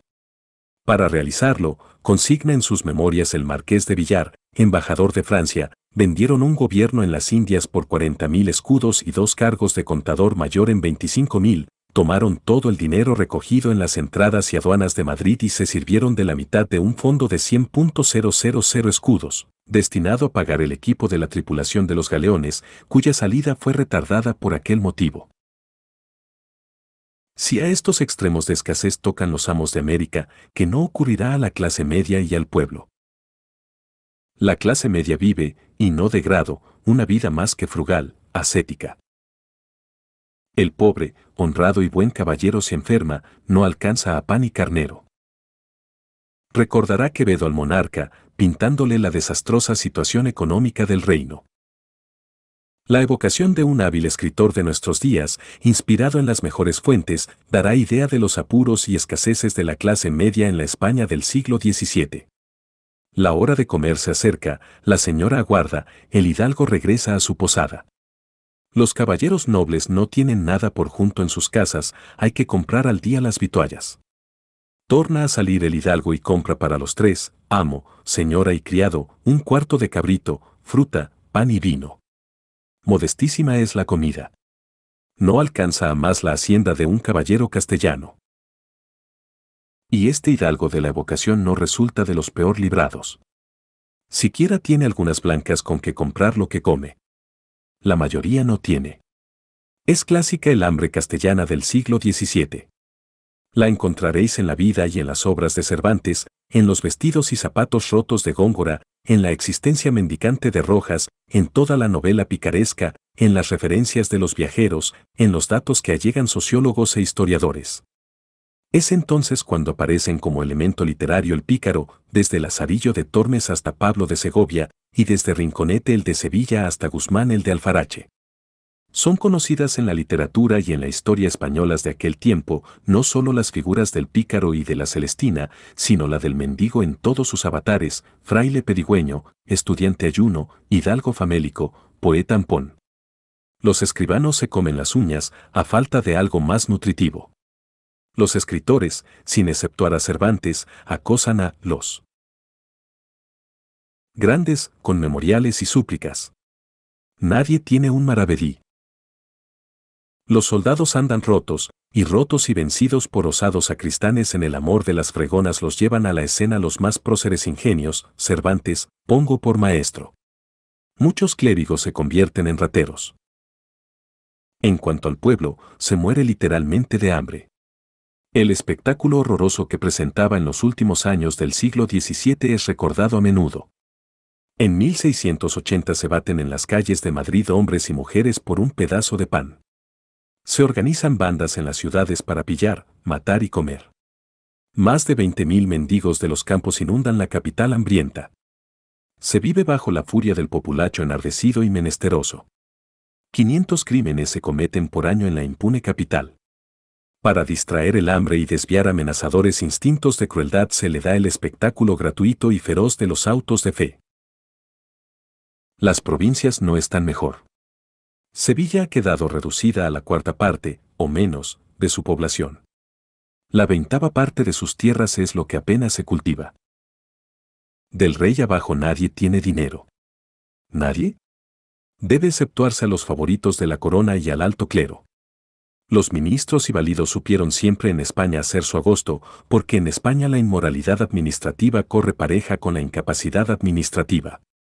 El duque de Lerma, el conde duque de Olivares, el cardenal Alberoni nadan en la opulencia. El duque de Lerma maneja los dineros de la nación como si fueran propios. La voluntad del monarca la gobierna para captársela de la reina, soborna a la reina y a los validos de esta, la condesa de Barajas y el jesuita Ricardo. Cuando cayó Lerma se le obligó a devolver, a uno solo de sus amigos, un millón cuatrocientos mil ducados. El conde duque es insaciable. Acumula cargos y millones, cobra legalmente de aquel país exhausto casi medio millón de ducados por año, fuera de un cargamento anual que podía enviar a las Indias. En cuanto a sus entradas por medio del chanchullo y del peculado, ¿quién podría contarlos? Al ministro valido de Felipe V, el cardenal Alberoni, se le acusa de que ajustó con Inglaterra un tratado de comercio desventajoso para España y por suscribir el cual recibió 100.000 libras esterlinas. Antes de estos tres chupópteros, había ocurrido lo mismo. Después, brilla aquel famoso favorito llamado Godoy, que de simple guardia de corps llegó, con su bragueta en la mano, a ministro todopoderoso, mariscal de campo, duque de Alcudia, caballero del Toisón, príncipe de la paz y dueño absoluto de España. Cuando cayó del poder, por obra de acontecimientos independientes de los regios ánimos, se le confiscaron, contra la voluntad de ambos reyes, porque Carlos IV también lo quería, 500 millones de reales. En cuanto a Fernando VII, fue un ladrón descarado, no le faltó a su odiosa figura ni este aspecto despreciable mientras a la Marina, por ejemplo, se le debían 20 mensualidades, y mientras que a los soldados que salvaron a España de la conquista napoleónica y restituyeron, cándida y estúpidamente, los Borbones al trono de España, tampoco se les paga, Fernando realiza un chanchullo a espaldas del país, con el emperador de Rusia y le compra unos barcos podridos que no valían nada y de nada sirvieron, por la suma de 13.600.000 rublos, que abona en el término perentorio de siete días. Se hace conceder millones para sus francachelas libidinosas y toma y deposita millones a su nombre en el Banco de Londres. Después, durante otros reinados. Demasiado cerca está el olor de lo que existe de podrido en Dinamarca. En cuanto al clero, fue siempre casta privilegiada en España, y, por tanto, tuvo siempre lo que a los demás faltó, opulencia. Antes de las liberalidades de Felipe II ya era opulentísimo. El arzobispo de Toledo tiene 80 mil ducados de renta y la iglesia mayor no tiene menos, dice el embajador de la señoría de Venecia, Andrés Navajero. El arcediano tiene 6 mil ducados, el deán, de 3 a 4, y creo que hay dos, los canónigos, que son muchos, tienen algunos 800 y ninguno menos de 600 ducados. De modo que los amos y señores de Toledo, principalmente de las mujeres, son los clérigos, que tienen hermosísimas casas, gastan y triunfan dándose la mejor vida del mundo sin que nadie les vaya a la mano. Lo mismo poco más o menos dice Navajero de Sevilla, etc. El clero es el rico, es el amo. Y andando el tiempo será no solo el amo, sino el verdugo, y su riqueza crecerá tanto que la mitad de la fortuna de España duerme, puede decirse, en manos del sacerdocio, en manos de la iglesia. La malversación, el desorden financiero, desarrollan su ola fatídica. Para la recaudación y administración de los impuestos hay un ejército de presupuestívoros, succionadores, aligeradores del fisco. Su número es infinito, como el de las arenas del mar y las estrellas del cielo. Existen nada menos que 80.000 recaudadores y administradores. Cada uno de ellos es un diminuto duque de Lerma, un chico conde duque de Olivares, un minúsculo príncipe de la paz, es decir, cada uno es un gran ladrón en pequeño. Los ministros dejan correr la bola. El rey no logra por lo común la menor noticia de lo que pasa en su reino. Todos estos monarcas muestran patentes estigmas de degeneración. A Felipe III se le consideró incapaz de empuñar el cetro, Felipe IV, de prognatismo repugnante como los criminales del hombroso, no piensa sino en libidinosas distracciones que le procuran los áulicos que lo dominan. Carlos II no pudo hablar hasta los 10 años, mastica mal porque las quijadas no coinciden, no digiere porque no mastica, tiene miedo de todo y principalmente del diablo, nunca conoció los nombres de las principales ciudades de su propio reino. Es cretino.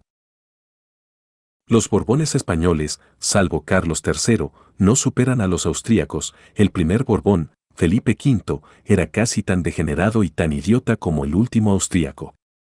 Padecía de flatos, no salía de la cama de sus mujeres, María Luisa de Saboya, primero, e Isabel de Farnesio, después.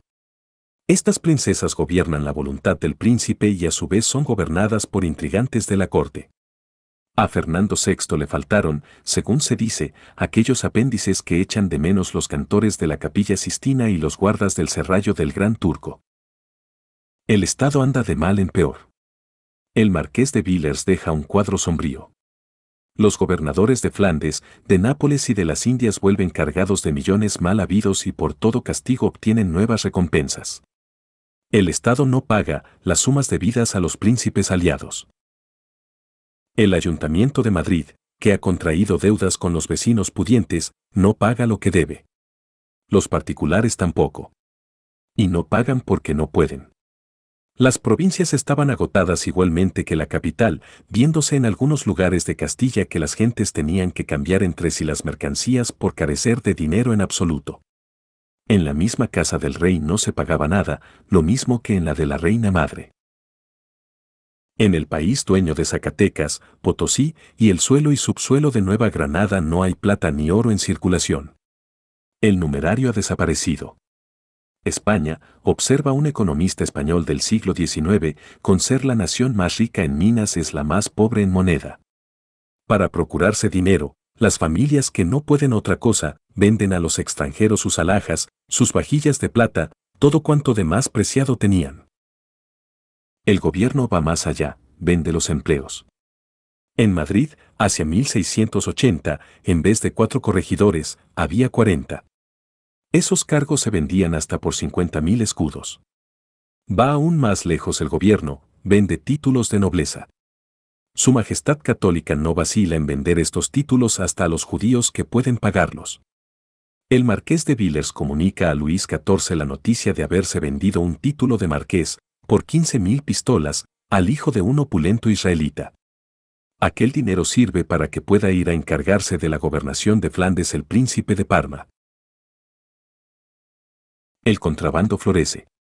El rey, los ministros, el clero eran los mayores contrabandistas, el rey mismo solía ser el primero en quebrantar las leyes del comercio, otorgando a diferentes hombres de negocio permiso para introducir mercaderías de contrabando mediante un servicio pecuniario o cantidad alzada que pagaban a la corona. Otras veces concede abusivas licencias de exportación que arruinan el comercio en beneficio de aquellos audaces que conocen el medio de propiciarse la corona. Esta benevolencia tarifada llegó a degenerar en arbitrio fiscal y vergonzoso monopolio. Por dinero, la misma autoridad daba el ejemplo de atropellar las leyes. El insaciable conde duque de Olivares cuenta entre sus gangas el enviar anualmente un navío repleto de mercaderías a las Indias. Los consejeros que llaman de Hacienda, dice el embajador Contarini, son los mismos que por acrecentar la suya destruyen la de la nación y traen grandes despachos con los genoveses. El clero, casta mimada, no tenía más escrúpulos morales que reyes y ministros y ayudaba a conciencia a desvalijar el país. El clero, metido especulador, exporta sin pagar derecho alguno las mercancías corrientes y quiere pasar y pasa por encima de todo cuando algún artículo no puede ser exportado y a los reverendos les parece pingo y negocio el exportarlo. Fatigaba la jurisdicción ordinaria negándole competencia para exigirle los derechos de almorifazgo, puertos y diezmos. Se creía dispensado de las leyes. Y por su influencia lo estaba. Los empleos se venden. Los empleados también se venden los del ramo fiscal eran fáciles de sobornar.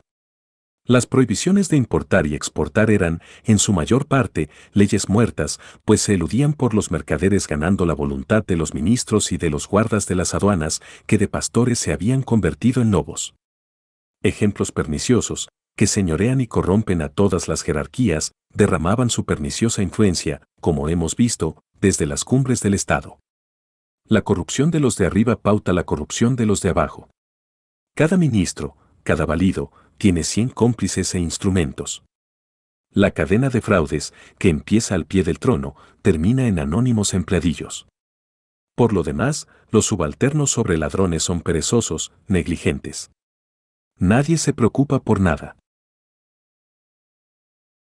En tiempos de Felipe V, en 1720, se introdujo como medida arancelaria muy progresista y que no tuvo más móvil que la pereza burocrática, el no examinar las mercancías para que pagasen derechos aduaneros conforme a su calidad, sino palmeando los fardos, es decir, cobrando a cada mercancía según el tamaño del fardo o envase que la contiene, sin abrir estos ni valorarlos.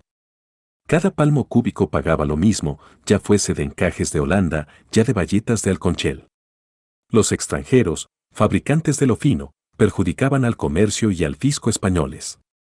Y era el Estado el que promovía tales novedades, que no iban en saga a las ordenanzas contra las industrias de paños, lanas y cueros, ni a las disposiciones contra el comercio interior de granos o contra la circulación de las letras de cambio. La pereza ha invadido la nación de tal modo que 60.000 franceses llegan por año a realizar en España las labores del campo, que podrían hacer los frailes holgazanes acogidos a los conventos y que no hacen. Estos 60.000 franceses se vuelven a su país llevándoselo ganado, es decir, sacando de España lo que en España de pauperada podría quedar. Otros ramos de la administración no andan más rectamente que la hacienda. La justicia, por ejemplo, es un mercado abierto donde todo se compra y todo se vende. Por dinero, dice Villers en sus memorias, se salvan los criminales ricos, y los pobres se salvan porque nada habría que ganar condenándolos. Y como la violencia alcanzó siempre culto en España y en todos los pueblos de raza española, los crímenes están a la orden del día.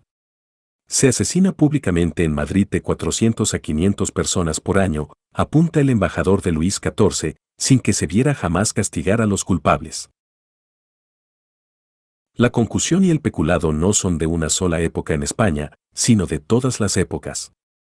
Y en el banquillo de los acusados podrían sentarse, entre los reyes, desde Carlos V hasta Fernando VII, entre los militares, desde el gran capitán hasta los últimos capitanes generales de Cuba y Filipinas, entre los ministros y válidos, desde Cebres hasta Alberoni y desde Lerma hasta Godoy.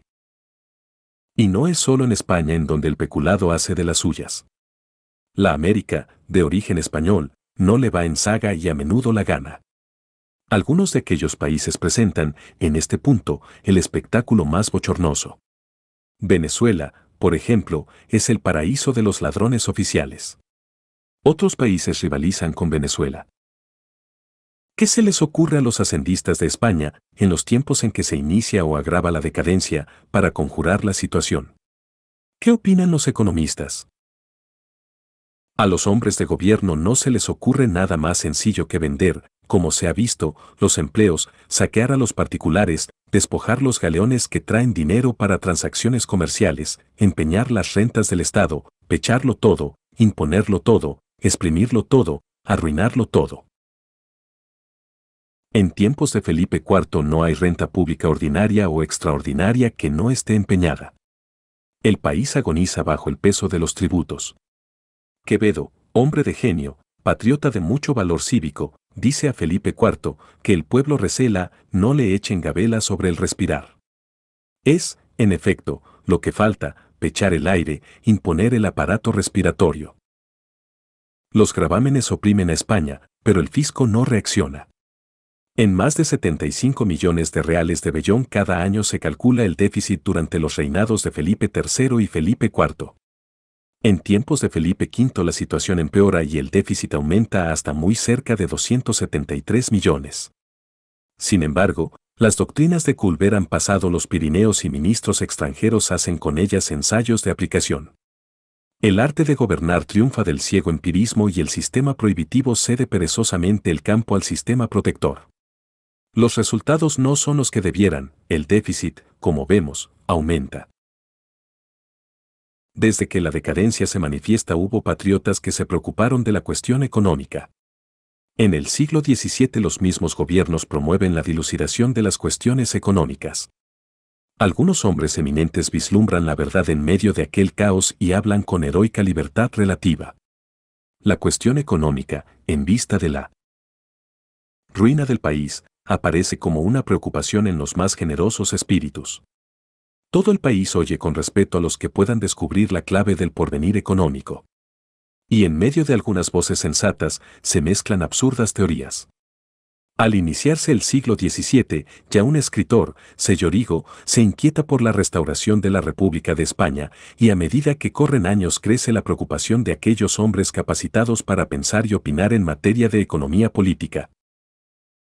Llega hasta constituirse una junta, en los días de Felipe III, para estudiar las causas de la ruina de la industria española. La junta consultó a los prohombres. Un economista de la época, Damián Olivares, en memoria dirigida a la junta expone su parecer, yo entiendo, dice, que esta opinión que se debe comerciar con extranjeros, para que así abunde el reino en mercaderías es árbitro del mismo demonio, que tiene puesto en los que le sustentan para destruir un reino que Dios ha mantenido tan católico y cristiano. Gracián Serrano enseña, sería preferible que los españoles anduvieran vestidos de pieles a que usaran telas y ropas extranjeras. A Fernández de Navarrete, que llama a los monarcas nuestros santos reyes, se le ocurre proponer, como medida eficiente en 1622, que se expulse a los extranjeros. Algunos razonan porque España debe suprimir toda compra en el extranjero. Porque saliendo el oro y la plata del país las fuerzas de la nación disminuyen. Según teorías de la época, la mercancía se usa y desvalora y el oro no, cambiar oro por mercaderías, aunque fuesen necesarias, resulta pésimo negocio. Y si unos economistas preconizan que nada se debe comprar en Europa, preconizan otros que no debe venderse a Europa nada. ¿Por qué? Porque no permitiéndose la salida de materias primas que la nación produce, los frutos crudos, se obligan los españoles a trabajar esas materias, y la virtud se mantiene en mucho número de personas, doncellas, viudas, casadas de mucha calidad y aún monjas. Si las cosechas de frutos exportables sobrepasan a lo que necesita la península, no importa, tampoco se debe exportar el exceso, ni siquiera a las colonias, aunque las colonias, a su turno, necesiten la sobreproducción de esos artículos que ellas no producen. Esa superproducción sería más conveniente quemarla que sacarla. Esta absurda teoría, suicida para un país de colonias, no era nueva en España. Desde 1548 pedían al monarca las Cortes de Valladolid que defendiese la saca de mercaderías de los reinos de España para dichas Indias, dando por razón el crecimiento del precio de los mantenimientos, paños, sedas, cordobanes y otras cosas de que en aquellos reinos había general uso y necesidad, y haber entendido que esto venía de la gran saca que de estas mercaderías se hacían para las Indias. ¿Podía remediarse el morbo interno que padece la nación aplicando semejantes doctrinas de terapéutica económica, tan divulgadas entonces y no solo en España? Hombres hubo entre esos economistas españoles del siglo XVN que descubrieron con claridad los problemas nacionales y la manera de resolverlos. Caxa de Leruela es uno de estos economistas, Fray Benito de Peñalosa es otro. Leruela no solo aboga por el comercio libre y porque vengan a España mercaderías extranjeras cuando hagan falta, sino oficiales y obreros para los oficios mecánicos. Comprende que España, cuyas industrias han venido a menos, no debe permitir que se arruinen su agricultura y su cría. En la cría y la agricultura, por el contrario, mira las fuentes del resurgimiento económico de España. En este sentido es precursor de brillantes figuras del siglo XIX, como costa, picabea, etc. Los ganados son riqueza sólida, enseña, y tanto más excelente que el oro. Es necesario regar los campos, opina, fertilizarlos, sacando los ríos de madre. Es decir, aprovechando el caudal en represas para regadío. Los modernos agrarios españoles no proponen otra cosa. Costa opina que con una parte pequeña de lo gastado en guerras podrían hacerse magníficos pantanos con que regar y fertilizar media España baldía. Leruela decía que las represas para fertilizar el suelo árido podrían practicarse con la cincuentena parte de lo que consumieron las guerras de Flandes. Es opuesto a censos, juros, vínculos y mayorazgos, a los que llama reclinatorios de holgazanería. Los cree, máximo en previsión, causa de ociosidad, no efecto. Es enemigo, más o menos encubierto, de estancamientos conventuales para la energía nacional y de las guerras que la derrochan. No cree, como la mayoría de sus contemporáneos, que el oro es la única riqueza. Oro es lo que vale oro. Hombre eminente, en suma. Otro hombre, no menos clarividente que Leruela, pero más cobarde, fue el benedictino Peñalosa. Patética actitud la de este fraile. Tiene el espíritu lleno de claridad, la boca llena de verdades, y teme iluminar las sombras que lo rodean y tiembla por las verdades que puede decir. La Inquisición, el miedo a la Inquisición y a las ideas y errores imperantes, tiende a cerrarle boca y ojos, su conciencia y el amor de su patria se los mandan abrir. El drama que se desarrolló, como suponemos, en el espíritu de este clérigo eminente, cohibido en su libertad y tembloroso por sus opiniones, fue el drama que de seguro destrozó a tantos espíritus de España, fue el drama siniestro, mudo, ignorado, infecundo, desgarrador de toda la España pensadora. Peñalosa estudia los problemas de la decadencia de España, casuista y entortillado hasta en el título de su obra, la bautiza cinco excelencias del español que despueblan a España. Su táctica consiste en pintar como cualidades los defectos o como virtudes sociales aquellos errores públicos que conducen a España hacia la ruina. Estas cinco excelencias del español que despueblan a España son, en términos de ahora, primera, la fe, segunda, la ignorancia, tercera, la guerra, Cuarta, la injusticia y el favoritismo de los reyes. Quinta, el desgobierno y la incapacidad administrativa. Esas eran, en realidad, causas primordiales de la decadencia española. Fray Benito no lo expone así, aunque así lo piense. Es precisamente la manera de sugerir tales ideas, presentando las opuestas, es la manera de señalar como virtudes eficientes los mayores y más ruinosos desaciertos, lo que hace de interés el libro de Fray Benito. Veamos cómo procede, no solo por curiosidad, sino para que se comprenda con ejemplos, y no con raciocinios ni vagas inducciones, la situación del espíritu español en el siglo XVII. Primera excelencia del español que arruina a España, la fe. La fe despuebla e infecundiza por la multiplicación de monasterios y emigración de tonsurados. El autor dice lo contrario, para sugerir la verdad, y agrega, cuán glorioso es el despueblo de España, por causa de que sus naturales vayan a ganar almas para el cielo. Segunda excelencia, el amor de la teología. La ignorancia es pavorosa, no se estudia sino ciencia teológica.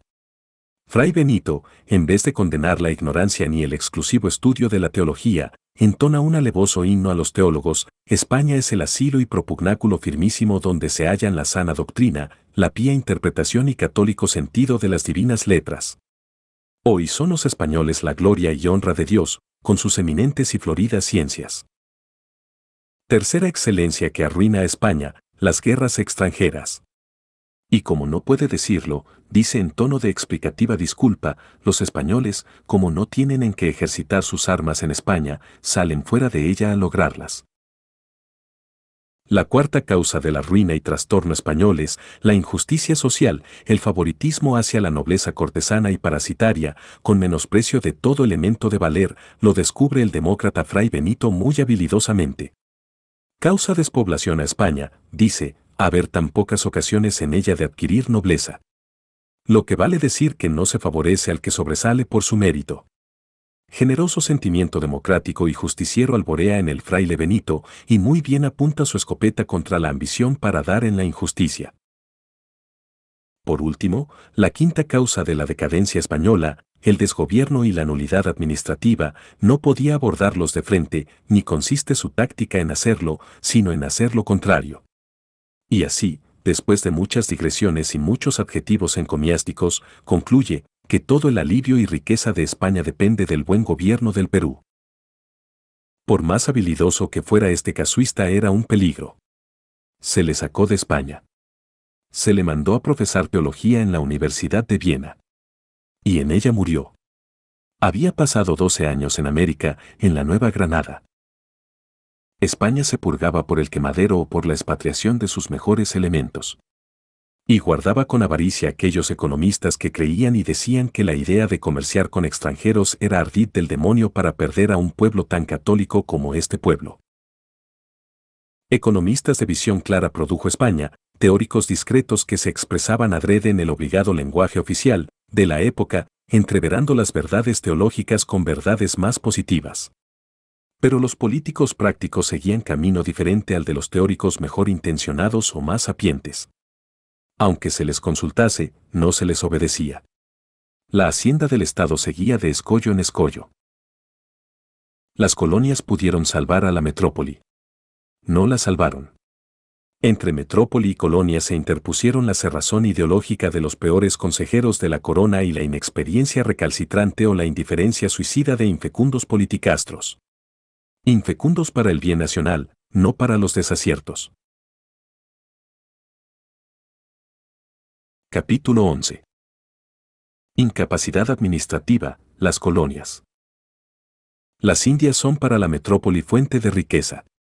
¿Cómo fomenta y explota la metrópoli aquella riqueza indiana? ¿Cómo practica España su comercio con las Indias? Las colonias viven secuestradas, no tienen relación con el mundo. A los extranjeros, en principio, no se les permite ni comerciar con ellas ni establecerse allí. Los mismos españoles no pueden ir sin dificultades. Aquellos países no pueden traficar sino exclusivamente con la metrópoli. Ni entre sí pueden traficar. Pero, ¿existen facilidades para este mismo limitado tráfico? Todo el comercio con las tres Américas españolas se realiza no con entera libertad para España entera, sino con mil trabas y por un exclusivo puerto español, que fue primero Sevilla y más tarde Cádiz. De ese único puerto zarpan los pocos buques que las guerras de Europa, la apatía y los piratas permiten. Como de esos buques depende la vida mercantil y la vida material, puede decirse, de todo el continente neoespañol, se vive en aquel continente lleno de oro y plata y que produce frutos como para sustentar al universo, con increíbles e incomprensibles escaseces y en una turbación económica de cada momento. Los frutos que América produce no son en ocasiones exportados oportunamente por falta de navíos, a menudo, en la espera, se echan a perder sin beneficio para nadie, más bien con ruina para muchos.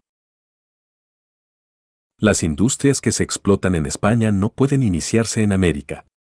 Otras industrias no hay quien las implante ni en América ni en España. Casi constantemente se carece en el nuevo mundo de lo más indispensable para la vida, desde instrumentos agrícolas hasta ropa de vestir. Además, como solo un puerto se habilita en la dilatada extensión de Sudamérica, el transporte de mercancías de ese único puerto a 100, 200, 500, 1000 y más kilómetros tierra adentro, a lomo de muya, cuesta un dineral y aumenta el precio de la mercancía en un valor exorbitante. Algunas mercaderías llegan a su destino con un recargo de 500 y aún 600%. Y los comerciantes sobre esos precios debían ganar.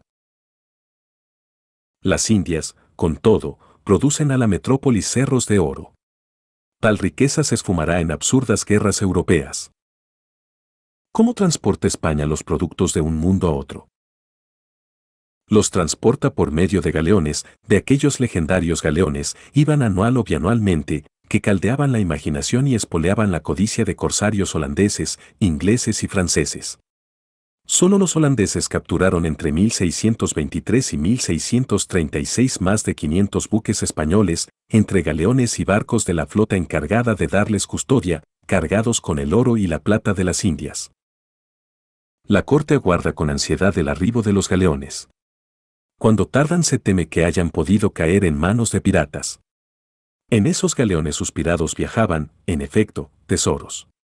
Los galeones que llevaban al Nuevo Mundo, de 15 a 20 millones de mercaderías españolas. O procedentes de puertos españoles, traían en cada viaje de retorno de 20 a 40 millones en frutos americanos. Traían además el dinero de la corona. Para 1686 los galeones constituyen 27 naves con 15.000 toneladas. Y la flota armada que los acompaña y protege 12.500 toneladas en 23 buques. Flota y galeones representan, pues, 50 barcos y 27.500 toneladas. Pero el tráfico decae, como decae todo. Durante la guerra de sucesión los galeones dejaron de cruzar los mares. La feria de Portobelo, en tierra firme, que era una especie de feria de Medina del Campo y en la que cada año, o cada dos años, venía a surtirse media América, permaneció desierta por 13 años consecutivos. En 1737 tuvieron que cesar las ferias de Portobelo. En 1720 la flota salida de Cádiz solo alcanzó a 6.000 toneladas. Como América tenía que vivir, no bastándose a sí misma, como necesitaba los géneros de Europa que la madre patria o enviaba con lentitud galeónica o no enviaba, el contrabando convirtióse en urgentísima necesidad. América, ya que no del comercio español, ni del comercio lícito con el extranjero, por no estar permitido, vivió del contrabando. Con los géneros extranjeros, pasaban también de contrabando ideas inglesas, holandesas, francesas. Doble perjuicio para España, perjuicio material y detrimento de orden moral. Para facilitar las relaciones comerciales entre la metrópoli y las colonias, los Borbones inician los llamados navíos de registro, la exclusiva del tráfico con América se transfiere de Sevilla a Cádiz y ya no se reduce únicamente a los castellanos, sino se extiende a todos los españoles el derecho a comerciar con las Indias. Débiles paliativos. Unas veces las licencias para cargar navíos se acuerdan con lentitud y dificultades. Otras veces, los comerciantes retardan exprofeso los navíos para elevar el precio de los géneros. Y no es raro que cuando arriban los géneros españoles encuentren los mercados ultramarinos abarrotados de mercaderías extranjeras introducidas de contrabando con anuencia y beneficio particular de las autoridades españolas de las mismas colonias. Entre lo introducido subrepticiamente y lo que España misma compra en el resto de Europa para enviar a sus colonias, llega un momento en que América vivió, puede decirse, del comercio y del contrabando extranjeros, a pesar de las restricciones y a pesar de los monopolios. En más del 80% de las mercaderías totales que allí se introducen durante el siglo XVM calculan los economistas las mercaderías extranjeras. Durante el mismo siglo no llegan a 40 los buques que salen, cada año, de España para América. Los de otras naciones pasaban de 300. A la ineptitud práctica se une la torpeza doctrinal. Ciertas providencias oficiales parecen tomarse de propósito deliberado para arrebatar a la metrópoli el provecho que pudiera sacar de sus posesiones del Nuevo Mundo. En 1735, por ejemplo, prohíbe Felipe V a los comerciantes de México y Perú hacer remesas de caudales a España para proveerse en España de mercaderías. ¿Para qué, entonces, las colonias? La incapacidad de la metrópoli en materia de economía política la ponía ella misma de manifiesto. Su ruina era inevitable. Más producían la Martinica y la Barbada a Francia e Inglaterra a mediados del siglo XVIII que todas las islas, provincias, reinos e imperios de América a los españoles. Llegó un momento en que algunos políticos de España se preguntaron si el inmenso imperio español era un beneficio o una carga pesada para la metrópoli. Capítulo 12. Palabras finales. No habrán sido exclusivos factores de la decadencia española la imprevisión política, la incapacidad administrativa y la inescrupulosidad en el manejo de la res pública, la realidad social es muy complicada, pero juegan en ella un papel de suma importancia. Por eso se les concede en estas páginas categoría de excepción. Por eso y por ser premisas forzosas para concluir porque fueron como fueron los hombres de la conquista, en cuanto iniciadores de nuevas sociedades, y las nuevas sociedades que de ellos nacieron. Se ha insinuado desde el principio de esta obra, y conviene insistir en ello, que no se ha tenido la pretensión de esbozar una psicología del pueblo español. Quedan, sí, apuntados algunos rasgos de esa compleja psicología, los que parecieron más indispensables al propósito de este ensayo, conocer al conquistador. Y aún no todos. La lista podría alargarse. Mientras mayor sea, más claramente podremos interpretar al héroe español de América en el siglo XVI. Hemos hablado del orgullo, por ejemplo, pero ni ese ni otros móviles de acción nos hemos visto en juego, produciendo la historia de la raza. ¿Cuál ha sido la primera consecuencia social del orgullo? La carencia de industrias no tenga, tal vez, fundamento más sólido. El orgullo distanció al pueblo español de oficios e industrias lucrativos, contribuyendo, a la larga, a crearle una segunda naturaleza de ineptitud en este sentido. La guerra lo desangra y empobrece, la política de España fue la del jugador ambicioso y poco práctico, en vez de contentarse con ganar un poco hoy y otro poco mañana, quiso desbancar al monte cada día, y cada día, en vez de desbancar al monte, fue perdiendo lo suyo. La religiosidad empuja una parte de la población a las hogueras, perecen no solo tantos o cuantos millares de personas, lo que no significa nada, sino algo de mayor trascendencia, la facultad de pensar con brío, la confianza en el propio espíritu y la capacidad del espíritu activo y fértil para ir modificando, en sentido de mejora, el medio en que se vive. Otra parte de la población, merced a la religiosidad y a la holganza, se castra e infecundiza encerrándose en los conventos. El comercio, por falta de ejercicio y de consagración, se ignora u olvida y pasa con la riqueza que produce a manos extranjeras. La pereza y la ignorancia, hijas de la fe, traen o coadyuvan a traer la miseria, la miseria depaupera fisiológicamente la raza. Un eminente y perseguido escritor castellano del siglo XVII, el Gran Quevedo, acusa al hambre, con razón, de mermar los bríos de la raza. Perdieron su esfuerzo pechos españoles porque se sustentan de tronchos y coles. España, la España de los siglos XVII y XVIII, dueña de colonias como después de Roma y antes de Inglaterra, no conoció pueblo alguno, produce la impresión de un mendigo, flaco y pálido, sobre una montaña de oro. Fortuitamente o no, España tuvo puntos de parentesco con el gran pueblo que la colonizó e infundió duradera civilización. Como Roma, practicó la independencia municipal, como Roma, fue guerrera y colonizadora. Como Roma, mezcló al sentimiento patriótico cierto espíritu religioso. Consideró el comercio y la industria, como Roma, dignos de esclavos, reservando para hidalgos y hombres libres la guerra y sus aventuras. En Roma, ya decadente y sin virtudes, se conservó el espíritu guerrero. En España también. Con una diferencia, en Roma la guerra siempre condujo a la magistratura y los honores, mientras que en España el militar estuvo o llegó a estar por debajo del sacerdote, las armas fueron, primero, contrabalanceadas por el rosario, más tarde, el uniforme fue echado atrás por la sotana. En este sentido es sugerente una joyita teatral de Cervantes, La Guardia Cuidadosa. Un soldado y un sacristán cortejan a cierta linda criadita. La doncella prefiere al sacristán. El clero pasa, hasta en la estimación de la doméstica, antes que el ejército, la religión antes que las armas, la fe antes que la gloria, el hombre que simboliza la iglesia, antes que el hombre que simboliza la patria. Cuando vaca el trono y se impone un regente no es el héroe quien asciende al solio, ni menos el estadista, sino el confesor, el cardenal Cisneros. A España, a la España monacal, le ocurrió lo que a Bizancio, la ruina y la muerte la sorprende en medio de disputas teológicas, fabricando iglesias, resolviendo las cuestiones de Estado por medio de los frailes, peor aún en el caso de España, quemando herejes, preocupada de la salvación del alma, mientras se desmorona en manos de austríacos y borbones, tan devotos como nulos, el imperio de Carlos V. El pueblo español no ha sido un pueblo de sentido práctico, pero ha sido el pueblo de la acción generosa, del ocio romántico, del desprecio caballeresco al utilitarismo terre a terre. Ha sido un pueblo de caballeros, de santos, de héroes.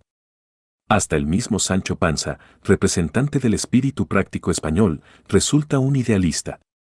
No desdeña su comodidad de todos los días, para correr aventuras, esperando las promesas, siempre incumplidas, de un personaje a quien conoce y juzga como fantástico y absurdo? España, entre las naciones, representa el papel de María, admiradora contemplativa de Jesús, mientras Inglaterra, por ejemplo, representa el papel de Marta que lava las ollas, recoge las legumbres y dispone el puchero. Necesitamos de Marta, pero el encanto de María y su desinterés son mayores. Observemos, de paso, algunas contradicciones en el carácter de este pueblo fundador de pueblos, contradicciones que encontraremos, más o menos atenuadas, en las repúblicas hispánicas del Nuevo Mundo. Este pueblo es democrático, por ejemplo, y es eminentemente despótico, es altivo y pide limosna, es de una independencia bravía, en lo personal, y soporta, en lo nacional, los más odiosos despotismos. Es muy católico y muy poco cristiano. Esas contradicciones y algunas otras que pudieran indicarse no son tal vez difíciles de explicar. El español, y el hispanoamericano no toleran los abusos de poder por servilismo. Los toleran por exceso de individualismo, por falta de cohesión social, por poca costumbre de ejercitar su derecho, por desconfianza de que se pierda su esfuerzo, por desprecio hacia la misma autoridad que los explota, o molesta, o tiraniza. Los extranjeros comprenden esta psicología con dificultad.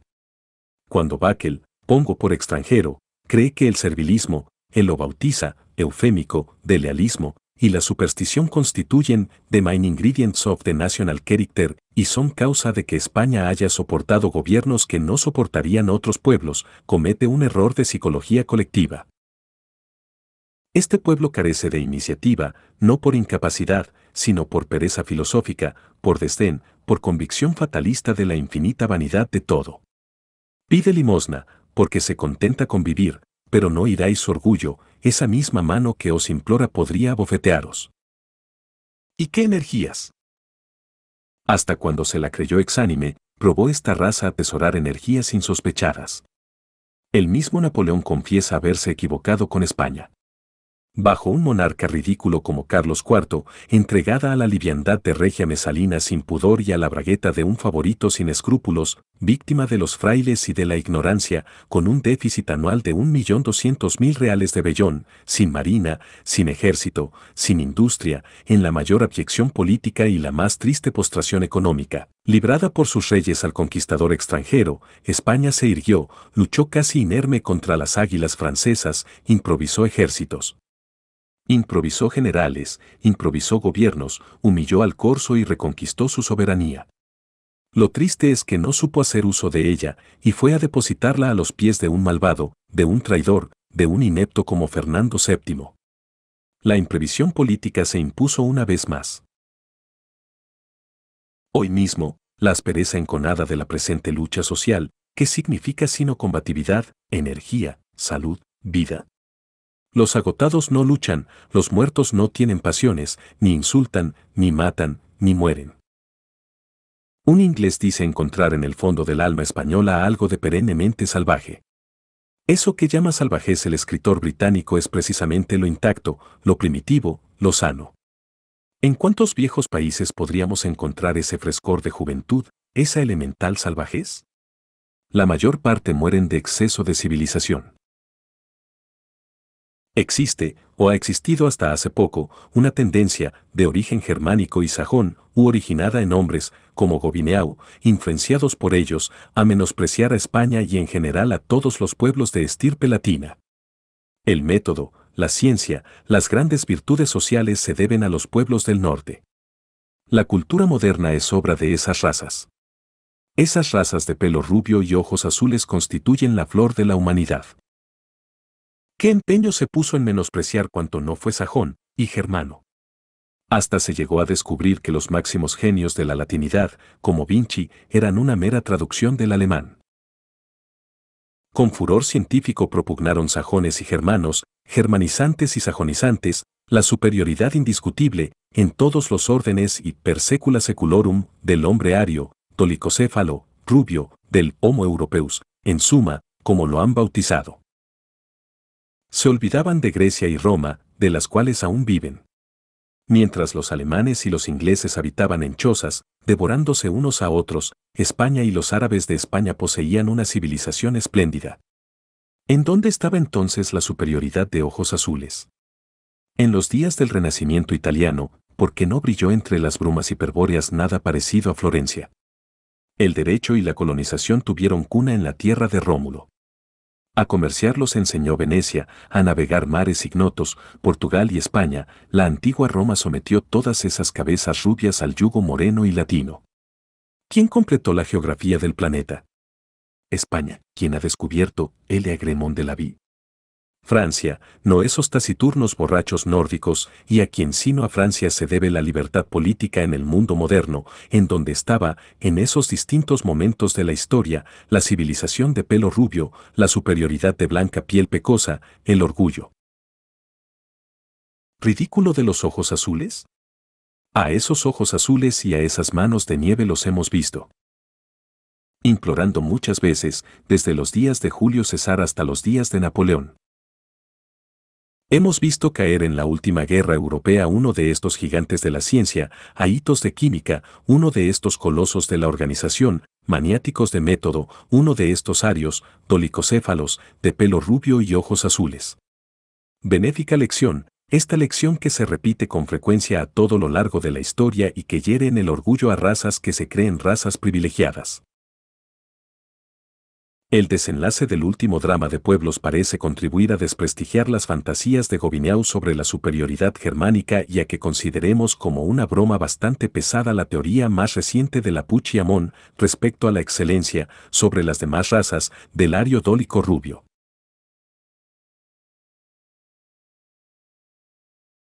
Segunda parte.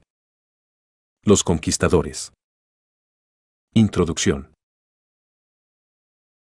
Los descubridores y conquistadores españoles de América, hoy podemos juzgarlos sin prevenciones y con exacta noción de su obra, fueron hombres maravillosos, muy de España y muy del siglo XVI. ¿Qué hicieron? Ensancharon la Tierra.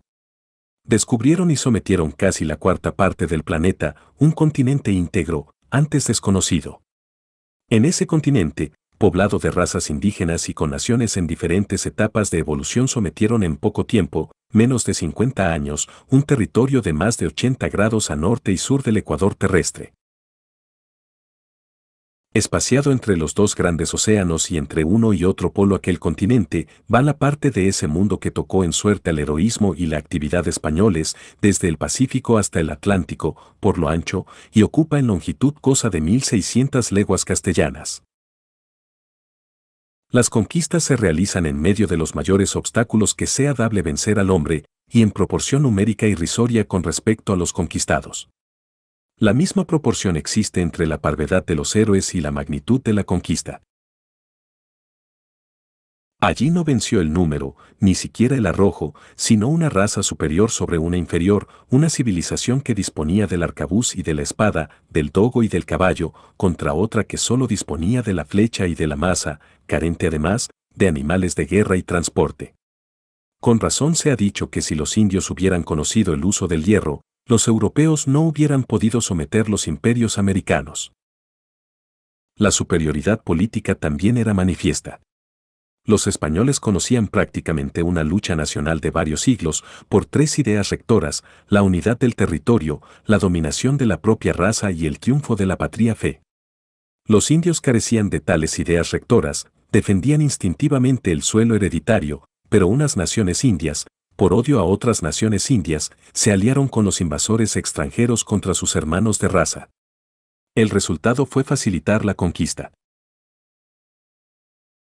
Se valieron los españoles de unos aborígenes contra otros, a tal punto que en los ejércitos de Cortés, por ejemplo, aunque solo fueron de Cuba 518 españoles de infantería, 32 ballesteros, 13 escopeteros, 16 jinetes y 120 marineros, fuera de la servidumbre, compuesta de 200 indios y algunos negros, había más tropas que en las de Gonzalo de Córdoba. En la toma de Tenochtitlán, combatían bajo el estandarte de Cortés miles y miles y miles de soldados indios, aliados del conquistador, bárbaros que preparaban con la destrucción de sus hermanos en raza y geografía su propia destrucción. El espíritu de servilismo a la realeza también contribuyó a perder a los indios, caídos los emperadores, las naciones se creían, por lo común, sin fuerzas para resistir, y con dificultad encontraban los medios de que disponen para salvarse los pueblos libres de nuestra época. El no haber estado jamás en relación con pueblos y razas blancos les fue fatal, tuvieron la tendencia, al principio, de creer a los invasores de enorme superioridad, máxime de orden moral. Cuando Atahualpa, que está en medio de sus tropas, es invitado por Pizarro a visitarlo en el Real Español, no vacila en ir. Allí se le apresa y se le humilla. Tanta candidez merecía tan triste fortuna. Con todo eso y mucho más, la audacia de los descubridores y conquistadores españoles perturba, sino eclipsa, toda noción conocida de heroísmo. El conquistador hispano del siglo XVI, dentro de la comunidad de carácter con el hombre de su país y de su tiempo, posee un sello especial que le viene del teatro en que actuó y que lo inviste de un especial aspecto. Como ciertos insectos asumen el color del árbol o de la tierra donde se crían, el conquistador de América, por un mimetismo inesperado, toma carácter del medio, tan distinto del europeo, en que su acción se desenvuelve. Estudiemos al conquistador. Conociendo la psicología de su raza, comprenderemos con solo verlo definirse por la acción, que nexos psicológicos lo unen con el país de donde procede.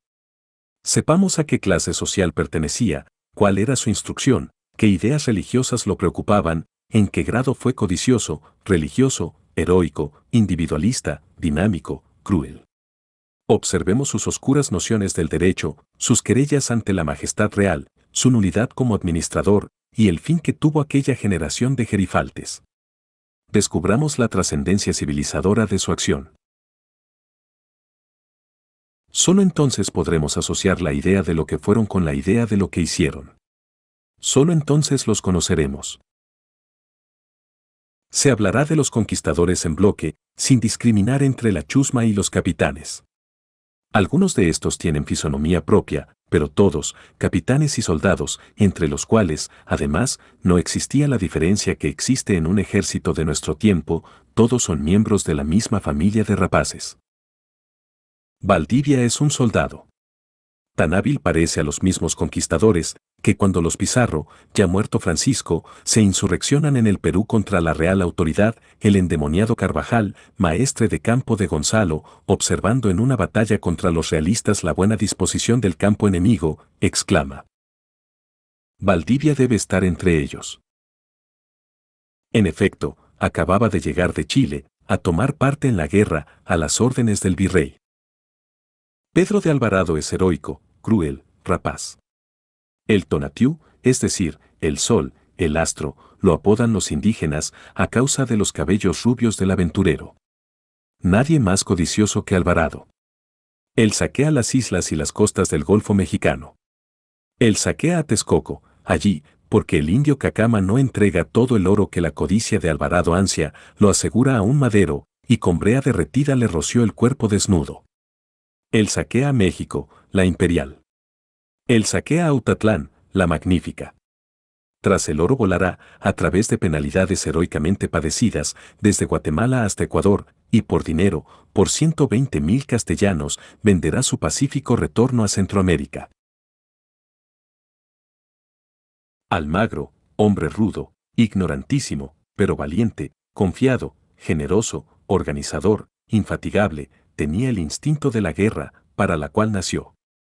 Sin asomos de discreción ni de malicia en política, se dejó engañar miserablemente por los Pizarro, quienes, ya preso el antiguo camarada de Francisco Pizarro, le fraguaron un proceso y sin piedad y sin necesidad lo victimaron. La muerte de Almagro lamentóse por cuantos amigos y partidarios tuvo, lo que prueba que sabía inspirar nobles sentimientos. El mismo Francisco Pizarro intentó disimular que hubiese tenido culpa en el asesinato de su antiguo camarada. El rey castigó severamente a Hernando, que lo ejecutó. Pedrarias Dávila, favorecido por el rey, que lo pone al frente de numerosa expedición, es mezquino de alma. Traicionera y jurídicamente, por envidia, asesina a Balboa, que valía cien millones de veces más que él. Ejecuta a Hernández de Córdoba, porque éste quiso desconocerlo y pasarse a Cortés. Una escena lo pinta. La escena, que ocurre entre Almagro y Pedrarias, la describe el historiador Oviedo. Los capitanes Diego de Almagro, Francisco Pizarro y el clérigo Fernando de Luque, socios en la empresa de conquistar el Perú, quieren deshacerse de Pedrarias Dávila, gobernador de Panamá, a quien han prometido, obligados por las circunstancias, una participación en el botín. Porque la conquista se dispone como un negocio, los asociados contribuyen con tanto cuanto y se benefician de lo que produzca el saqueo, el botín, en tal o cual cantidad. Por la conversación entre Almagro y Pedrarias se advertirá lo vil que era Pedrarias, pero asimismo. Se verá que no solo Pedrarias, sino también Almagro, Pizarro, el cura Luque, y así todos. Los conquistadores, sin excepción, entraban en las conquistas como en una empresa comercial. En efecto, los conquistadores se disponen a explotar las conquistas que emprenden como un negocio, exponen en ese negocio la vida, como otras personas, en otros negocios, exponen su dinero. La vida y el valor de los conquistadores son su única hacienda. Con entera conciencia, ellos aventuran su capital con la esperanza del provento. Es decir, trabajan a su modo. Son empresarios y obreros de empresas heroicas. Son trabajadores hercúleos, aunque no los inspire, como a Hércules, un sentimiento altruista. Poseen, por otro lado, más dignidad y más valor que los condottieri, que también hicieron de la guerra un negocio, pero los condottieri se alquilaban y los conquistadores no. Eran jefes y socios voluntarios de las formidables empresas que acometían. Cierto día, Almagro, de vuelta de una primera expedición hacia el Perú, se presenta a Pedrarias. Pedrarias envilece en el regateo de unos pesos que mendiga sin merecer. Balboa forma con Hernán Cortés el par de más brillantes conquistadores. A Balboa, como a Cortés, no le falta la nota cruel, aunque no sea la más aguda en la armonía de aquellas. Guerreras vidas. Más desgraciado que Cortés, encontró Balboa un pérfido poderoso que le cortase el vuelo cuando más audaz iba ya siendo el ímpetu y más seguras las alas. Tema grande inteligencia, grandísima voluntad, flexibilidad de político, pocos escrúpulos, hasta se dice que en su juventud fue rufián, una actividad que no conocía reposo. El descubrimiento del Pacífico fue su principal mérito al recuerdo de la posteridad. A él, y no a otro, parecía destinada la conquista del Perú. Era hombre para tanto. Cortés, más educado y de mejor linaje que la mayoría de sus compañeros de heroísmo, es también el más hábil como político, aunque se parezca al más torpe en la estrechez del fanatismo religioso. Hábil, enérgico, ultracreyente, se parece un poco a Cranwell, salvo en el aspecto sombrío del protector. Cortés, por el contrario, es amigo de la risa, de las mujeres, del lujo. Es liberal, oportunamente liberal, con sus amigos y tenientes. Lo que no empece que persiguiese el oro como el que más. A veces roba en el reparto a sus capitanes piensa con suma discreción. Sabe cómo conviene tratar a los hombres. Escribe con soltura. Adorna y abrillanta sus acciones cuando las refiere por escrito, miente en política y trata en sus relaciones de engañar a los reyes y a la posteridad. Tuvo la doble fortuna de un magnífico teatro para desplegar sus virtudes políticas y militares y la de llevar consigo a un capitán letrado, Bernal Díaz del Castillo, que iba a inmortalizarlo. Pizarro es muy inferior a Cortés, a quien suele comparársele. No carece de una despejada inteligencia natural, aunque nadie más inculto, tampoco carece del tempel heroico de Cortés y Balboa, ni de una férrea voluntad. Pero es pérfido, ignorante, fanático, ingrato, avaricioso, cruelísimo. No tiene nociones de política. Carece de grandes virtudes guerreras, aparte la osadía y el natural imperio del caudillo, que tiene como el que más. En su vida no existen páginas militares como el sitio de Tenochtitlán, por Cortés. Tales son, a grandes líneas, algunos de los principales conquistadores. Habría que agregar rasgos de la hidalguía de Hernando de Soto, mejor que la mayor parte de aquellos hombres terribles, y otros rasgos de las casas, el encendido apóstol del bien, ángel de la guarda de los indios. Aquellos conquistadores, por lo general hombres nerviosos, biliosos, impulsivos y espíritus sin complicación, tendrán, aparte de especiales caracteres psicológicos del grupo, como la hiperestesia de la rapiña, caracteres fundamentales de la raza a que pertenecen. En rigor, la hiperestesia de la rapiña era lo característico en ellos, la rapiña en sí, no, esta flaqueza ha tenido siempre su nido, en España y en América, a la sombra de las funciones públicas. Allí parece que tal abuso no merece nota de infame. Un profesor de sociología en la Universidad de Madrid, que a pesar de ser profesor universitario es hombre de positivo mérito, opina que el afán de lucro es una de las características temporales del español. Otro profesor, un profesor hispanoamericano, le descubre a su turno avidez adquisitiva y prodigalidad, avidez de adquirir e incapacidad de retener. Francesco Guicciardini, embajador de la señoría de Florencia cerca de Fernando el Católico, en la segunda década del siglo XVI, observó a los españoles de aquel tiempo con agudeza florentina, y, a este respecto, dice, e ven que sapino vivere col poco, non sono pero sansa cupidita di guadagnare, ansi sono avaricimi e non avendo arte sono a rubare. Buenos españoles, los conquistadores serán vanidosos y sobrios, despóticos y democráticos, individualistas y religiosos, corajudos y fatalistas.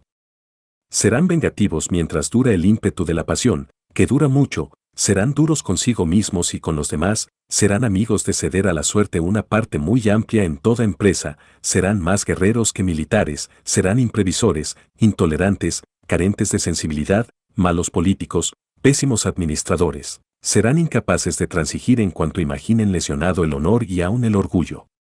Y por encima de todo, serán hombres de presa. Capítulo 1 el Renacimiento Español. Fue un momento de hiperheroicidad nacional el Renacimiento Español.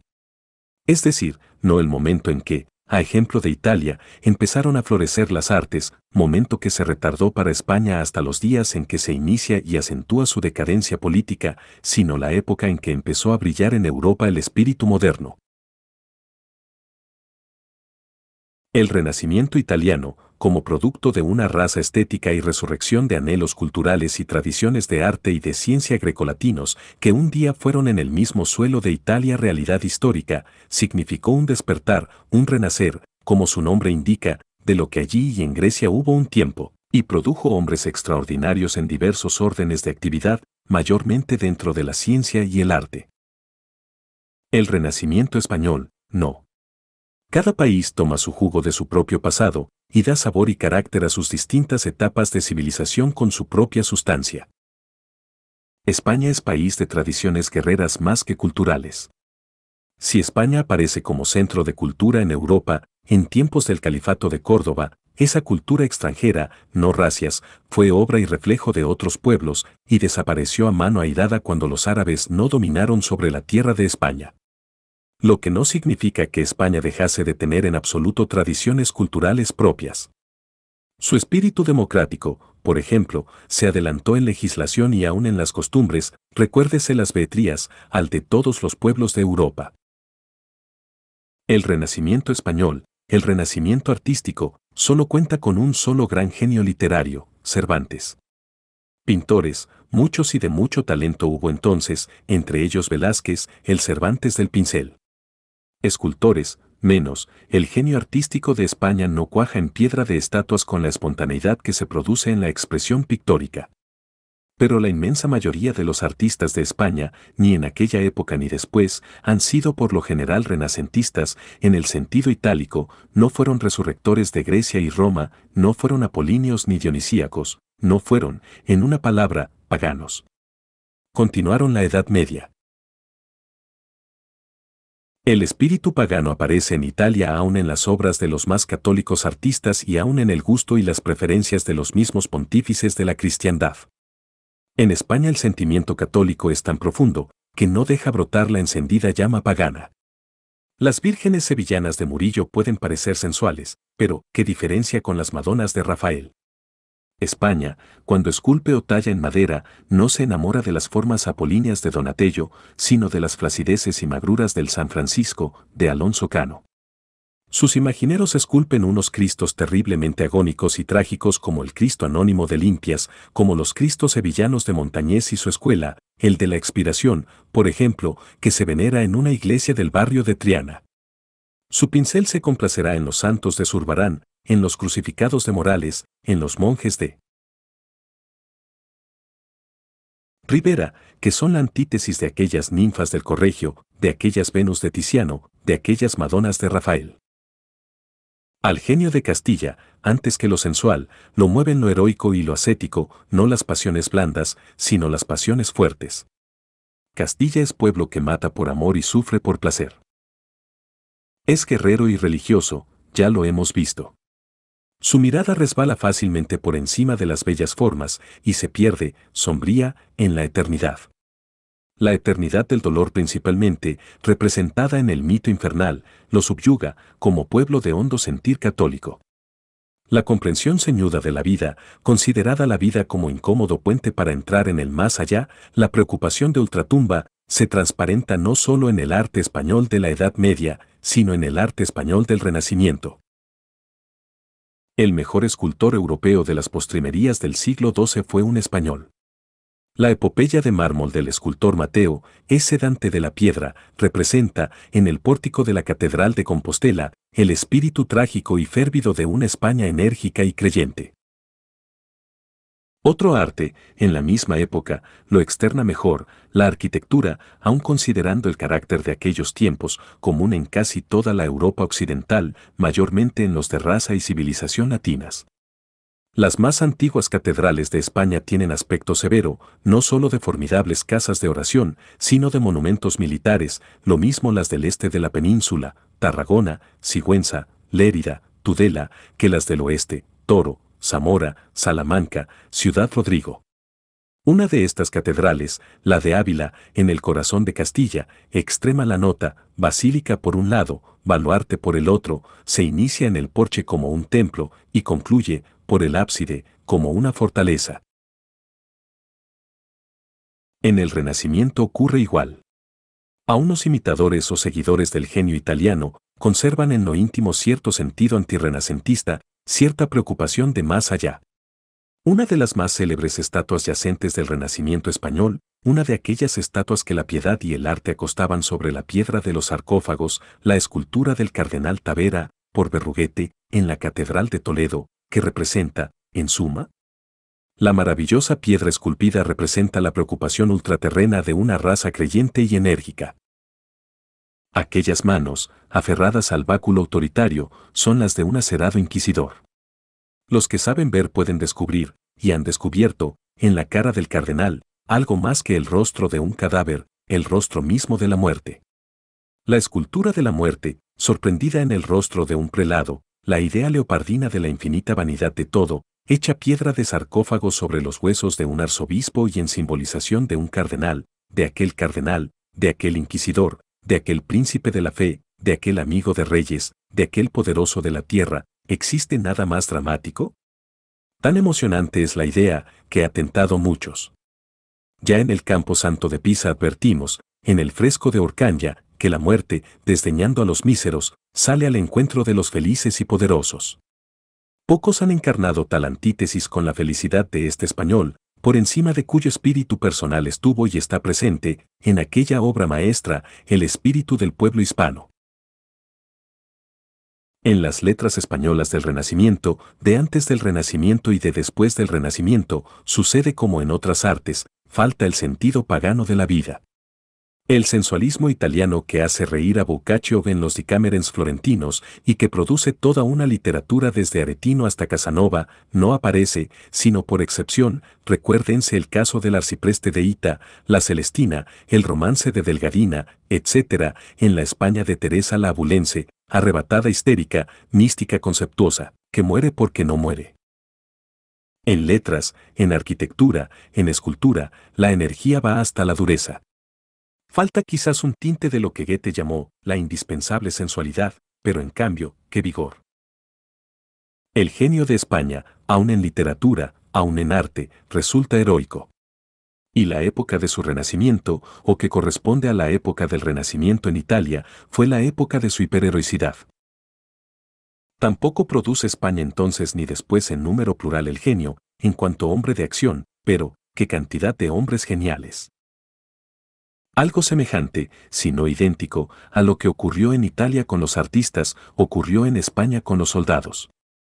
Italia tuvo la fortuna incomparable de producir a un tiempo a Leonardo, de 1452 a 1519, a Miguel Ángel, de 1474 a 1563, a Rafael, de 1483 a 1520, al Tiziano, de 1477 a 1576, al Corregio, de 1494 a 1534 y desaparecido apenas este almácigo de genios, lo sucede otra generación de excelsos artistas, los pintores de la escuela boloñesa, los Carraccio, Guido, Dominiquino, Guercino, etc.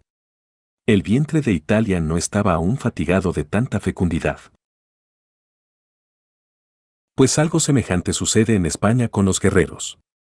España produce casi a un tiempo a los hombres de Italia, de Flandes, de América. El genio guerrero está latente en las entrañas de la nación.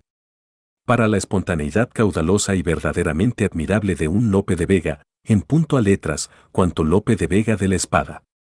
Lope de Vega es Gonzalo de Córdoba, Lope de Vega es Don Juan de Austria, Lope de Vega es Pizarro, Lope de Vega es Cortés. Quizá no hubo un Cervantes entre los soldados, pero la nación estaba constantemente dando a luz, durante poco menos de un siglo, a esos hombres de epopeya que vencieron a los franceses en Pavía, a los italianos en Roma, a los turcos en Lepanto, y que extendieron la bandera española sobre Portugal en Europa, sobre Orán en África, sobre las Filipinas en Asia y sobre grandes archipiélagos de los grandes mares. Esta hiperheroicidad de España, incubada en las guerras de patria y religión contra el moro, tuvo un momento de culminación. Este momento fue el espacio de tiempo que va de fines del siglo XV a promedios del siglo XVI. Esa culminación de hiperheroicidad colectiva se encontró con la insospechada fortuna de un teatro único e inmenso para expandirse, lejos de las trabas de un gobierno vigilante y lejos de la civilización originaria. En Europa hubiera sido imposible la epopeya de los conquistadores, con los caracteres que le dan sello entre las demás epopeyas que ha realizado la audacia humana. Europa, poblada casi toda por razas semejantes y en grado más o menos semejantes de evolución social, hubiera sido óbice a la expansión de tantas deslumbrantes personalidades, cuya acción iba a desenvolverse sin sujeción de ninguna índole, sin respeto a leyes divinas o humanas. Este campo único, en la historia, fue el desconocido continente que completó la geografía del planeta, poblado por razas antípodas de la europea, ese campo único abierto a la audacia española fue la vasta América, desde el Mississippi, tumba del caballeresco Hernando de Soto, desde las tierras de la Florida, donde el viejo Ponce de León busca la fuente de Juvencio, hasta la Araucanía de Valdivia y el estrecho de Magallanes. Capítulo 2 Clase social a la que pertenecen los conquistadores y obstáculos que vencen. ¿A qué clase social pertenecen los conquistadores? Pertenecen a las clases humildes, al pueblo. Entre los primeros descubridores y conquistadores no hay un solo nombre de familia ilustre, y se comprende que no lo hubiera. No iban a ser los bien hallados los que se lanzasen los primeros a semejante aventura. A semejante aventura se lanzaron aventureros, los que nada poseían, los que nada valían, los pobres diablos, la carne de sacrificio y de cañón. ¿Quién es Pizarro? Un porquero de Trujillo, hijo de una cortesana. ¿Quién es Hernán Cortés? Un soldadito de infantería, un anónimo de Medellín. ¿Quién es Vasco Núñez de Balboa? Un mancebillo disoluto de Jerez, un criado de don Pedro Portocarrero, señor de Moguer. ¿Quién es Diego de Almagro? Un expósito a quien se encuentran en el claustro de una iglesia, en Almagro. Y así los demás, a unos mayores. Valdivia era un bocado de carne de cañón en las guerras de Carlos V, ni siquiera se sabe a punto fijo dónde nació. Belalcázar era un cualquiera, ni siquiera se llamaba como se llama. Su nombre, en efecto, era Moyano. ¿Alonso de Ojeda? Un oscuro hijo de Cuenca, tan oscuro, que ni su pueblo natal guarda constancia de su nacimiento. ¿Pedro de Alvarado? La historia ignora sus orígenes, su mocedad, su pueblo, la fecha de su nacimiento. No lo más rico y bien hallado socialmente, pero sí lo más joven, lo más audaz, lo más vigoroso de la nación española se lanzó a los mares y desembarcó en América para apoderarse por propio esfuerzo del continente desconocido que un puno de osadísimos argonautas acababa de descubrir en los mares de Occidente. Los descubridores y conquistadores del siglo XVI fueron algo semejante a los inmigrantes del siglo XX, gente desvalida y audaz que va en pos de fortuna. Pueden equipararse, unos y otros son conquistadores. Por lo común, en aquel tiempo, lo mismo que en nuestros días, grandes nombres españoles no van a América, allí se forjan. Entonces, como ahora, los más audaces, los que encuentran estrecho su ambición el horizonte patrio son los que emigran. Por eso el español fuera de España es superior al español dentro de España. Fue más tarde, a la hora de aprovecharse de la obra heroica del pueblo, cuando aparecen nombres alcurniados, llegan para ser virreyes, capitanes generales, arzobispos, encomenderos, es decir, tiranos y ladrones, y alguna vez, por excepción, benefactores de las nuevas sociedades. El conquistador primitivo representa en América la democracia. Advenedizos como Pizarro se encanecen con el título de marqués, creyendo en su épica ignorancia que titularse marqués puede engrandecer al conquistador del Perú, sin reparar que los marqueses son muchos y los Pizarro pocos. Pero ese marqués de padre desconocido, ese noble, hijo de una cortesana, es, hasta por su afición al título, entraña popular palpitante. Los otros Pizarro, lo mismo que Lope de Aguirre y los demás insurgentes contra el despotismo de Felipe II y sus procónsules, que representan? Representan el espíritu liberal de la antigua Castilla contra la absorbente autocracia austriaca y el primer argóreo, los primeros síntomas de la emancipación de América contra la coacción de la metrópoli y de sus agentes ultramarinos. Después de los conquistadores, que obran ante sí porque sí como una fuerza de la naturaleza y que son, en realidad, la fuerza del pueblo, llegan los administradores, los representantes, no del pueblo, sino de la Sacra Real Majestad, aquellos virreyes de capa de grana que, según la legislación entonces vigente, representaban la persona misma del rey, ya que el rey, no pudiendo estar en todas partes, impuso la ficción de subdividirse en virreyes.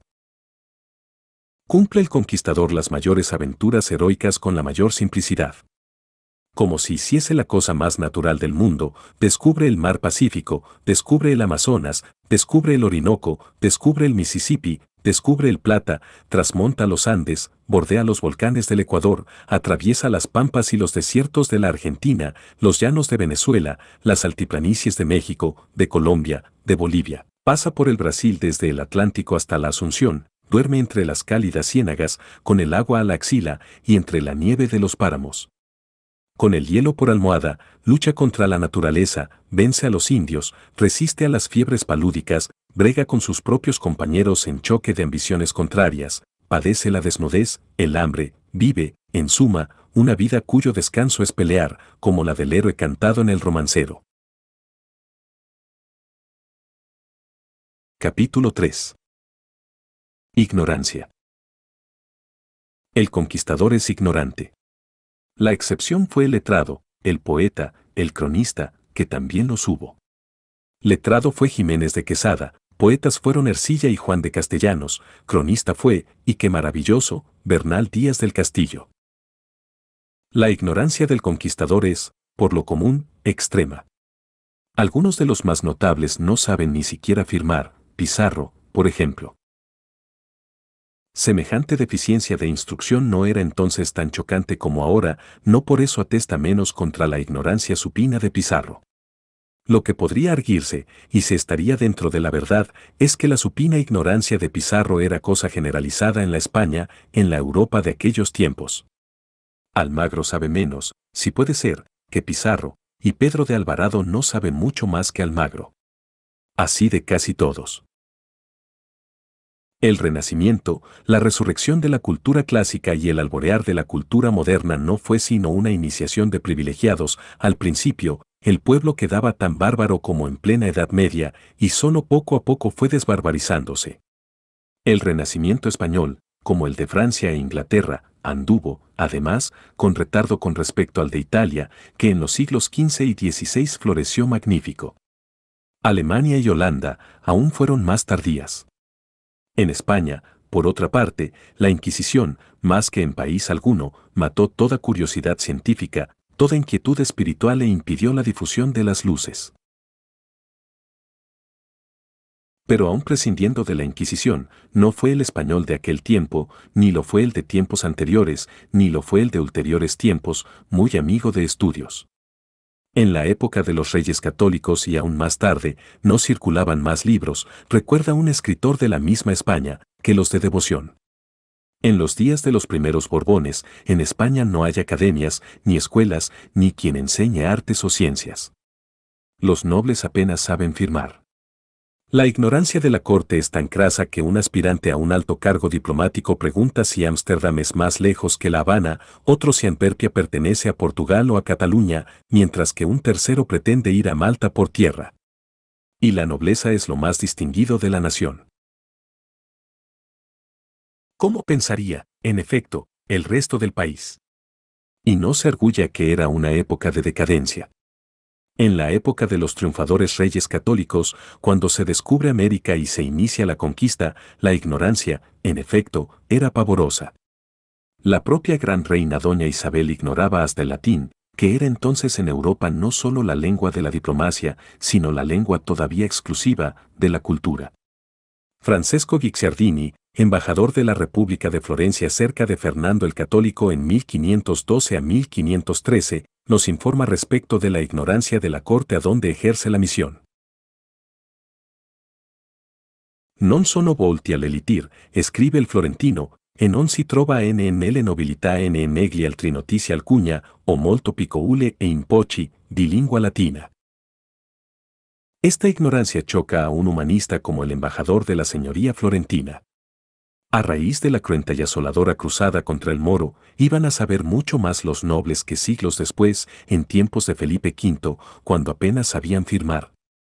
Y los pecheros, los plebeyos, los Pizarro, los Almagro, los Alvarado, los conquistadores de América, estarían obligados a saber más que los favoritos de la suerte, crema y nata de aquella sociedad a que pertenecían el hijo de la ramera de Trujillo, el expósito del claustro de Almagro, y el hombre de quien se desconocen el padre, el pueblo y la fecha del natalicio? Puede achacarse la ignorancia del conquistador a la época con respecto a su medio popular y español, y extrañarla al mismo tiempo en hombres de la Europa de Campanella, de Leonardo, de Lutero, de Shakespeare, de tantas novedades geográficas y científicas como el hallazgo de América y el descubrir la circulación de la sangre, el movimiento de la tierra y la imprenta, que abrían nuevos horizontes al espíritu humano. España aislada por instinto conservador o deliberadamente por pragmáticas reales, como la de 1559, del resto del mundo y de las ideas nuevas, no se benefició como pudo del movimiento universal de avance hacia Américas del espíritu. España se aferró a su catolicismo y vio toda novedad como ataque a la fe. No es la España, nuestra gloriosa abuela, pueblo de medias tintas ni menos de matices en cuestiones ideológicas. Cree esto o aquello con lógica a veces absurda y persistencia inflexible. Ningún terremoto de verdad es echa abajo aquella. Testarudez de cal y canto. La América del Sur ardió un día en llamas de guerra, por culpa de la ignorancia de los conquistadores y de los frailes, predicadores de la eterna verdad, que los acompañaban. Los Almagro y los Pizarro encienden, en efecto, una guerra civil, porque entre los conquistadores y catequizadores de las Indias del mediodía no existe ninguno que sepa lo que es un grado geográfico, ni lo pueda medir. Así, no aciertan a enterarse de si el Cusco, la ciudad incaica, pertenece a Pizarro o pertenece a Almagro, según la demarcación de Carlos V. En la duda se acude a las armas, y la espada decide lo que la razón ignora. Exagerando un poco, se diría que aquellos guerreros, dignos de Homero, saben menos que los caballos matemáticos de Herbelfeld, que causaron la admiración de Maeterlinck, y poseen menos intención filosófica que los perros humanizados y casi con espíritu, de Lancier. Porque el conquistador es también antifilósofo. A la ignorancia, aliada al fanatismo religioso y a la absoluta carencia de curiosidad intelectual, tanto de soldados como de clérigos, letrados y mandarines, debese el que los grandes imperios del Tahuantinsuyo y Azteca hayan desaparecido sin dejar huellas de tan originales civilizaciones. No fue la crueldad sola, ni fue la falta de sentido histórico lo que hizo arrasar ídolos, destruir tesoros arquitectónicos, borrar toda noción verídica, digna de transmirse, sobre gobierno, religión, ideas astronómicas, de agricultura y arte, en aquellos imperios. Fueron también la ignorancia y el fanatismo, la antifilosofía. Fue la conjunción de ignorancia, fanatismo, crueldad y carencia de sentido histórico. Fue el carácter o genio de la raza conquistadora. ¿Y qué contraste con la época? Aquellas civilizaciones aparecen en el mundo y de súbito desaparecían, precisamente cuando el mundo resucitaba códices, estatuas, libros de Grecia. El mundo clavaba los ojos y ponía el pensamiento en aquellos mismos dioses que intentó destruir la barbarie de los siglos cristianos y que la Edad Media creyó desaparecidos para siempre bajo polvo y olvidos seculares. Y esa barbarie se reproducía en América. Los dioses autóctonos de América caían bajo el martillo y el oprobio de frailes y mandarines católicos, al tiempo que resucitaban los dioses del Olimpo, salvados del oprobio y del martillo a que el mismo espíritu católico los condenara un día. A la ignorancia de aquellos hombres y aquellos tiempos, y a la incuria de España respecto a lo que de ella se publicaba en el resto de Europa, debióse el que un impostor como Vespucio impusiera su nombre por encima del nombre de Colón. Más adelante quiso abrir los ojos de España contra sus detractores. Ya era tarde. La crítica, en Europa, alzó la cabeza, y en presencia de la crítica que abría la boca llena de amargas preguntas, pensóse ya en recoger noticias auténticas sobre aquellas civilizaciones insospechadas. Quemados en la hoguera, o destruidos por la espada, o huidos a las selvas los sacerdotes y teólogos del antiguo culto, muertos a mano airada los jefes y señores del antiguo régimen, desaparecida la flor innata social, intelectual, política, de los imperios, que quedaba, sin opiara de siervos, lo que la guerra no consumió en su pira de holocausto, lo que la espada vencedora perdonó por no temer, lo ruin, lo hipócrita, lo intonso, lo bien hallado con el yugo extranjero, la es de una raza vencida. Fue entre esos elementos del Perú que se abrieron informaciones, en 1559, acerca de la religión y gobierno de los incas, cuando tan fácil pudo ser observar la estructura de aquel gobierno en funciones y los ritos de aquella religión en ejercicio. El resultado fue el que podía esperarse, aquellos curiales fanáticos interrogaban con la intención premeditada de no consignar ni un concepto contrario a las sagradas escrituras, tampoco debía constar lo que favoreciese al antiguo gobierno incaico ni a las costumbres del país. Aquellos siervos pávidos respondían interpretando, o tratando de interpretar, la voluntad de los interrogadores para complacerlos al responder, no solo por hábito servil, sino también a objeto de evitarse nuevos motivos de lágrimas y angustia. Los interrogadores no daban cuenta a nadie, por otra parte, de lo que ponían en boca de los indios. Notemos desde luego, escribe un comentador apasionado, que aquellas informaciones tuvieron un carácter típicamente judicial. Ordenábase con gran aparato el comparendo de caciques y jefes de ellos, tomábaseles declaración a la usanza curialesca, preguntábase y repreguntábase. El indio, que apenas comprendía el idioma de su juez, y menos todavía su extraño procedimiento, contestaba por sí o por no a las de antemano aderezadas preguntas. Lo que oía y no escribía el escribano, lo sabe Dios. Los tales funcionarios del rey hacían dos informaciones con premeditado propósito de tranquilizar los escrúpulos de la corona sobre su derecho a gobernar en las Indias, probando, para remedio de la duda, que los incas fueron tiranos atroces, de cuyas constancias deducíase, entre citas de Aristóteles y Santo Tomás, que el rey de España era en América, a título liberador, el único señor natural. Los primeros conquistadores destruyen como bárbaros impulsivos, los civilizadores que los sustituyeron destruyen metódicamente. Uno de los más significativos autos de fe, perpetrados en Lima, cumplido por orden del ilustre marqués de Montesclaros, virrey del Perú, tiende a destruir el pasado espiritual de toda una raza. Muertos los sacerdotes, debía desaparecer hasta el último dios. En número de más de mil ídolos, con sus atributos y curiosos ornamentos, fueron en aquel solo auto arrojados al fuego. Debemos titubear antes de achacar exclusivamente a la ignorancia la culpa de semejantes barbaridades. Hay en ello algo más hondo y activo. Hay el genio de la raza. El espíritu que convertía en cenizas aquel tesoro arqueológico era el mismo que movió al cardenal Cisneros, medio siglo atrás, para echar igualmente a la hoguera, en la puerta de Vivarrambla, los manuscritos de la sabiduría y de la historia árabes.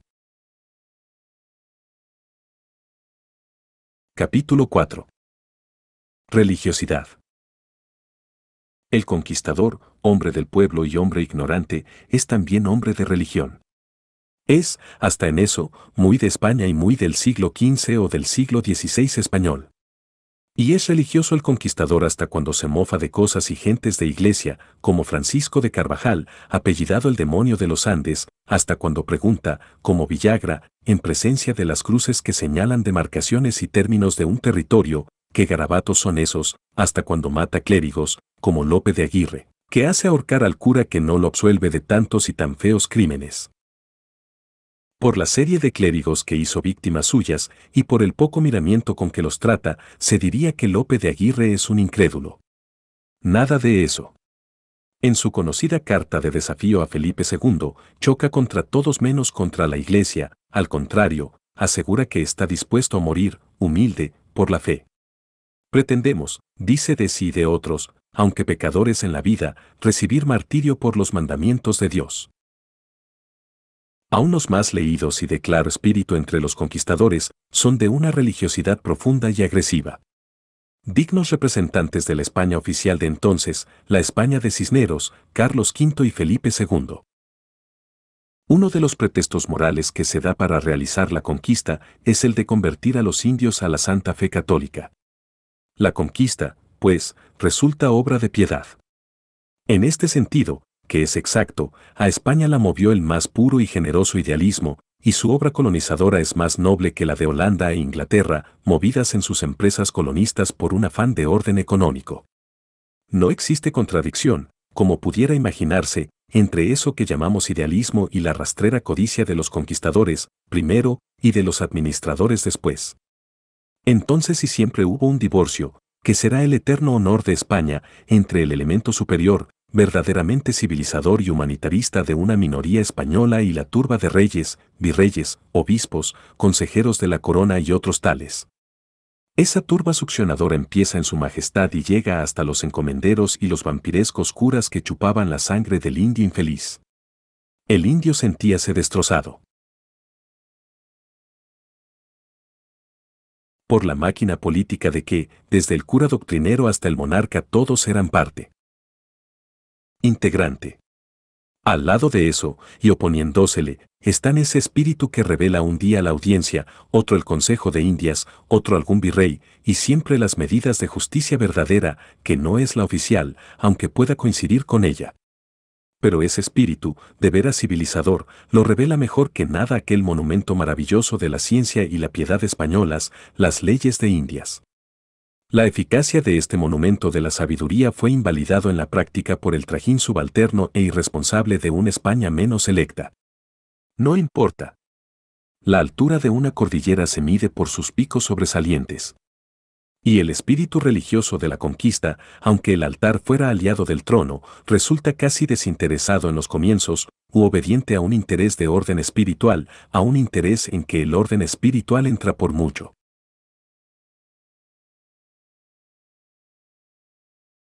Pudo suceder y sucedió que el idealismo español no fue incompatible con la más desenfrenada avaricia y con el ejercicio de la violencia, de la tiranía, mientras que el materialismo holandés y británico pudo ser puesto a consideraciones elevadas de orden moral y, en la práctica, ser más liberal y mano abierta que la colonización española. Pero España suministra el ejemplo moderno de pueblo colonizador, ejemplo modificado después por otras naciones. La conquista de América por España tiene algo de cruzada, fue la última cruzada. Con todo, un pensamiento político se alió al idealismo. El catolicismo sirvió de lazo unificador en la España europea para la reconquista del territorio patrio, se quiso que en América el catolicismo, factor entonces de engrandecimiento nacional, fuera el numen de la conquista. Y números religiosos, por su parte, abrazados de misticismo, corren a salvar espíritus gentiles y a conquistar ellos mismos el cielo por medio del sacrificio personal. El Estado, en su misión política, valíase de aquellos entusiasmos que eran una fuerza nacional y los protegían. Así Ariel, aliado de Calibán, servía los planes de este. Como todos los guerreros de España eran entonces hombres religiosos, cada conquistador era, en consecuencia, un campeón de la fe. Y con toda sinceridad. Hasta las más turbias y equívocas acciones adquieren carácter de excelencia si las santifica la religión. Cuando los indios, según costumbres bárbaras del Pals, presentan a Cortés y a sus capitanes como apetitoso regalo, impúberes doncellitas, los capitanes conquistadores las hacen bautizar primero, y luego, purificadas por el agua bautismal, las convierten, tranquila y muy católicamente, en sus barraganas. Cuando Balboa descubre el mar del sur, cae de hinojos en acción de gracias al Todopoderoso. Miró, dice Gomara, hacia el mediodía, vio la mar, y en viéndola, arrodillóse en tierra y alabó al Señor que le hacía tal merced. Cuando lo rodearon sus amigos en la eminencia desde donde veía el océano, se los mostraba, diciéndoles, según el cronista, demos gracias a Dios por tanto bien y honra nos ha guardado y dado. Pidámosle por merced nos ayude y guíe a conquistar esta tierra y nueva mar que descubrimos y que nunca jamás cristiano la vido, para predicar en ella el santo evangelio. Luego toma posesión del Pacífico, en nombre del rey de España, metiéndose en el agua con la espada desnuda en la diestra y en la otra mano una cruz. Aquel ademán legaliza, en su concepto ante Dios y ante los hombres, el derecho sobre el océano. ¿Fue con la espada que entró y con el estandarte de Castilla? Da lo mismo. Su acto fue un acto místico, de hombre verdaderamente religioso, aunque no hubiera sido él, como era, creyente. Algo parecido practicó, el 24 de diciembre de 1547, Juan de Villegas, uno de los abuelos castellanos del futuro libertador Bolívar, al tomar posesión del lago de Tacarigua. Cogió agua del lago, cortó ramas con la espada, se paseó por la ribera con la espada desnuda, en señal de desafío a algún hipotético posesor, y dejó como rúbrica de su descubrimiento y de su toma de posesión una cruz de madera que plantó a la orilla del agua. ¿Qué se les ocurre a Pizarro y a sus clérigos cuando el incauto Atahualpa se presenta como amigo en el Real Español? Entregarle una Biblia o un breviario para que crea en aquello. Cuando Pizarro, Almagro y el cura Luque contratan el invadir las tierras del Inca y dividirse los tesoros por partes iguales, como sellan aquel contrato los contratantes. Lo sellan celebrando una comunión tripartita, es decir, tomando juntos la misma hostia, dividida en tres porciones idénticas. Es fama que Pedro de Valdivia llevó siempre consigo en el arzón de la montura la imagen de una virgen. A una ciudad que fundó en la bahía de Talcahuano, 5 de marzo de 1550, le dio el nombre religioso de Concepción. Alonso de Ojeda, mozo audacísimo, no era, según expresa frase justa, hombre de echar pie a tierra por peligros de tierra ni de mar. ¿Quién es su valedor? Fonseca, aquel intrigante mitrado burgalés que tuvo el honor de perseguir a Colón, a Cortés, a Balboa, a las casas, ese Fonseca, enemigo de los proyectos humanitarios del ilustre piadoso dominico, ese Fonseca, poseedor de encomiendas, es decir, de piaras de siervos indígenas, que alquilaba o vendía a otros avaros sin piedad, ese obispo Fonseca, del Consejo de Indias, que tenía influencia en la corte y de quien inmerecidamente lleva el nombre un golfo del centro de América. Hasta el más brillante de los conquistadores, el héroe de México, es de una religiosidad carnicera. No se contenta con llevar sobre sí imágenes sagradas, hace poner en sus banderas el signo de la cruz, con una leyenda que dice, hermanos, sigamos la señal de la Santa Cruz con fe verdadera, que con ella venceremos. No se contenta tampoco con estos signos externos e inofensivos de religiosidad, sino que ataca, denodado, los ídolos aztecas y derrumba con fiereza los adoratorios indios. Bien le salió en ocasiones, como en Sempoaya, su intransigencia, en otras, como en México, malas las hubo. En Tlaxcala, su exceso de fervor fue templado, quien lo diría, por un religioso mercedario, que a instancias, a lo que parece, de tres hombres sensatos, le hizo comprender lo impolítico y lo inútil, en aquella ocasión, de atentar contra los dioses tlaxcaltecas. En Tenochtitlán, la religiosidad agresiva de Cortés no tuvo freno caro le costó.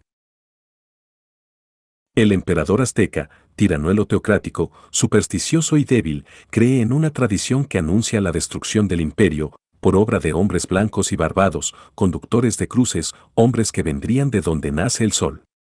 ¿Qué más necesitaba que el penúltimo e indigno emperador de una raza guerrera para creer en la profecía de Quetzalcoatl, sino ver los invasores barbudos, blancos, portadores de cruces y que venían de Oriente? El monarca azteca, el señor Mexica se conduce ante Cortés como Carlos IV ante Napoleón. El pueblo salva el honor del país en la España de los Borbones.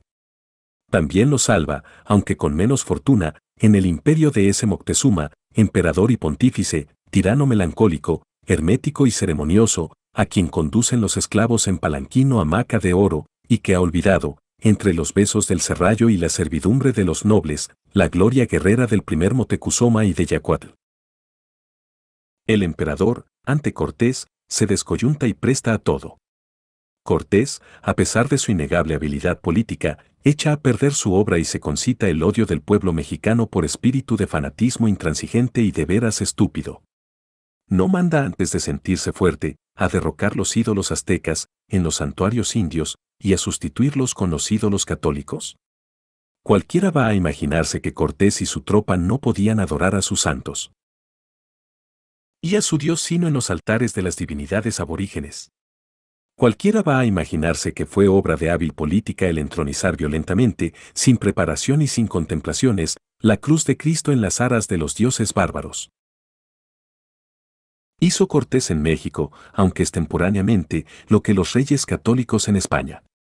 Estos, lo mismo que Cortés, siguieron la ley según la cual el conquistador impone su fe. Pero, ¿cómo lo hicieron? sin proceso de infiltración, sin asomo de respeto a los sentimientos religiosos del vencido, sin miramiento por las obras y monumentos artísticos del culto caído en los campos de batalla. No sustituyeron los monarcas de España, con el culto a su divinidad, el culto musulmán en las mezquitas y aljamas árabes. Santa María la Bianca, en Toledo, y la aljama de Córdoba quedan todavía en pie, recordando al mundo la profanación del fervorismo que hundió en Santa María la Bianca, bajo vulgares costras de yeso, calados y antiguos ajimeces, y en la aljama destruyó, en parte, el más bello bosque de columnas de mármol que ha erigido la arquitectura sobre tierra de Europa. Más brutal, naturalmente, fue Cortés caro le costó el querer reemplazar de golpe y porrazo la piedra sangrienta de los sacrificios del clero mexicano por las piras, no menos crueles, de la Inquisición católica. Fanatismo por fanatismo, íbale en saga el purificador tizón del santo oficio al sacrificador cuchillo de obsidiana. La obra de Cortés tambaleó desde los cimientos. La insurrección fue general, y tuvo su noche triste, el conquistador. Se vio en precisión de huir, echado por las armas de aquellos que le habían acogido con los brazos abiertos, como a una divinidad que disponía del mosquete, es decir, del trueno y del rayo. Colón mismo no está exento de excesos religiosos. Escribe como el último sacristán. Se presenta en la corte con hábito de monje. Aunque el caso de Colón sirva quizá como ejemplo de forzada concesión a las preocupaciones del ambiente social. Colón, hombre de ciencia, tal vez judío, era doblemente extranjero en España, por su origen y por sus conocimientos, y tal vez solo para congraciarse con el medio exagera la nota católica, emulando a los familiares del Santo Oficio. Pero Colón es caso único. El conquistador es sincero en sus creencias y encuentra enorme fuerza para los más duros trances en su fe religiosa. Pizarro, asesinado, traza una cruz en el suelo y muere besándola. Almagro, aun cuando tenga razón para dudar de sus consocios, y principalmente de personajes tan pérfidos como los Pizarro, que terminan por asesinarlo, concede fe absoluta a los pactos que se realizan durante la misa y en presencia del Santísimo. En vísperas de una batalla con numerosas tropas mexicanas, se sienten los compañeros de Cortés bajo la más penosa impresión. Todos se confiesan en la noche, según Bernal Díaz del Castillo, y al día siguiente guerrean con la entereza de costumbre. Los conquistadores dejaron constancia perenne de su fe religiosa y de su patriotismo local, encarnación viva del secular localismo español, en las ciudades que fundaron. A las ciudades que fundan les dan a menudo el nombre del pueblo nativo del fundador, o el nombre del santo de que el fundador es devoto. Así, tenemos Pamplona, Córdoba, Cuenca, Medellín, Valladolid, Trujillo, Valencia, Barcelona, otros muchos, para el patriotismo, y Santiago, Concepción, Espíritu Santo, Santa Fe, Trinidad, Asunción, Nombre de Dios. Gracia de Dios, Los Ángeles, Santo Domingo, San Salvador, Santa Marta, Veracruz, cien más, para la devoción.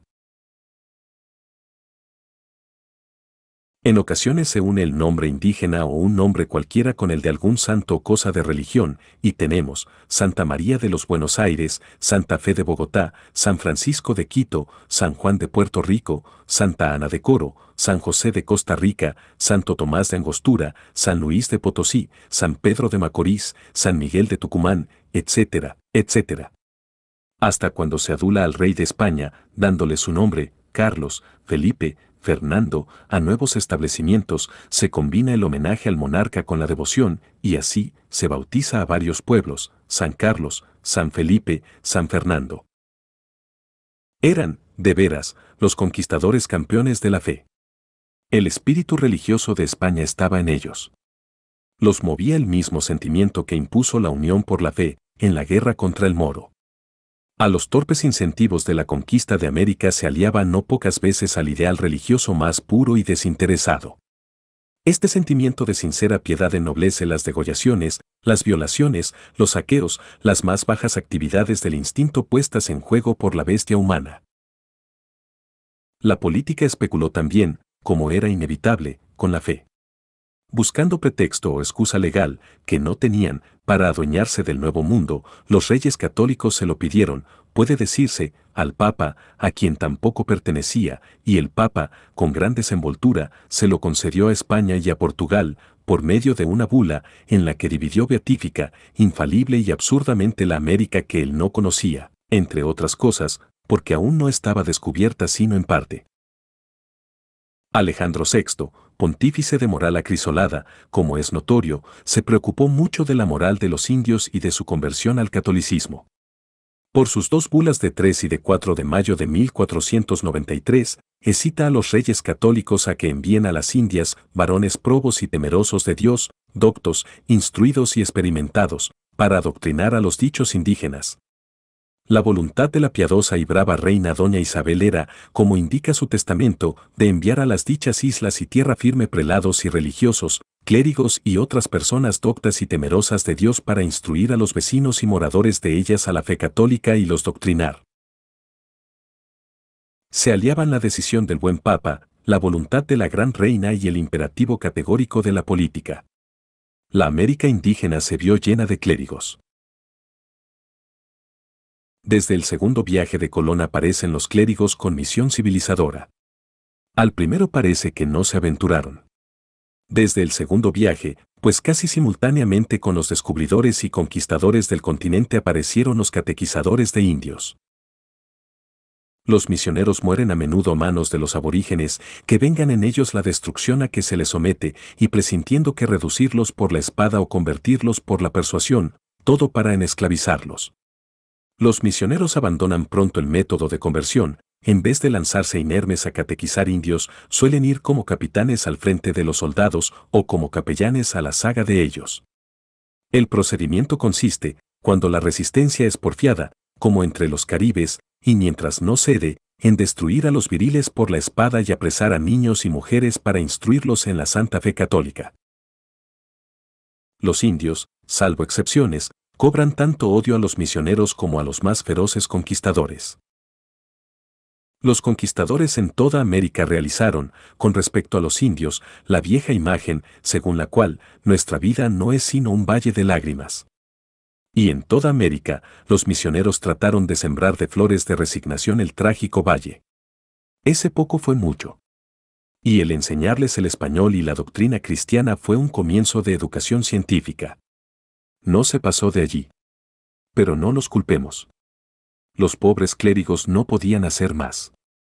Demasiado ocupados andaban con servir, además de los intereses de Dios, sus propios intereses, que pueden llamarse terrenales, porque a menudo consistían en tierras. No iban a ocuparse únicamente de la Santa Madre Iglesia, debían ocuparse también de la madre de tantos hijos como tuvieron aquellas reverendas paternidades. Los frailes, que contribuyeron a despoblar de gentiles el nuevo mundo, contribuyeron asimismo, como los que más, a repoblarlo. Y fueron de enorme utilidad a los conquistadores en cuanto instrumentos para ejercer la dominación y para conservarla. La espada se apoyó en la cruz, el trono, en el altar. Los conquistadores como Hernán Cortés piden clérigos a la corte, desde temprano, con ahínco y en bastante número, para instituir la dominación política. Otros conquistadores lo solicitan sin mayor interés público, porque tienen fe. Era la costumbre de que en todo cuerpo de ejército hubiera un capellán. Siempre que se organizaron expediciones de conquista, lo primero que se contrató fue el capellán. El conquistador no se avenía, según parece, a la idea de morir sin confesión. Las leyes prohibían morir inconfeso, so pena de perder los herederos la mitad de la herencia, confiscada en beneficio del Estado. Toda la legislación americana es de un subido tinte religioso. Nada de extraño hay en ello. Ese es el carácter de toda la legislación española, desde los reyes católicos hasta nuestros días. Es tal el carácter teocrático de la legislación española, que la religión, en las leyes, pasa antes que el rey. Así, en las ordenanzas reales de Castilla u ordenamiento de Montalvo, que es ya de 1484, el primer libro concierne, en todos sus doce títulos, a la religión, y solo el libro segundo trata de lo verdaderamente constitucional de la monarquía, la persona del rey, la guarda de los infantes, de los consejos, cancillerlas, audiencias, de los procuradores en cortes, alcaldes, jueces y otros funcionarios reales. En la nueva recopilación, en 1567, ocurre otro tanto, aun cuando promulgada bajo un rey, si católico fanático, tan celoso de su autoridad como Felipe II. Lo mismo con la novísima recopilación, cuya impresión decretó Carlos IV en 1805. En esta solo el libro segundo y trata del rey, los dos anteriores, de la Iglesia. Tanto la legislación como las costumbres constreñían al indio a abandonar su fe, a abrazar la religión de los dominadores. En este punto no hubo jamás transigencia. No solo los ídolos fueron despedazados, sino que se quiso desterrar su recuerdo de la conciencia del indígena. Para ello se emplearon todos los medios imaginables, ya persuasivos, ya violentos, aunque el Estado, previsor, logró salvar al indígena de las tenazas y hogueras de la Inquisición. Debían, eso sí, olvidar su lengua, sus dioses, sus tradiciones. La civilización de los imperios aborígenes debía desaparecer para fundar sobre esas ruinas nueva civilización sin base de lo que fue, limpia de toda transmisión indígena. Esta violencia no es novedad sin antecedentes en la historia de España, ni invención de los conquistadores y los dirigentes sucedáneos. A los árabes no se les permitió el quedar en España sin bautizarse. No pareció bastante. En 1566, Felipe II prohíbe a los moriscos leer y rezar en árabe. Debían quemar todos sus libros.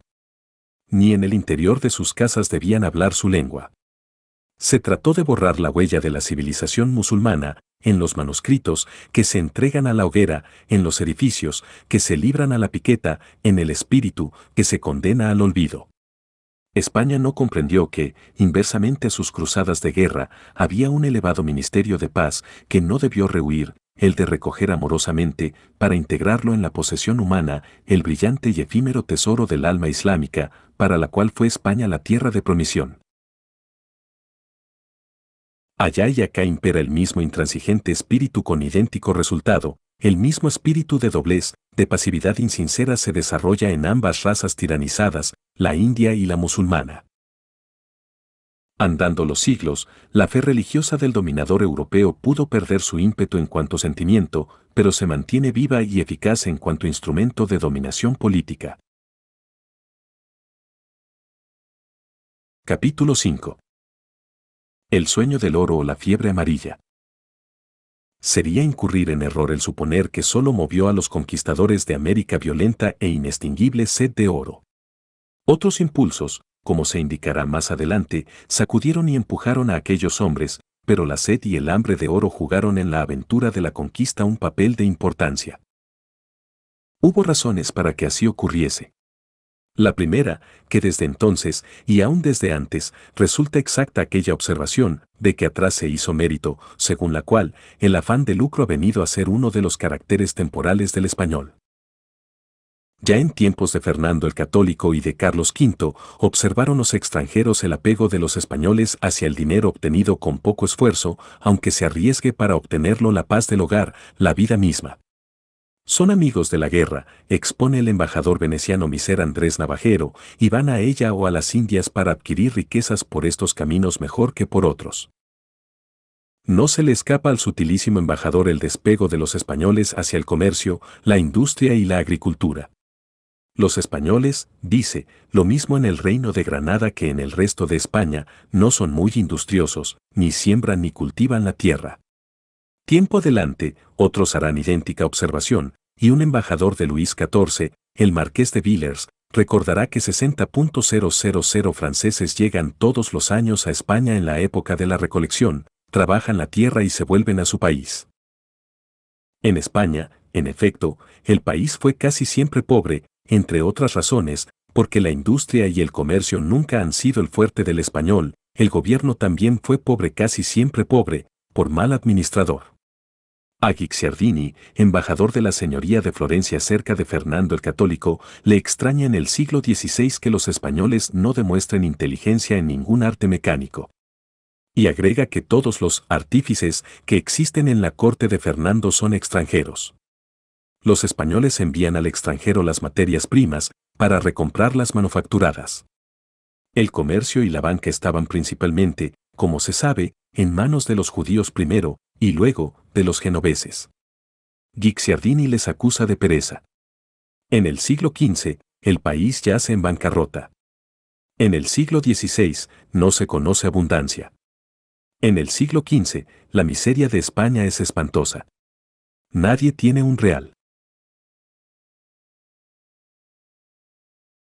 El conquistador hispano del siglo XVI, hijo de un pueblo paupérrimo o depauperado por pésima economía, por largas guerras y por intolerante fanatismo religioso, que persigue y expulsa a los productores de riqueza porque son moros y judíos, e infecundiza a otra parte de la población en los conventos, busca en sus conquistas, antes que nada, oro.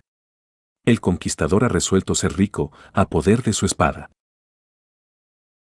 Él no anhela, o no anhela la generalidad, un imperio donde pueda extenderse la civilización de su país originario, ni gloria para sí, ni tierras para el vigor de agricultores emigrantes, ni mercados para una industria floreciente, ni territorios para una superpoblación metropolitana, ni campo donde fundar nuevas civilizaciones, ni desiertos donde poder adorar a Dios en la forma que mejor le parezca.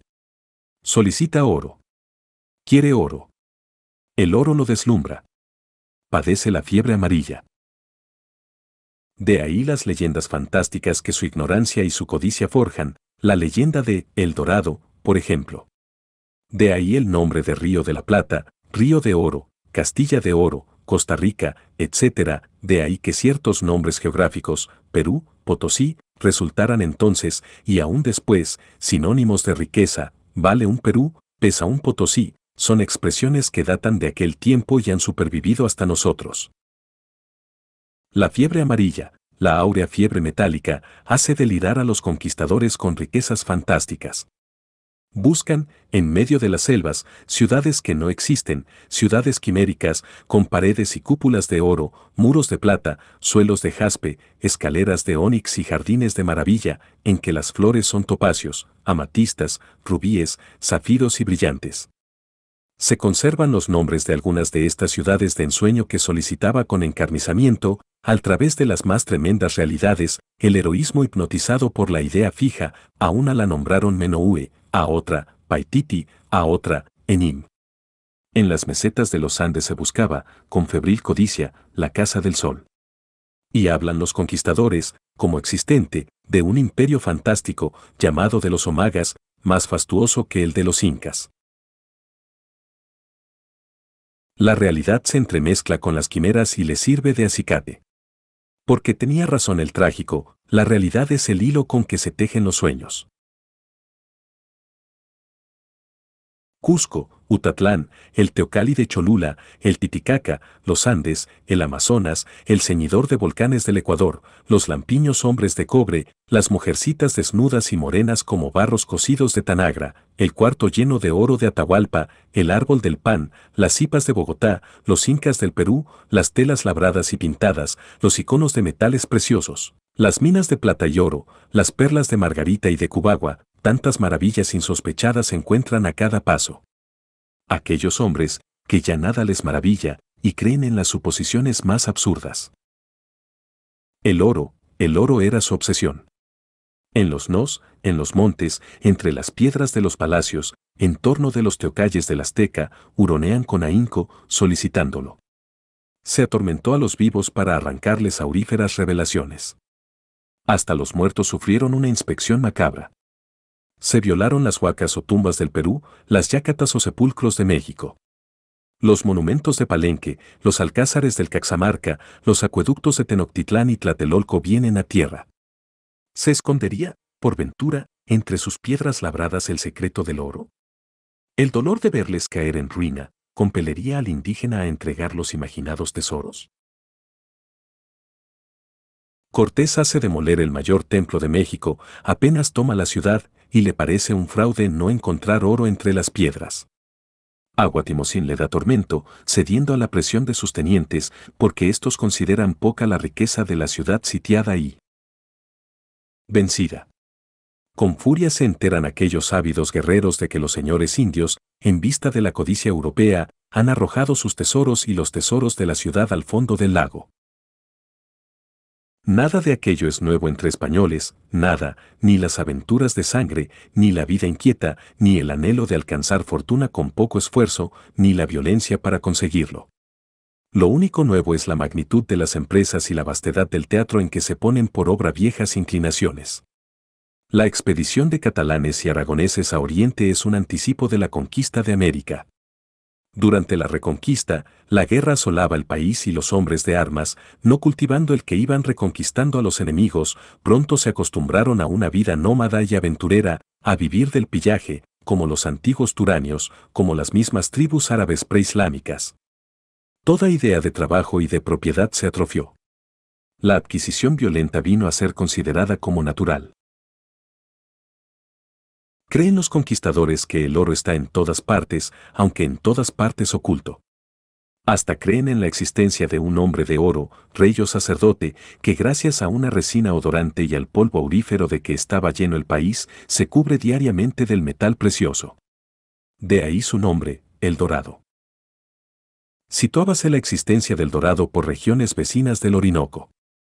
A miles de kilómetros del Orinoco, al norte del Paraná y sus afluentes, hacia la actual Bolivia, donde se ignoraba la fábula del dorado, parece que también se creyó entre los conquistadores en la existencia de un rey blanco, cubierto de plata. Una y otra fábula, a tanta distancia, prueban idéntico estado de espíritu en los guerreros de la conquista.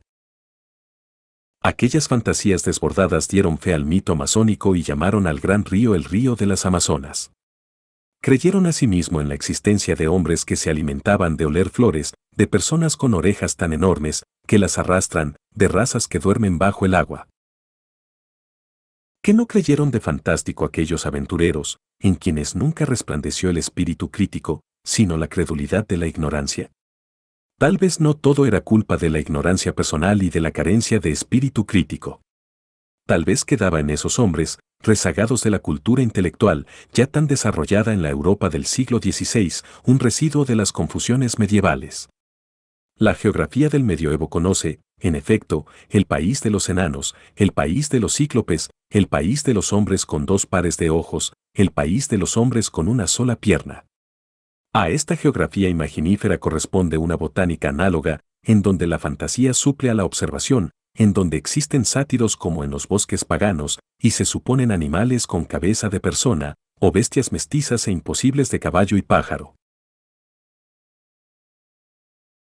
¿No sería la supervivencia o prolongación de semejantes conocimientos lo que hizo que no solo aquellos primeros rudos conquistadores, sino hasta un cronista leído, como Fray Pedro Simon, aceptase como verídica la realidad de esos naturales de Jamocowicha que carecen de ano, y de esos tusanuchas de California, debajo de cuyas orejas puede cobijarse con holgura hasta media docena de españoles?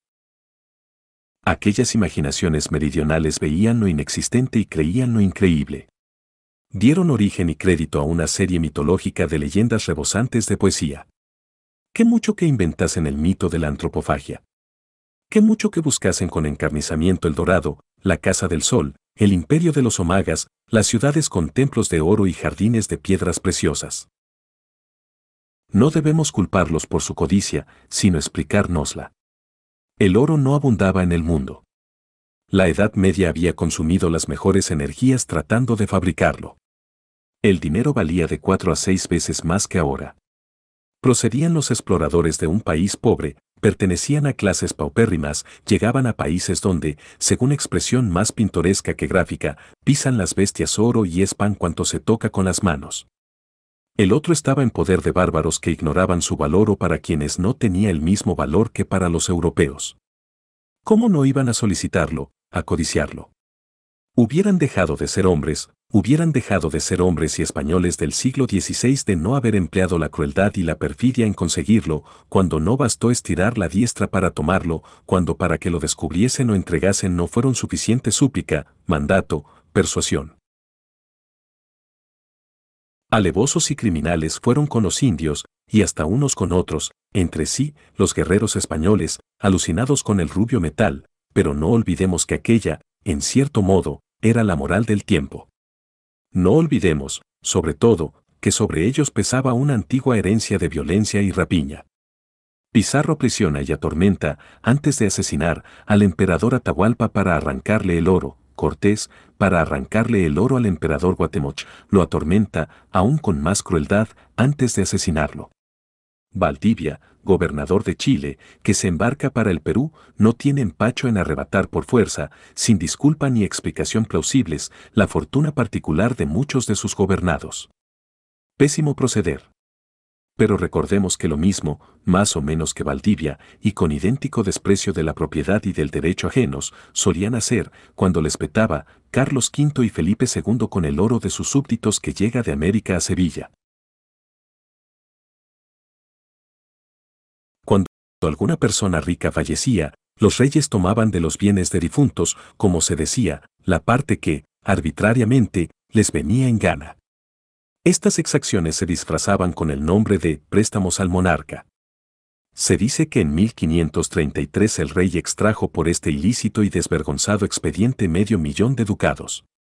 El primero de marzo de 1557 escribe la princesa gobernadora a la Casa de Contratación, en Sevilla, por orden de Felipe II, para que se entregase a un agente de la cesárea y usurpadora majestad todo el oro y la plata que hubiese llegado de América, tanto para la corona como para mercaderes y pasajeros. En la fortaleza de Simancas falleció preso uno de los oficiales de la casa de contratación por el crimen de ser honrado, y además de honrado, justo, es decir, por poner el oro de las Indias en manos de sus legítimos dueños. Las Cortes de Valladolid protestaron inútilmente en varias ocasiones contra aquellos latrocinios. Si tales desafueros ocurrían en la península, ¿por qué hemos de cargar de censuras a los conquistadores? Eran de su tiempo y de su país. ¿Y la herencia de rapiña y de muerte no contará por algo? En la lucha contra los árabes, como atrás se recordó, la guerra asolaba el país y los hombres de armas, no cultivando el que iban reconquistando a los enemigos, pronto se acostumbraron a una vida nómada y aventurera, a vivir del pillaje, como los antiguos turanios, como las mismas tribus preislámicas. Los caballos y las lanzas, los caballos que seguían a los ejércitos, he aquí su propiedad, la que solo se fijaba en las tiendas de lona, detrás de una estacada o dentro los derruidos muros de una pobre villa tomada por asalto. Nadie puede calcular, si no es por los efectos, lo que puede endurecerse una raza durante tantos siglos de guerra nómada, casi sin otro contacto que el de las tribus árabes o africanas. Así, toda idea de trabajo y de propiedad se atrofió. La adquisición violenta vino a ser considerada como natural. Ya puesta en camino normal España y habiendo alcanzado la estabilidad y la influencia de gran potencia, sus soldados y gobernantes no fueron modelo de pulcritud. Del gran capitán informa el embajador navajero con su italiana sutileza y la velada sorna que le es habitual, heredó pocos bienes, con su virtud y trabajos dejó al morir más de 40.000 ducados de renta. .164 El cardenal Cisneros, en las instrucciones que dejó para que sirvieran a Carlos V, dice que personas sin blanca, al cabo de cuatro o cinco años de empleo, fundaban mayorazgos. Carlos V mismo es tan despreocupado, por decirlo menos, que se apodera hasta de las joyas de su madre y saquea a España en asocio de los flamencos, principalmente de su favorito Sebres, como le nombraban los españoles. Tú sabes, escribe Pedro Mártir de Anglería, refiriéndose a Sebres, a quien llama el cabrón, y a otros flamencos, tú sabes cómo ha quedado la real hacienda por su causa. ¿Cuál de ellos, pregunta, no ha llevado más onzas de oro que Maravedís contó en su vida? Desollaron estos reinos, agrega, y los dejaron en los huesos. Tenemos, pues, en que por los tiempos en que se realizó la conquista de América, los políticos dirigentes del Estado español no pecaban por exceso de remilgos administrativos. Los conquistadores no podrían llevar escrúpulos que no conocieron en el solar nativo. Qué mucho que creciesen de impecabilidad en este punto y dieran origen a sociedades faltas de pulcritud en el manejo de los negocios públicos. No es de extrañarse que aun los mejores, entre los hombres de descubrimiento y conquista, tuvieran la sed y el hambre del oro. Colón mismo no podría ser exceptuado. El gallardo y generoso Hernando de Soto, cuando regresa del Perú a España, mal avenido con los crímenes de los Pizarro, lleva consigo 17 mil onzas de oro. Era hidalgo, dice el cronista, desprendido de la riqueza. Cuando a una colectividad, movida por una pasión o un ideal, se le toca hábilmente esa tecla, el sentimiento de la colectividad responde. Los caudillos, por instinto, lo saben, y esa es una de las llaves mágicas del prestigio personal. Pizarro en Perú y Cortés en México conocían el sentimiento motriz de sus huestes, la pasión del oro. Para que lo sigan, a través de todas las penalidades y de todos los peligros, Pizarro, en la isla del Gallo, traza una línea con su espada y exclama, por aquí se vuelve a Panamá, a ser pobres, por aquí se va al Perú, a ser ricos. Cortés, como si se hubiera puesto de acuerdo con el héroe del sur, procede, o procedió antes, idénticamente. El que quiera ser rico, que me siga, les dice cuando sobreviene la duda ante las dificultades de la empresa, los demás, que regresen a Cuba. Por eso se les ha bautizado a aquellos héroes, no sin razón, los conquistadores del oro. No fue el oro, sin embargo, el único acicate de los conquistadores y exploradores, aunque fue el principal, máxime en los comienzos de la conquista. También los movía la ambición de mando, el anhelo de ejercer su autoridad y aún el simple goce de guerrear. Había una necesidad psicológica de dominar en aquellos dominadores. La carrera de la fortuna está abierta ante ellas y los mueve la emulación, el afán de superar a otros héroes y la esperanza de llegar a ser ellos, tan humildes de origen, igual que los emperadores. La codicia es lo primero en la mayoría. Sin embargo, ya ricos, casi ninguno se retira a llevar una vida pacífica, siguen la empezada carrera de aventuras, estimulándose unos con otros, esperando todos descubrir otro Perú. Hasta suelen arruinarse en audaces e inciertas empresas militares, pagando hombres de armas para realizar por cuenta propia entradas en territorios poco o mal conocidos. Lo preferían todo a la vida sedentaria y agricultora. Eran bien españoles, preferían la guerra y la muerte, dejándole la puerta abierta a la fortuna, antes que la vida de esfuerzo continuo y metódico pero el estado social de aquellos países y la mala y lenta organización que les fue dando la metrópoli teman en parte la culpa. ¿A quién iban a vender? ¿A dónde exportar productos agrícolas como para enriquecerse con la siembra ni el tráfico? No había caminos, no llegaban buques de España. No existían centros de población y consumo. Se busca, pues, oro, primero, arrancándolo por fuerza a los indios, después, obligando por fuerza a los indios a que lo extraigan de las minas. Menester fue que corriese tiempo antes que se fundasen pueblos de vida vigorosa, donde hubo campos ubérrimos para la agricultura y puertos excelentes para el comercio. Prosperan, al principio, los países mineros. Los establecimientos se inician, las ciudades se desarrollan en las regiones de plata y oro. Zacatecas, una de las más antiguas ciudades de México, debe su origen a las minas. San Luis, lo mismo. La isla de Margarita, en la costa oriental de Tierra Firme, fue uno de los primeros establecimientos a causa de sus perlas que, entre paréntesis, no sabían pescar.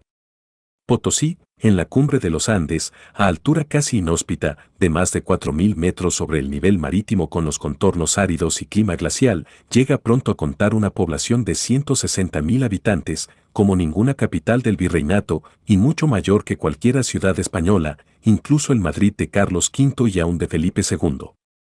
Madrid, en efecto, en 1546, ya descubierta la América, solo cuenta 24.000 habitantes y en 1577, bajo el reinado del formidable Felipe II, la capital del gran imperio no alcanza sino a 45.422. Almas, Segovia, de la cual dice el embajador navajero que era buena ciudad y grande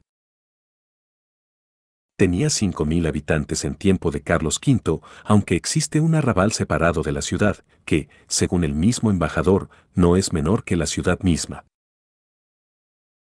Potosí, en el siglo XV, supera en población no solo a la Segovia de Carlos V, sino al Madrid donde empezó a reinar y a sonar en la monarquía universal y católica el César misántropo de El Escorial. En cambio, las llanuras pecuarias de Argentina, los fértiles valles de Caracas, las márgenes del Magdalena, las del Guayas, la Florida, Yucatán, quedan sin atención preferente. De los innumerables y magníficos puertos del Atlántico, solo se utilizan dos o tres. Pero esto es obra de un error de geografía económica de España y tiene poco que hacer en definitiva. Con la gesta de los conquistadores y con las pasiones que los movían.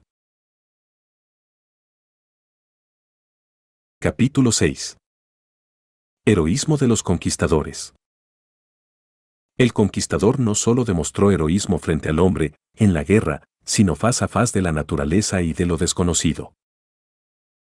La primera conquista la hicieron principalmente castellanos, extremeños, andaluces guerreros del centro y sur de España, es decir, el hombre mediterráneo, moreno, dolicocéfalo, con buena cantidad, en la península ibérica, de sangre árabe y bereber. Por la rigidez del clima y aridez del suelo en algunas partes, como en Castilla, país rudo, ya ardiente, ya gélido, y seco y alto, donde los nervios vibran en continua tensión, país productor de un tipo de hombre enjuto, nervioso, bravo, sobrio, capaz de soportar grandes fatigas y de acometer cualquier empresa corajuda sin exigir ni necesitar más regalo que unos pobres garbanzos, un mal abrigo y dos metros de suelo duro en donde reposar, y por el carácter del pueblo en otras partes, como en Andalucía, donde el clima y la tradición árabe no preparan a un esfuerzo continuo, sino más bien al ímpetu brusco de la acometida, el español de la conquista, que es, además de sobrio, codicioso, será apto como ningún otro europeo para desafiar intemperies y privaciones en la América opulenta, desconocida y bárbara. Por último, el másculo carácter de la raza, templado en guerras continuas, durante siglos y siglos, lo capacita para osadas empresas de aventura y guerra, descubrimientos y conquistas. La aventura de los conquistadores de América en el siglo XVI es la reproducción, en escala gigante, de la odisea aventurera en los países de Oriente, de catalanes y aragoneses, en el siglo XIV.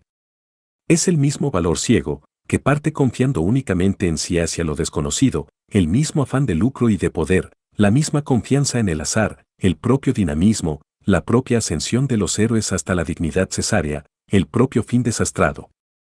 Roger de Flor, Berenguer de Rocafort y Berenguer de Entenza son gemelos de Cortés, Pizarro y Balboa. Los catalanes y aragoneses, gemelos de castellanos y extremeños. Una y otra aventura prueban semejante espíritu colectivo, a pesar del localismo y de los particularismos de las distintas provincias que integran a España. La sed de oro, su propia impulsividad, la herencia nacional de sangre combativa, ambición de imperio, necesidad psicológica de dominar en aquellos que nacieron dominadores y la emulación de igualar, cuando no superar, empresas heroicas y fortuna de otros guerreros, convierten a los primeros conquistadores de América en héroes legendarios. Y no debe admirarse menos la virtud heroica en sí, porque no la ennoblezcan preocupaciones morales o la excelsitud de un ideal. ¿Qué no hicieron? Desafiaron al hombre, desafiaron la naturaleza, lo desconocido. En número irrisorio, invadieron y conquistaron imperios ignotos. Cada aurora trae un nuevo peligro, que afrontan con la sonrisa en los labios. Descubren, a cada paso, maneras inéditas de ser heroicos. Cierto día, por ejemplo, arriba corto número de aventureros blancos a la laguna de Tamalameque, en tierra firme. Los indios, conocedores ya del arcabuz y la crueldad de europeos, huyen a una isla, recogiendo las canoas, las curiaras, las piraguas. Se creen en salvo, y lo parecen. Pero no cuentan con la bravura de la codicia. Los conquistadores han visto relucir el oro en las chagualas y orejeras de los indios, se lanzan a lo profundo del lago, lo atraviesan a lomo de animal como sobre cómodos navíos, y cometen una carnicería de marca mayor. Otras veces la crueldad no resulta heroica, sino cobarde, como el asesinato premeditado y alevoso de tres mil cholultecas, cometido por Cortés en Cholula, encerrando previamente a sus víctimas en los patios de los cuarteles, o cazándolos, inermes, en las calles o en los aposentos domésticos, y erigiendo además, para completar el exterminio, hogueras inquisitoriales. El heroísmo que despliega el conquistador español del siglo XVI en América, aunque oscurecido a menudo por la crueldad, no encuentra fácil parangón. Los ingleses, raza más práctica y menos idealista que la española, van al Nuevo Mundo, pero no lo descubren. Solo colonizan las costas. Cuando avanzan al interior del continente norteamericano es poco a poco, sobre seguro los españoles irrumpen América dentro y encuentran y subyugan sin preparación y en una continua realización de imposibles imperios y razas exóticas. Mucho antes de haberse internado los ingleses en las soledades de Norteamérica, ya hubo españoles que, en parte, las recorrieran. Hablar de heroísmo y de conquistador, refiriéndose a aquellos conquistadores, parece redundancia. Aducir ejemplos sería citar la vida de todos y cada uno de ellos. Escójase cualquiera de los documentos de probanza de méritos y servicios que cualquiera de los más oscuros conquistadores, en cualquiera de las más oscuras comarcas de América, eleva al rey para suplicar gracias y mercedes, se advertirá cómo fluye de aquellas hojas, mal redactadas por torpes escribanos coloniales, una fuente inextinguible de virtudes heroicas. Y se advertirá también que aquellas virtudes heroicas de la flor de una generación que pasa a América han sido puestas en juego a cada día, a cada noche, durante una vida entera. El Estado, en vista de la incapacidad política y administrativa de los conquistadores, se aprovechará, con el tiempo, de la obra heroica y espontánea de poderosas individualidades sueltas que han obrado por sí y ante sí. Porque una de las características de la conquista es que los conquistadores actúan, por lo general, espontáneamente, sin comisión del Estado español o con vagas autorizaciones concedidas en Europa en la más cabal ignorancia de lo que se concede. Más tarde, por permiso de algún virrey o alguna audiencia, para recompensar servicios. El caso de la conquista del Perú es, como todo lo atañedero a este imperio incaico, después virreinato español, interesantísimo. En vista de la hostilidad del gobernador de Panamá contra la expedición al Perú, Pizarro se dirige a Madrid a obtener recursos y facilidades para acometer la empresa en asocio de Diego de Almagro y del clérigo Fernando de Luque. Lo atendieron pronto. No perdió más que un año antes que la corona lo despachase. La reina gobernadora, en ausencia de su marido el rey, recibe a Pizarro y pacta con él la conquista del reino fabuloso del Perú. Pizarro, más que soldado regular, es un aventurero, un jefe de bandas, para no decir de bandidos. La soberana le oye con agrado, hace y recibe promesas. Pizarro promete tierras y oro a los monarcas, la reina ofrece títulos de adelantado, gobernador de Fortaleza y obispo a los tres socios de la empresa, Pizarro, Almagro y Luque. Tropas regulares no le da le permite hacer pregones preconizando las riquezas del Perú para enganchar a algunos mozalbillos audaces y codiciosos. También le ofrece 25 yeguas y 25 caballos, si se pueden conseguir en Jamaica, de los que allí posee la corona. También ofrece 300.000 maravedices, que se debían abonar en Castilla del Oro con dinero de aquellas tierras, para artillería y municiones, y 200 ducados para los gastos de transporte de la artillería. Aunque las cifras parecen altas, la cantidad es irrisoria. El maravedí español, como el rey lusitano, es una moneda de valor infinitamente microscópico. Pero ni esos fantásticos dineritos salían de las tesorerías españolas. La corona no entregaba oficialmente ni un soldado español ni un maravedí del erario de la España europea para aquella empresa que iba a realizarse en nombre y para beneficio de España. Con razón ha dicho un mordaz escritor de México que la corona española, para la conquista del Perú, solo contribuyó en definitiva con aquella bula de Alejandro VI que le concedía potestad sobre tierras americanas. Pizarro, Almagro y Luque ya tenían gastados 30 mil pesos de su peculio en anteriores incursiones armadas a la costa del Perú.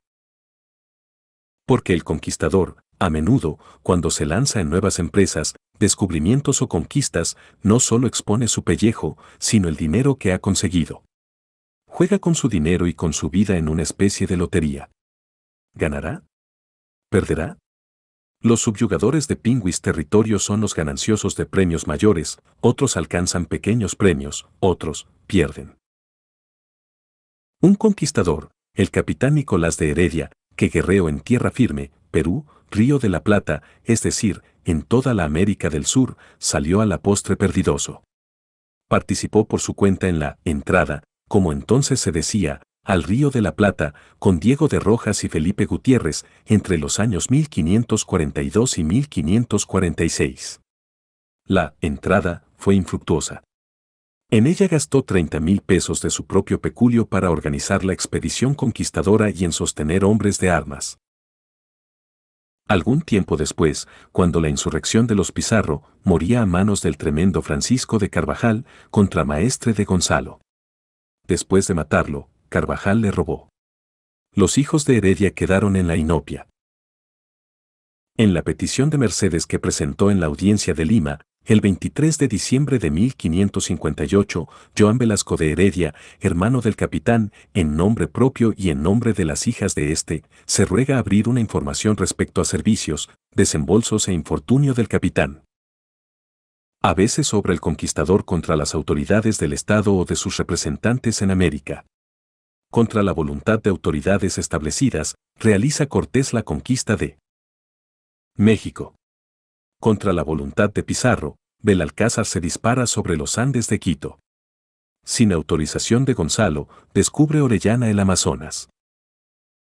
En España se conocen muchas de las conquistas y a muchos de los conquistadores, cuando aquellos audaces gerifaltes dan cuenta de sus proezas y exigen que se les reconozca o legalice la conquista y se preste sanción oficial al gobierno de facto que ejercen. Cortés va a España a que lo reconozcan y lo den a reconocer como descubridor y señor de vastos territorios. Con el mismo objeto van a la corte o envían comisionados, Pizarro, Valdivia, Alvarado, otros. Los envíos de grandes cantidades en oro a la corona tienen por principal objeto congraciarse con ella. Todos son fieles en el cumplimiento de mandar el quinto de los tesoros de que se apoderan a la corona de España. Y la corona gradúa la grandeza del conquistador según el oro que manda. Y según el oro que manda concede gracias. Al oro de Atahualpa, a las minas del Perú, debe Pizarro, más bien que a su heroísmo y a sus servicios, el título de marqués suele encontrarse en las cuentas de los conquistadores partidas que son casi cohechos. Así, por ejemplo, seis onzas de pedrería que se compraron para la reina, o bien, tres talegones de perlas enviados a su Alteza.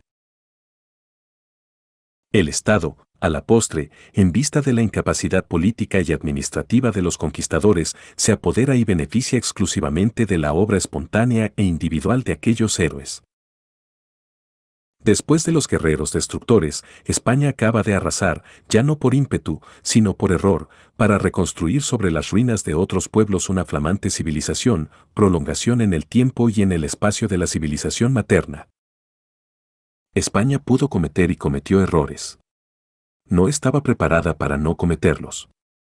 Prestó, en cambio, un servicio de mucha trascendencia a la humanidad, fundando pueblos de civilización cristiana en la América bárbara, transfundiendo a la gran extensión de Nuevo Mundo que cayó bajo el cetro de sus monarcas, el espíritu y la cultura de la nación conquistadora. Solo Roma en la antigüedad e Inglaterra en los tiempos modernos pueden hombrearse, en este sentido, con España. Ningún otro de los pueblos contemporáneos, sin olvidar a Francia, rayó a la altura que España como potencia constructora, como madre de pueblos. El padre Las Casas, gran filántropo, gran humanitarista, se adelantó a su tiempo, que fue tiempo de dureza y de absolutismo, por cuanto sintió el dolor de las razas vencidas y comprendió que aquellos hombres tenían ciertos derechos. Obró, pues, en pleno siglo XVI como lo harían los filósofos del siglo XVIII. Fue único entre sus compatriotas y principalmente entre los conquistadores, es decir, fue hombre de excepción. Y este hombre de excepción que se adelantó a su época no se contentó con predicar el derecho que asistía a los indígenas, derecho que él comprendió no como derivación de principios políticos, sino de máximas cristianas, no se contentó con predicar la caridad que debía desplegarse con los indios de América, sino que en alegatos elocuentes y fervorosos, triunfadores al través de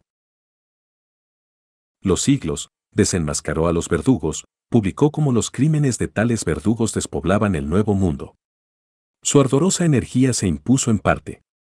La corte le oyó por su carácter sacerdotal. La influencia de las casas pudo traducirse en las legislaciones que dictaron y en las reales órdenes que se expidieron.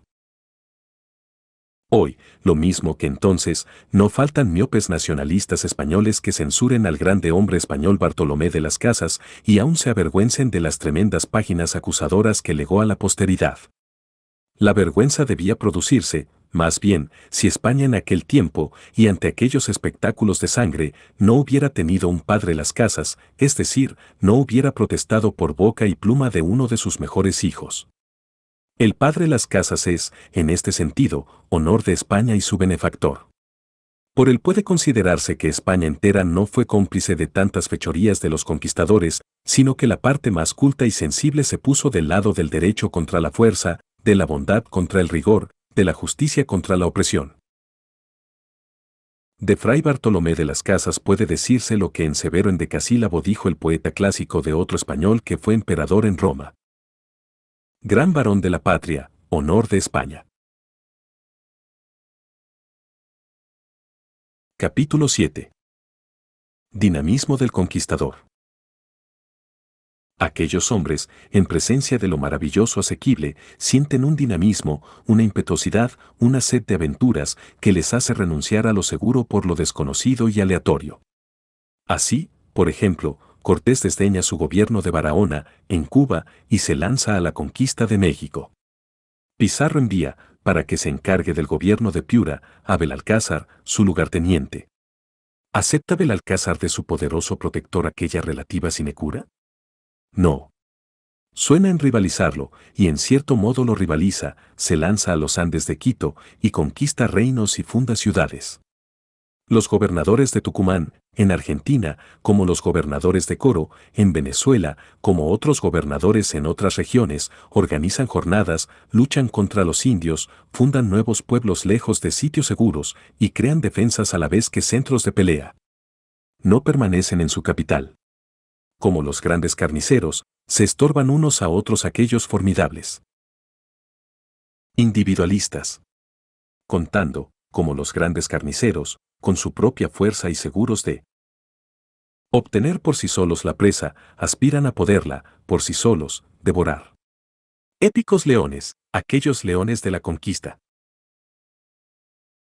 En el dinamismo de aquellos hombres hay algo que corresponde a la época como lo testimonian la empresa misma de Colón y otros navegantes no españoles, el encontrar Colón aventureros que le acompañasen en su empresa y el ser la América explotada en mucha parte y colonizada por portugueses, ingleses, holandeses, dinamarqueses y franceses. Pero el dinamismo en los conquistadores españoles de América fue máximo, fue único, fue, además, esencial para descubrir y someter la mayor porción de continente, desde California hasta Tierra del Fuego, en tan corto espacio de tiempo, menos de 50 años.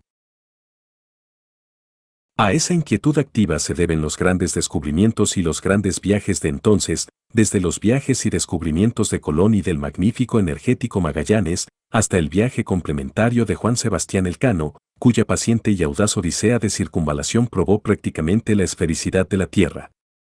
La necesidad de vuelo, el espíritu de mudanza, el gozo de inquietud en aquellas almas, lo manifiestan las palabras de Ponce de León en la Florida, gracias te sean dadas, Señor, que me permites contemplar algo nuevo. Algunos de estos viajes en el Nuevo Mundo representan, aún sin necesidad de derrocar imperios aborígenes, ni pugnar con tribus errantes, ni chocar con otros europeos, el máximo de energía física y moral a que puede llegar el hombre. Desde luego no olvidemos que aquellos hombres, en esos viajes, se aventuraban a lo desconocido. Aunque no los embargase ni ennobleciese la emoción científica que a Colón, eran, en cierto modo, pequeños colones de tierra y pequeños colones fluviales, lacustres, marítimos, oceánicos. Los descubridores podrían ser unos y los conquistadores otros. Pero a menudo se alían en un solo individuo, a esta curiosidad del descubrimiento, la decisión del guerrero que parte dispuesto a combatir, no a un enemigo, sino contra el obstáculo que se presente y en la magnitud y forma que asuma. El obstáculo puede ser vivo, inerte o incorpóreo, puede ser un ejército, una cordillera, una peste, una plaga, el mar. Hombres, clima, tierra, frutos, fieras, insectos, enfermedades, todo allí resulta desconocido, y casi todo hostil. Hasta para comer una fruta, la más rica y beneficiante, precisa cierto ímpetu audaz. Conocían, por ventura, su nombre, su forma, su sabor, su acción. Para subsistir, tuvieron los españoles a veces que comer hasta carne humana. Así, en la historia de Venezuela, por ejemplo, los casos de canibalismo que se conocen con precisión fueron practicados por españoles de la conquista, según testimonio de ellos mismos. Después de fructuosa matachina de indios en las cercanías de Maracaibo y Santa Marta, después de despojar a los vencidos y apoderarse de cierta cantidad de oro, algunos aventureros españoles y alemanes que se dirigen a Coro, a las órdenes del capitán Gascuña, se extravían en la selva. Concluidos los víveres, el hambre apretó. Ya sin fuerzas, se deshicieron de su inútil oro, lo enterraron. Víctimas del hambre y de la selva, no tardan en matar a los indios de la servidumbre y comérselos. El caso es conocido, verídico. Varios cronistas dan fe de ello, y hasta se conoció la referencia de un soldado, actor en la canibalesca escena. Oigase como expone lo ocurrido un religioso, historiador y contemporáneo de aquellos hechos y de aquellos hombres. Gascuña y su gente enterraron estos 60 mil pesos al pie de una ceiba, árbol muy grande y señalado de aquella comarca, y casi dejando sus corazones soterrados con aquel metal, comenzaron a caminar por aquellas montañas, a ver si podían hallar algún género de comida de cualquier suerte que fuese, y viendo que no le hallaban, y que las naturales fuerzas casi del todo les iban faltando, comenzaron a matar a algunos indios e indias de los que consigo llevaban para comer de ellos. Comían de aquellas carnes humanas tan sin asco ni pavor como si se hubieran criado en ello y para ello. Muchos días estuvieron alimentando de carne humana. A los indios se los iban comiendo, cada día el suyo, dice otro contemporáneo, Fray Pedro Simon. Se dividieron los hombres blancos, temerosos de comerse unos a otros. Cuatro españoles siguieron con Gascuña, al través de las selvas ignoradas, en busca de Coro, en la costa atlántica. Vieron estos cuatro soldados de Gascuña, desde la ribera de un río, a algunos indios que navegaban. Los llamaron, les pidieron de comer. Los indios trajeron abundancia de maíz, legumbres, etc., a los cinco soldados. El recuerdo del hambre pasada y el temor del hambre futura fueron tan poderosos, que correspondieron a la liberalidad de los indios apresando a uno y matándolo, luego lo asaron en barbacoas, es decir, en pullas de palo, al rescoldo de un fuego vivo comieron una parte y conservaron lo restante para días ulteriores. Los cronistas de la época, testigos y actores algunos de ellos de la epopeya fragmentaria de la conquista, traen a menudo detalles interesantísimos que prueban cómo en algunas ocasiones, en esta, por ejemplo, el conquistador tuvo necesidad de convertirse y se convirtió no solo en antropófago, sino en más que bruto y carnicero animal, según la enérgica expresión de Fray Pedro de Aguado. Se iban habituando aquellos hombres con hambre a comer carne humana, y ya no hacían asco a lo más asqueroso. Estando haciendo puestas o pedazos el cuerpo muerto del indio, para dar a cada uno su parte, dice el mismo cronista, le quitaron el miembro genital como cosa más inmunda y echáronlo a mal, lo cual, como viese Francisco Martín, arremetió a él, y alzándolo del suelo, sin esperar a ponerlo en el fuego, se lo comió así crudo, como se había quitado del cuerpo, que fue cosa, por cierto, no de hombre, sino de más que bruto y carnicero animal. No cuento la diligencia que todos ponían en que no se perdiese cosa ninguna de lo que en un cuerpo humano hay. La sangre no era menester llegarla al fuego, porque en abriendo el muerto con las manos la sacaban y se la bebían, y aun como suele decirse, se quedaban lamiendo las manos. Otros viajes de conquistadores por el corazón de América, entonces virgen para los europeos, fueron, si menos canibalescos, dramáticos en sumo grado, y hubieron menester de virtudes energéticas. Así la expedición de Gonzalo Pizarro, en 1539, al país de la canela y el viaje del extremeño Francisco de Orellana desde el Perú, Amazonas abajo y Atlántico arriba hasta las islas venezolanas de Cubagua y Margarita. Había Orellana realizado en dos años, desde 1539 hasta 1541, un viaje de 1800 leguas. Había descubierto y navegado el río mayor del mundo. Luchando contra la naturaleza y con los indios, en completa carencia de elementos, realizó Orellana, con un puñado de audaces compañeros, el prodigio pintoresco de su Odisea. Recorrido semejante, aún más dramático y más tenido en sangre, cumplió en 1560 uno de los más vigorosos y másculos rebeldes de aquel tiempo, el neurótico Lope de Aguirre, apellidado, como otros insurgentes de entonces, tirano. Lope de Aguirre se precipitó en son de guerra contra Felipe II y sus representantes en América desde el Perú hasta Venezuela. Descendió, como Orellana, el Amazonas, cometiendo tropelías, al frente de sus rebeldes, nombrados marañones, seguramente por proceder del Marañón. Por Amazonas entró en Río Negro, uno de los afluentes del correntoso mar de agua dulce, y por Río Negro remontó el cano Quesiquiare, que pone en comunicación fluvial a Río Negro con Orinoco. De Orinoco salió al Atlántico, atravesando la costa norte de Tierra Firme, y se internó en el occidente de Venezuela, buscando el camino de Nueva Granada. Había descubierto la comunicación fluvial de Media América al través de grandes ríos, el Orinoco, el Río Negro y el Amazonas.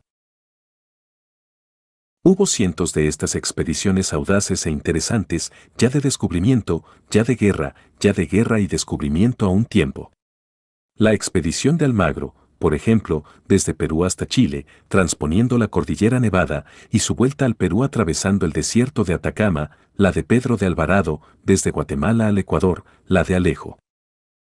García al país de los Charcas, la de Diego Pacheco, desde Chile a Paraguay. Un hombre solo y extraviado en los desiertos de la América norteña, Alvar Núñez Cabeza de Vaca, anduvo diez mil millas. Pues bien, esa proeza fue eclipsada por un oscuro soldado, Andrés Ocampo, que anduvo 20.000 durante nueve años de aventuras y penalidades. Las expediciones de los descubridores y conquistadores de Venezuela, ya españoles, ya alemanes, cuentan entre las más pintorescas, hazañosas, luengas y difíciles. Ambrosio Alfingue, en 1529, expedicionó durante ocho meses hacia el lago Coquibacoa, hoy Maracaibo, Nicolás Federman sale por primera vez de Coro hacia el centro de Venezuela, en septiembre de 1530 y regresa a la costa en marzo de 1531. Por segunda vez sale Federman de la costa de Venezuela, atraviesa los Andes y arriba a la altiplanicie de Bogotá. El gobernador Ormut y Felipe de Juten, ambos alemanes, salen de Coro en mayo de 1535 con 361 infantes y 80 caballos. Van a descubrir el Dorado. Al cabo de tres años de correría regresan, quedaban solo 86 hombres de infantería y 24 jinetes. A buscar de nuevo el mitológico dorado parte de Nuevo Juten, con Pedro de Limpias, Sebastián de Amezcua, Martín de Arteaga y uno de los Welser. A los cuatro años y medio de aventuras, perecen aquellos caudillos a manos del español Juan de Carvajal, usurpador del gobierno de Coro. La mayor parte de estas expediciones no fueron inútiles. Las exclusivamente guerreras, como la de Olid, desde México hasta Honduras, dieron su resultado inmediato. Otras, para descubrimiento de países o reconocimiento de costas, como la expedición marítima de Grijalva al litoral de México y las de Alonso de Ojeda y Diego de Ordaz por el de Tierra Firme, también lo dieron. Cuando menos, servían de información o preparación a futuras empresas definitivas. Todas demuestran insólito dinamismo, una inquietud heroica que permite acometerlas y llevarlas a término. Casi todas obtienen algún resultado práctico, en mayor o menor grado, para la geografía, la política, la agricultura, la minería, el comercio. Belalcázar, Quesada, Federman, realizan el más épico encuentro en las altiplanicies de Bogotá, en el país de los muiscas. Los atrae el dorado. Buscaban oro, perlas, esclavos. Encontraron la contigüidad, la unidad territorial del continente. Federman había salido de Coro, Quesada, de Santa Marta, Belalcázar, de Quito, viniendo del Perú. Desde la costa atlántica de Venezuela y de Colombia hasta el Perú, hasta Chile, cola geográfica del Perú, existía, pues, un territorio sin solución de continuidad. Capítulo 8. Conciencia del propio valer. Desarrollo de la personalidad. La conciencia del propio valer llega en el conquistador, individualista en grado excelso, a desarrollarse al máximo. Su personalidad no reconoce trabas en leyes divinas ni humanas. Católico sincero, no le embarazan la ley divina ni la pleitesía debida a la Iglesia cuando se opongan a su interés o a sus pasiones, o las interpreta de un modo sui generis cuando lo embarazan. Lo que hacían Carlos V y Felipe II en Europa, sin dejar de ser católicos, con los papas, lo repiten en pequeño, sin dejar de ser católicos o están prestos a repetirlo muchos conquistadores. Lope de Aguirre, por ejemplo, persiguía sistemáticamente a los curas. Lo común es que la espada se apoye en la cruz y viceversa. Ambas realizan fraternalmente la dominación.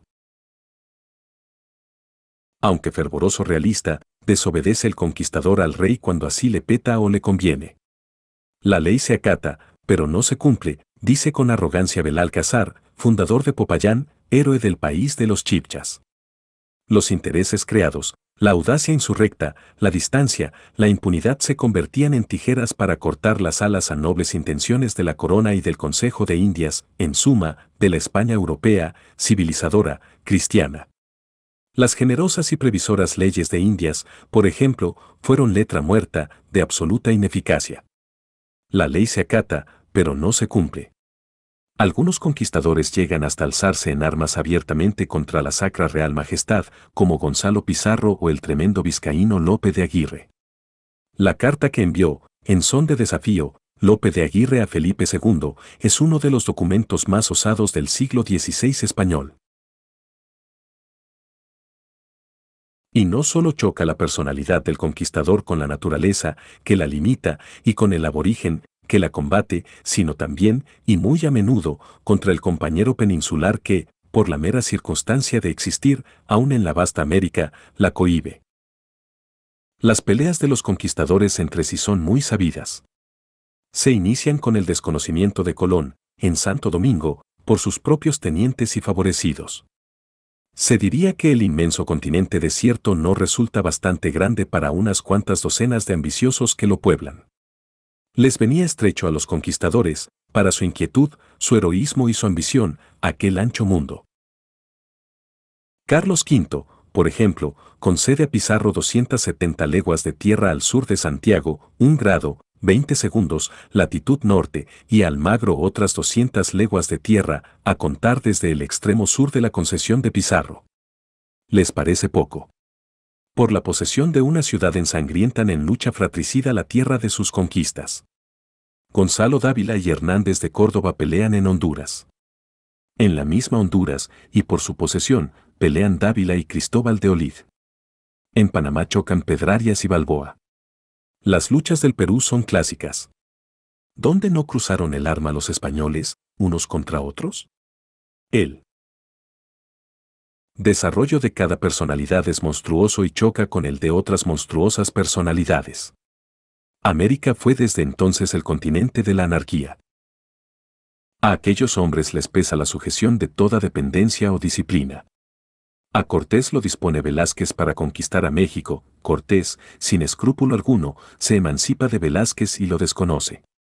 Cortés, a su turno, envía a Cristóbal de Olid, su teniente, a descubrir tierras de Centroamérica, Olites conoce a Cortés y obra por cuenta propia. Pedrarias Dávila envió a Hernández de Córdoba hacia las tierras de Nicaragua. Hernández de Córdoba trata de abandonar a su jefe y es víctima de la felonía y de las iras de Pedrarias. Así otros. La guerra, sea contra los indios, sea de unos conquistadores contra otros, es para ellos un sport, un placer. Las guerras, dice Lope de Aguirre en su cartel de desafío a Felipe II, para los hombres se hicieron. Carvajal, el demonio de los Andes, goza en guerrear. Valdivia, en cuanto sabe que facciones federales dividen el Perú, deja su tranquilo gobierno de Chile y va a tomar parte en las querellas sangrientas del reino vecino. García de Paredes vuelve de España en 1563 con el cargo de gobernador de Popayán, en el sur de Nueva Granada. Arribado a la costa de Venezuela, que nada tenía que ver con su gobernación, haya medios de chocar con los indios y allí pierde la vida aunque por extremo individualistas, los conquistadores realizan obra social. Echan, sin proponérselo, las bases de un imperio. Salvan, para la civilización caucásica y latina, aquel mundo que yacía en manos de razas amarillas, la mayor parte bárbaras. Esa ha sido la trascendencia civilizadora de su acción y de la acción ulterior de España.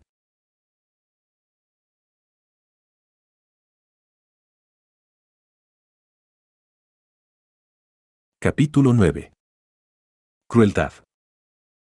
Como iban pocas mujeres de España, máxime con los primeros conquistadores, el amor de la mujer falta en la epopeya. Puede decirse que aquellos hombres formaban una sociedad sin familia, como las hormigas y las abejas. La dulzura de este sentimiento de hogar es nota ausente en aquellas aventuras y entre aquellos aventureros. Otras pasiones sustituyen al amor. La sensualidad satisfecha con indias da origen a la raza mestiza. Se considera virtud social el que no haya tenido a menos el español cruzarse con la raza vencida. Mucho desierto hay en ello. El español cruzóse con el árabe en Europa y con el indio en América. Al cruce con el indio lo predispuso ya el haber convivido y el haberse cruzado con el árabe pero podemos creer que, de existir mayor número de mujeres españolas en los primeros años del establecimiento de España en el Nuevo Mundo, y aún después los españoles las hubieran preferido para enlazarse y hubiera, por tanto, existido en América, desde entonces, un núcleo superior de raza caucásica. No hay para qué insistir aquí sobre los beneficios que esta mayor cantidad de sangre caucásica hubiera reportado a América. La crueldad culmina. ¿Por qué? Entre otras razones, porque la crueldad no se encuentra allí templada en los primeros tiempos de la conquista, por una vida social estable, con relaciones, compromisos, deberes, suaves o enérgicas coacciones, ni por la presencia de la mujer y la dulzura que infiltran en el carácter más bronco la existencia de hogar. La codicia exasperada es, por otra parte, aguijón de la crueldad. Satisfaciéndola, imagina el conquistador que va a echar un puente de metal precioso entre su áspero vivir presente y una futura vida de regalo, cuando pueda establecerse con tranquilidad en la pacificada colonia o regresar a Europa. Se ha criticado mucho, y con sobra de justicia, el sistema de encomiendas, no lo inventó un español, sino un italiano, Colón. Desprecia la sangre propia y la ajena el conquistador. En lucha con razas que considera inferiores, y tratando de imponer su fe religiosa y su dominación política sobre cobrizos bárbaros de mitos barbáricos, escribe el conquistador con la punta de la partesana, y subraya con las patas de los caballos, los dientes del dogo y la fulguración del arcabuzazo, todas tres cosas nuevas en los campos y entre las naciones indígenas del Nuevo Mundo, la superioridad del blanco sobre el cobrizo, del cristianismo sobre los ritos autóctonos, del arcabuz. Sobre la flecha, de Europa sobre las Indias. Instintivamente se establece al primer contacto la lucha de civilizaciones, la lucha de razas. La mayor parte de las guerras entre naciones son guerras de raza, y estas guerras de raza obedecen a tres causas primordiales. Primera, una causa de origen antropológico, yo soy más fuerte, te destruyó, comeré de ti, y como el águila de la leyenda, creceré tres palmos. Segunda causa, la diferente constitución mental o psicológica de razas diferentes que las lleva a concepciones distintas, a veces antagónicas, de la vida, tú crees en otro Dios que... Yo. El mío es el verdadero. ¿Tú tienes civilización pacífica? La guerra es solo eficaz. ¿Tú eres gregario? yo soy individualista, etcétera, etcétera. Tercera, la causa económica, tienes tierras, riquezas que pueden servirme, dame tus bienes, dame tu trabajo, sé, en una u otra forma, esclavo mío. Estas brutalidades han sido paliadas y enflorecidas con destreza en todo tiempo y lugar por la política y la retórica. No por tantos disfraces de principios y teorías, words, words, words, quedan menos puras, en su esencia, aquellas tres causas instintivas, radicales, de toda guerra antigua, moderna y quizás futura. Las guerras, pues, surgen no más a menudo de divergencias psicológicas, de irrefrenables instintos y de estos apetitos desordenados que se disfrazan hoy con el nombre de razones económicas. La guerra de conquista en la América del siglo XVI no fue, ni podía ser, excepción. Respecto a crueldad, no vale la pena insistir. España, y principalmente Castilla, ha sido y es pueblo cruel con los demás y consigo misma tiene los defectos que corresponden, como reverso, a sus virtudes. Raza heroica por un lado, carece por el otro de sensibilidad. Es la misma en sus guerras civiles del siglo XIX que en sus guerras de conquista del siglo XVI. América quedó casi despoblada, razas enteras desaparecieron. Existe un ejemplo que se aduce a menudo, el de la despoblación de la primera tierra conquistada en el Nuevo Mundo, la isla española. Las Casas calculó la población de esta isla, cómputo que se ha creído exagerado, en 3 millones de habitantes. Historia, tercero, 101. Ya en 1508 la isla solo contaba 60.000. Seis años después, en 1514, apenas alcanza a 14.000.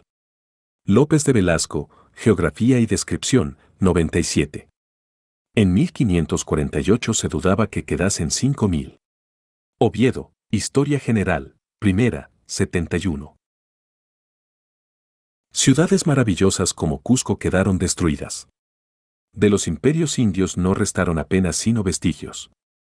Se ha dicho, sin mucha exageración, que se sabe hoy más de los asirios, por ejemplo, que de los imperios indios de México y Perú. ¿Qué se sabe, en proporción a lo que pudiera saberse, de la civilización de los muiscas, de los mayas? ¿Qué de los antiquísimos amars? Tábula rasa hizo la espada española.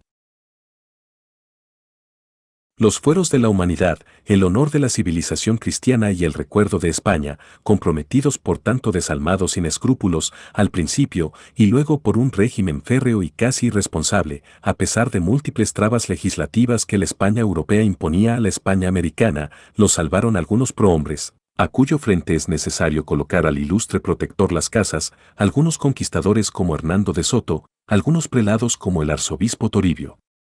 Alfonso Mogrovejo, algunos religiosos, más o menos anónimos, que estudiaron las lenguas aborígenes, algunos civilizadores que divulgaron artes benéficas y andando el tiempo, entre los administradores, algunos virreyes. No debemos ni podemos culpar más de la cuenta a los conquistadores, que al fin y al cabo, aunque representantes de la cultura europea, por la nueva civilización a que abrían paso, eran personalmente, en su mayoría, guerreros semibárbaros. Se da el caso de que, en cuanto a europeos, es decir, como miembros de una civilización más evolucionada que la ingena americana, cualquiera de los últimos soldados de la conquista resulta superior a los indios, pero personalmente, ninguno de los conquistadores, incluso Pizarro, podría compararse a Atahualpa, ninguno, incluso Cortés, compararse a Moctezuma. Ambos príncipes eran grandes señores, ya crepúsculos de raza, como Boabdil, sultán de Granada, destronado también por hombres que, en comparación suya, eran simples bárbaros. Destruían los conquistadores monumentos de la cultura india, como poco antes en Europa habían destruido y estaban dejando destruir los vencedores del Islam monumentos arábigos, como todo un príncipe de la Iglesia, elevado a la más alta jerarquía del Estado español, había destruido por el fuego documentos de la civilización musulmana. Y existe un continuo parentesco en los procedimientos, es decir, el español de la conquista procede como en circunstancias análogas procedieron antes, en Europa, otros españoles. Lo que prueba que el espíritu era el mismo, que el carácter de la raza conservábase idéntico a sí propio y que el español, ante circunstancias idénticas, obraba y reaccionaba de modo idéntico, lo mismo en Europa que en América, lo mismo en la Edad Media que en la Edad Moderna. Lo que hacen Pizarro con Atahualpa y Cortés con Guatimosín, o algo muy parecido, lo hizo antes el Cid campeador con el Cadí de Valencia. Sometido ya este Cadí. El Cid lo tortura moral y materialmente para arrancarle el secreto de sus tesoros, y no solo él. Secreto. Después de despojar a Atahualpa, Francisco Pizarro lo veía y lo inmola con lujo de crueldad. Pues bien, nada nuevo hacía. El Cid, después de despojar al Cadí, lo entierra, dejándole la cabeza y los brazos fuera con una hoguera en torno, que lo hace paulatinamente. Pero el rival del Cid quizá no fue, en este caso, Pizarro, sino Cortés. No acostó en un lecho de amas al emperador Guatimosín, para que entregase los tesoros que la codicia imaginaba ocultos. Uno y otro, sin saberlo, a distancias inmensas en el espacio, procedían Cortés y Pizarro de un modo análogo con sus ilustres víctimas, y ambos coincidían, a inmensa distancia en el tiempo, con el Cid campeador. No debe exagerarse, con todo, la nota sentimental o de injusticia. Con hermanas de la caridad no podía realizarse la conquista de América. ¿Hubieran otras naciones europeas, en igualdad de circunstancias, obrado más benigna y humanitariamente? Cabe dudarlo. Los ingleses y sus hijos los yanquis, que tienen la preocupación de las razas inferiores en grado mayor que España, han exterminado a los pieles rojas, si bien es cierto que los nórdicos pieles rojas no existían en el mismo número que las naciones indias del sur, ni su rudimentario alcance de evolución social había logrado el esplendor de las civilizaciones incásica, muisca, yucateca y azteca. Hubo un pueblo en Europa, Alemania, algunos de cuyos elementos contribuyeron con los españoles a descubrir y conquistar, en el siglo XVI, la parte de Sudamérica conocida hoy por Venezuela. ¿Fueron los alemanes de la conquista venezolana menos crueles que los hijos de España? No lo fueron. Rivalizaron con ellos en crueldad, y aún algunos alemanes sobrepasaron en este punto a muchos españoles. Con una diferencia en contra de los alemanes, los españoles destruían, pero fundaban, los alemanes no fundaron ni un solo pueblo en 17 años de dominación, de 1529 a 1546, sobre la provincia de Venezuela. Los 18 años que Venezuela estuvo bajo la dominación de los Beisares, Welser, escribe el historiador clásico de Venezuela, causaron en su territorio una despoblación tan grande que por doquiera se elevó contra el gobierno de aquellos extranjeros un grito general de indignación. Yermos estaban los campos, coro convertida en mercado de esclavos, los indios que escapaban de la servidumbre, huidos en los montes. Ningún asiento de origen alemán se había hecho en parte alguna, los españoles se veían divididos entre sí, y el odio contra la compañía era causa de infinitos desórdenes. Algunos de los caudillos alemanes, como Alfinger y como Federman, no resultan ni menos codiciosos ni menos crueles que los españoles. Alfinge principalmente podía competir con los peores. Apoderado de su alma un furor insensato que degeneraba en frenesí, señaló por todas partes su pasaje con el robo, el homicidio, el incendio. Debía morir quien no podía ser esclavo, debía quemarse la casa que le había servido. Detrás de él nada debía quedar ni con vida ni en pie. Crímenes son del tiempo, se dirá con el poeta. Cómoda remisión de crímenes al tiempo, que no fue, en todo caso, sino cómplice. Nada exculpa la destrucción de las Indias, desde sus emperadores hasta los últimos vestigios de su original civilización.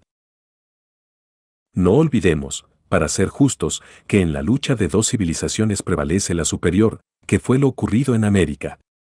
No olvidemos que en el mismo seno de España bregaba la espontaneidad barbárica y cruel de los conquistadores con la previsión humanitaria de los hombres de gobierno y de letras. Las leyes de Indias, ya se ha dicho, son un monumento de filantropía y de sabiduría. Españoles las redactaron, el espíritu español las inspiró. Es verdad que casi siempre fueron letra muerta y que no impidieron la desgracia, la servidumbre, la muerte de la raza indígena, ni la destrucción de su pasado como raza histórica, pero ello, ¿qué significa? Significa que gracias a la distancia y a otras circunstancias en que intereses y codicias no eran los menos, la parte mala y subalterna de la nación y del espíritu españoles vencían a la parte generosa, filosófica, selecta. Algunos de los mejores entre los elementos intelectuales y entre los dirigentes, esculpaban y aún apologizaban las violencias de los conquistadores. Tal es el caso del escritor Sepúlveda. Pero recordemos que su obra fue desautorizada y no se permitió que circulase. En cambio otros, como las casas, defendían a los indios. Otros, como el admirable Solórzano, defendían al criollo contra los teóricos de la violencia. Opinaban estos que el hijo de españoles en América, por obra del clima, el cielo y el temperamento, se decía, perdía las virtudes de la raza progenitora. Solórzano desbarató aquellos sofismas de la crueldad impolítica y su opinión prevaleció. Capítulo 10 Oscuras nociones del derecho y querellas ante la majestad del rey. Soberbios y atrabiliarios, los capitanes de la conquista teman apenas nociones oscuras del deber y carecían de nociones del ajeno derecho. No respetaron nada en los vencidos, ni siquiera el honor, ni siquiera la desgracia. A Atahualpa, preso, le arrebataron sus mujeres, que fueron repartidas entre capitanes y soldados, y soldados y capitanes se solazaban con ellas a presencia del Inca. Tampoco se respetaban muchas cosas entre sí los conquistadores. Deben hacerse, sin embargo, distingos al mencionar a los conquistadores entre la chusma o soldadesca y los capitanes, aunque todos pertenezcan, como se ha visto, a la misma familia de rapaces.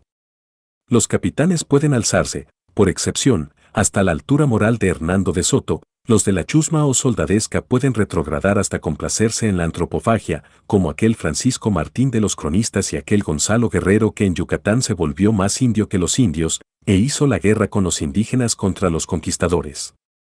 Pero la noción del derecho es turbia en todos. El primer oro que llega a Europa no es oro de minas, ni oro de trabajo, sino oro de saqueo y despojo. Los conquistadores no tienen sombra de duda en apropiárselo, y el rey tampoco tiene empacho en aceptar su parte de botín. Repartido el oro demandado al emperador incaico por su rescate, quedaron ricos Pizarro, sus hermanos, sus tenientes, sus clérigos y sus soldados, todos, sin excepción, ricos. Al rey de España se le mandó su quinto, que aceptó de buen grado.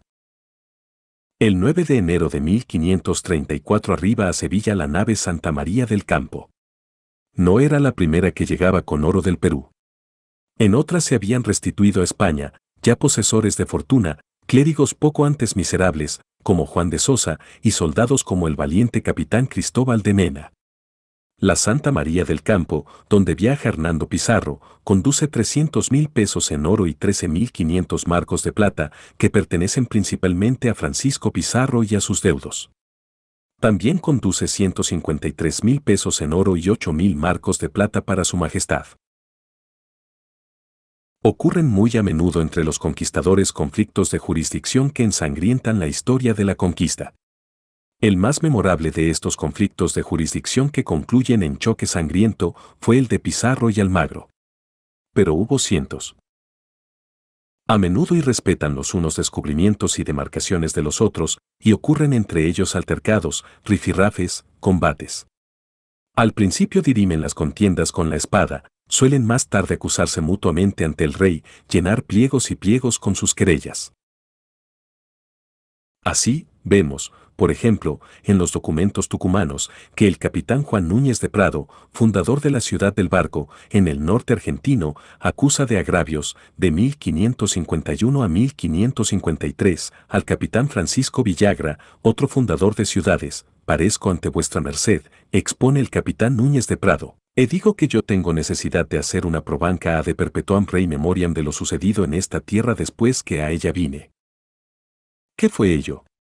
Que después de trabajos suyos por fundar pueblos y reducir indios, lo despojaron.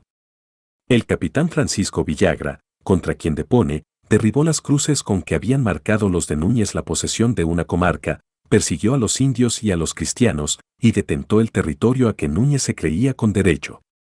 Obra Villagra en nombre de su jefe, el gobernador de Chile, Pedro de Valdivia. Un teniente de Núñez, dice este, tomó posesión en mi nombre de esta ciudad y que fuese término y jurisdicción de ella poniendo cruces en los dichos pueblos, haciendo entender a los caciques e indios que como tuviesen aquellas cruces no les harían mal los cristianos.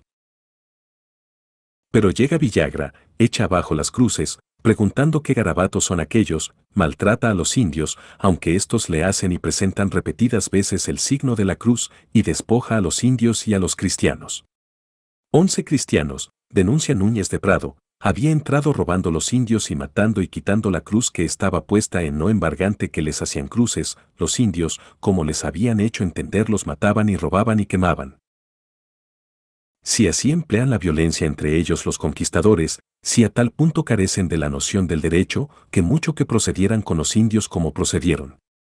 Que mucho que a Atahualpa, por ejemplo, le ofrezcan vender la libertad por oro, y después que entrega el oro, en vez de libertarle lo bauticen y lo maten.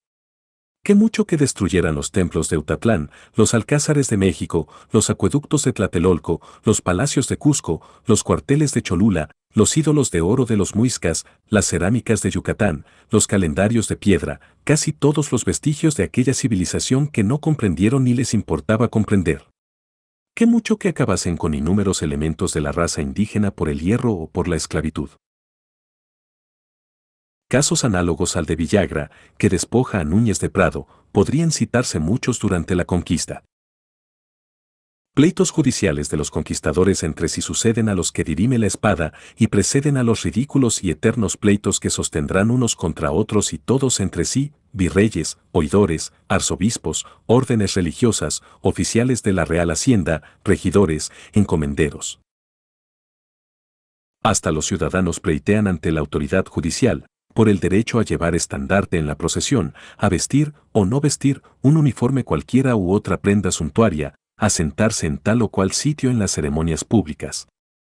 Las audiencias no toleran que virreyes y capitanes generales les mermen autoridad, ni estos que aquellas se impongan más allá de la cuenta. Tales rencillas entre el Poder Judicial y el Ejecutivo dependían, en parte, de la independencia que la legislación les acordaba y que ni unos ni otros querían ver aminorada. Aunque en ocasiones tuviesen visos de ridículas, parece que esas querellas deberían redundar en beneficio de los pueblos y garantizarles una sombra de libertad. No fue así. Lo común era que pleiteasen unos con otros los poderes, pero que todos se pusieran de acuerdo contra el criollo y para dominar el país. La fe religiosa tampoco minoraba, ni menos desaparecía, porque las órdenes monásticas se odiaban. Todas esas rencillas, ¿qué significan, en suma? Significan que, en cierto modo, se mantiene latente el espíritu de combate y agresividad que toma otro cauce que el guerrero, en una evolución social más en desarrollo, menos épica y dentro del círculo de hierro de una autoridad tan absoluta como la autoridad del monarca. El rey, distante, invisible como buen Dios, dictaba, como buen Dios, fallos irrevocables y temerosos. Y esto era compatible con el acatar la ley sin cumplirla. Para no cumplir la ley todos estaban de acuerdo, en los pleitos, no. El monarca, informado, podía fallar contra alguien. La vanidad, el interés, otras pasiones, son también parte a mantener vivos aquellos altercados y resquemores. Pero en los primeros tiempos del periodo administrativo que sucede al periodo exclusivamente guerrero, las querellas entre los conquistadores son restos claros de combatividad. Los conquistadores, como se ha visto, no se paraban en pelillos. Eran camorristas, ambiciosos, soberbios, desoían toda voz que no fuera la de sus pasiones e intereses, y tenían una ceguera absoluta para los derechos ajenos, inclusive los derechos de la conciencia. En esto eran también muy españoles. No se ha dicho, con fundamento, del español, il me connaît volontiers les droits de autrui, certut les droits de la conciencia? ¿Y no fue esa justamente la manera como obraron en América los conquistadores? No olvidemos, con todo, los tiempos. Sería absurdo juzgar a los hombres del siglo XVI con el criterio del siglo XX. Unas son nuestras normas morales y filosóficas y otras las del hombre de aquella época. El concepto del derecho entonces no puede equipararse al concepto del derecho en nuestros días. Existe en cada época una moral diferente pero en toda época y en todas las razas existen héroes morales. Y admiramos con respeto a estos varones, por cuanto la mayoría de los hombres es incapaz de alcanzar ni merecer semejante heroicidad. El padre Las Casas fue, entre los hombres de la conquista, uno de esos héroes. A España, para su mayor gloria, no le faltó entonces ni este raro ejemplar de heroísmo. Por sobre la relatividad de la época se descubre, en semejantes querellas de los conquistadores, algo fundamental en la raza, soberbia, individualismo, incapacidad para transigir, pugnacidad. Capítulo 11 Ocaso de los conquistadores el Estado concluye por tomar posesión definitiva de la obra espontánea y múltiple de tantas voluntades heroicas. El Estado había dejado al principio a los países conquistados en manos de los conquistadores. Estos fueron, con beneplácito oficial, los primeros gobernantes europeos de las nuevas posesiones. En vista de la nulidad de tales hombres para el gobierno, la corona los desposeyó y recabó para sí, por medio de sus delegados y representantes, la administración de las colonias. En un periodo apenas inicial de organización, como el que sucedió a la conquista, ya no pudieron servir los conquistadores como figuras de primer plano. Todo el mundo estaba cansado de violencias. Los riden llegados querían paz para enriquecerse. Los gobernantes, orden. La coacción de los nacientes grupos sociales molestaba a los antiguos guerreros, acostumbrados a obrar según su capricho. El exaltado y fiero individualismo de algunos de ellos los condujo hasta la rebelión. Lo cierto es que ninguno de los gerifaltes de la epopeya novomundana, de Cortés abajo, había sabido fundar nada en el orden político ni en el orden administrativo.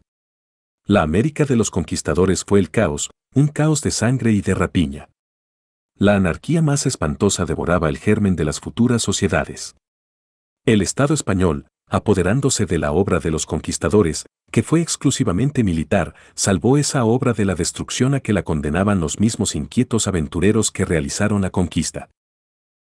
Salvó, además, España aquellos países para la civilización europea.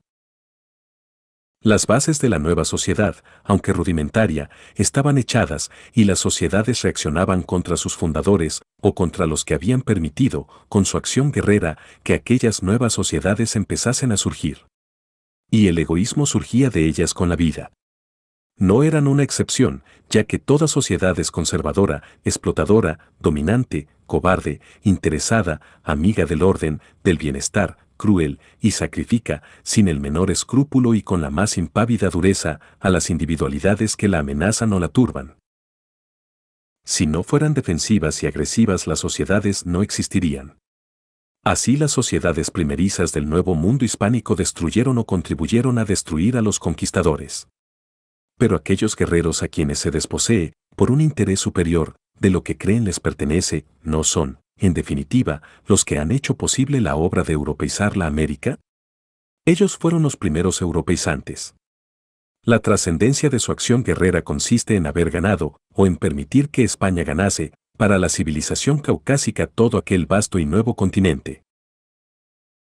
Cuando pasó el ardor juvenil, cuando terminaron las empresas heroicas de conquista, cuando no hubieron fortuna en la guerra o cuando perdieron la que habían, los conquistadores, ya desposeídos, o se insurgen o suelen ocurrir al Estado, acaparador de la obra que ellos, a pecho limpio y por modo espontáneo, realizaron. El Estado era el rey.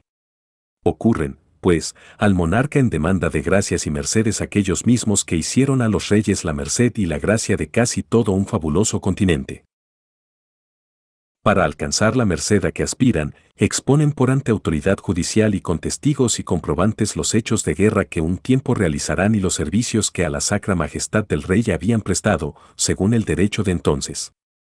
El derecho de entonces confundía o asociaba las ideas de patria y de Estado con la persona y los intereses del monarca. Poco a poco se fueron extinguiendo. ¿Cómo se extinguieron los conquistadores? Aquella generación violenta, sanguinaria, heroica, que había vivido con el hierro en la mano, murió, puede decirse, con el hierro en el pecho, ya en guerra con los indios, ya en guerras de unos contra otros, ya ajusticiados por el gobierno español. Los más felices, aunque no los más ilustres, fueron artimañosamente puestos a distancia de toda actividad política y militar. Otros pasaron el resto de su vida oscuramente, solicitando mercedes reales y probando, para tratar de obtenerlas, los méritos contraídos durante la conquista. El Estado español, en el ejercicio de su obra civilizadora, por una parte, e injusto y acaparador por la otra, quiso pronto sustituir aquel régimen de violencia y aquellos hombres de ímpetus y pasiones sin freno por un orden estable de administración y por los eternos áulicos y burócratas de todo cesarismo. Ya centralizado el gobierno en manos del monarca y de sus representantes, fueron arrumbados o perseguidos los descubridores y conquistadores que no se sometieron. Desde temprano, a Colón y a Cortés la corona les pagó mal. Ambos fallecen en Europa, dolidos de la regia ingratitud. Con Belalcázar no fue menos demostrativa la ingratitud regia. Cayó en desgracia el gran soldado y fue a entregar sus huesos, destituido de todo cargo, en la oscuridad de uno de aquellos rincones del planeta que había convertido él en tierra española. ¿Por qué? Porque cometió un crimen imperdonable para la estrechez de criterio de una corte, faltó a la etiqueta, se presentó vestido con fastuosidad y cubierto de pedrerías cuando la corte estaba de duelo por la muerte de la reina. El no ser un palaciego vil, un chambelán etiquetero, un cortesano de lágrimas mentirosas, el no ser sino un héroe, un héroe fabuloso, le granjeó la enemiga del trono. Balboa muere asesinado jurídicamente por el gobernador Pedrarias, el virrey Lagasca hace perecer a varios conquistadores en el Perú, en el cadalso político muere Gonzalo. Pizarro, y a un hermano de este, Hernando, lo mantiene el rey preso en Madrid y Medina del Campo durante 20 años, de 1540 a 1560. El fin de casi todos los demás no es menos trágico. Almagro muere asesinado jurídicamente, como Balboa, por sus compañeros los Pizarro, Francisco Pizarro perece a estocadas y a tiros de sus compatriotas en rebelión. Fallece Valdivia a manos de los araucanos, García de Paredes, a manos de los caribes, Fajardo, conquistador mestizo de tierra firme, asesinado por Alonso Cobos, Alonso Cobos, ahorcado por los amigos de Fajardo. Lope de Aguirre declara la guerra a Felipe II, creyendo y diciendo que tiene tanto derecho sobre las Indias como el rey. Entre los soldados del rey y los propios marañones del tirano lo asesinan y despedazan en Barquisimeto. En el Tucumán argentino, el gobernador Abreu ejecuta a Jerónimo de Cabrera, su antecesor, y a su vez Hernando de Lerma hace dar muerte a Abreu, para morir luego miserablemente en España. Un largo periodo de anarquía entre los conquistadores y de rebeliones contra toda autoridad había seguido a la conquista. Los odios de los conquistadores entre sí eran tremendos, y contribuyeron primero a lo azaroso de su vida y luego a su exterminio. Preso Almagro, se le asigna por guardián a un hombre llamado Alonso de Toro, enemigo del vencido. Un cronista pone en boca de ellos el siguiente diálogo, que, por lo menos en esencia, debe ser exacto. Por fin vas a beber mi sangre, le dice Almagro. Y esa es la mayor fortuna que Dios me concede, contesta Alonso de Toro. La lealtad no andaba con más cautela que el odio. Hallándose acostado Francisco de Almendras, soldado cruelísimo de Pizarro, se presentó su amigo íntimo y compadre Diego Centeno, vendido al bando de la Gacea. Almendras invocó la antigua amistad y el compadrazgo para pedir la vida. Centeno lo mandó degollar. Luego, uno de los parientes de Almendras envenenó a Centeno. Pedro de Puelles sirve al virrey Blasco Núñez de Vela. Insurreccionado Gonzalo Pizarro, Puelles se pasa al campo de este, traicionando al virrey. Después traiciona a Gonzalo y se pasa al nuevo virrey. Muere asesinado, y su cabeza la colocan de escarnio y ejemplaridad en el mismo sitio donde él colocara la del virrey Blasco Núñez. Martín de Robles, como Pedro de Puelles, traicionó al virrey. Después, cuando la estrella de Gonzalo declina, traiciona a Gonzalo. Lope de Aguirre, hombre de poco fiar, que mudaba de bando con la mayor facilidad, firmó desde que dio muerte a su jefe Pedro de Ursúa, Lope de Aguirre, el traidor. Lo que luego dirán otros de mí, lo diré yo antes, pensó tal vez con cínica lógica. En extremeños, vizcaínos, andaluces, castellanos nuevos y viejos, en todos se borran o esfuman las características de las distintas provincias a que pertenecen, en todos aparece. El tipo psicológico del español castellanizado. Todos pertenecen a la misma alcándara de rapaces. Dieron lo que podían dar, impulsividad, combatividad, fortaleza de ánimo y de cuerpo para resistir pesares y fatigas, toda suerte de virtudes heroicas. Esto, por una parte, por la otra, ignorancia, intolerancia para las opiniones ajenas, máxime cuando se refieren a cuestiones de religión, ambición de adquirir oro al precio de la vida, si llega el caso, exponiéndola en rápido albur, antes que obtenerlo por esfuerzo metódico, paciente, continuó. A ello se alió un orgullo sostenido, que da tono y altura a la vida, aun cuando degenera a menudo en arrogancia baldía y frustránea e incontenible desprecio por todo derecho que no se funda y abroquela en la fuerza. Fueron políticos malos, pésimos administradores, echaron simientes de sociedades anárquicas, crueles, sin más respeto que la espada. Fundaron un imperio, sin proponérselo, sacando bueno el postulado del pesimismo alemán, el fin último de nuestras acciones es ajeno al móvil que nos impulsa a obrar. Muy pocos de ellos, muy pocos, se restituyeron a vivir en calma, felices, en Europa. Como iban a resignarse a vivir en la estrechez de sus pueblos, en Europa, una vida sedentaria, regular, tiranizada tal vez por mísero alcalde, ellos que habían dominado razas y descubierto y paseado continentes. Aunque en Europa nacidos, dieron lo mejor de su esfuerzo, de su vida, su muerte y su progenia a América. Son nuestros abuelos. Son nuestras figuras representativas de entonces, apenas oscurecidas en la admiración popular, tres siglos más tarde, por los libertadores. Los descendientes directos de aquellos hombres formaron en América, por lógica imprevista, una suerte de oligarquía o aristocracia. Durante siglos enteros fue timbre de orgullo descender de los conquistadores, y en aquella sociedad, dividida en castas durante el régimen español, hasta se solían fraguar ingenuas y fantásticas genealogías para probar que se entroncaba con los primeros civilizadores llegados de Europa. Pocos sintieron el orgullo de originar en los grandes caudillos indios. Esa es la suerte de los vencidos, el desprecio. Ser nieto de conquistadores por ambos lados era patente de limpieza de sangre. Hijos, nietos de conquistadores, qué altiva satisfacción. Olvidábase que los primeros mestizos fueron también hijos de los primeros conquistadores. Equivaldría, además, el descender de conquistadores, o suponérselo, a pertenecer por derecho propio a la casta de los dominadores. La aristocracia de la espada fue siempre preocupación en la América de lengua castellana, hija de España, país guerrero. Capítulo 12. Palabras finales. Ahora, conclúyase. Resulta fácil reprochar a los conquistadores el que supieron en grado máximo destruir lo existente, desde naciones hasta sistemas de gobierno, y que no supieron en el mismo grado sustituir lo que destruyeron. El reproche tendría tanto de verdad como de injusto.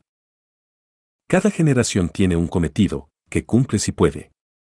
Es decir, cada generación debe proponerse un ideal y, de acuerdo con sus fuerzas, caminar hacia él. Y la generación española de los conquistadores cumplió a maravilla el encargo del destino. Su deber no consistía en aprender a gobernar ni en ser maestra en el ramo de la administración pública. Consistió en hallar mundos, descubrir tierras, subyugar razas, derrocar imperios. En los conquistadores, además, existían deficiencias de raza que los incapacitaban para fundar administraciones regulares e intemperancias de carácter, intemperancias de oficio y excitaciones del medio bárbaro, para que los leones pudiesen convertirse en corderos, los fanáticos, en filósofos, los hombres de la guerra bárbara contra el indio, en burgueses pacíficos. No fueron administradores, es verdad. No tenían por qué serlo aquellos soldados. Robaron, es cierto, a los vencidos, pero ser despojados, por el vencedor, y no solo de bienes materiales, sino de sus mujeres, de sus dioses, de su idioma, de su soberanía, es lote de los que se dejan vencer.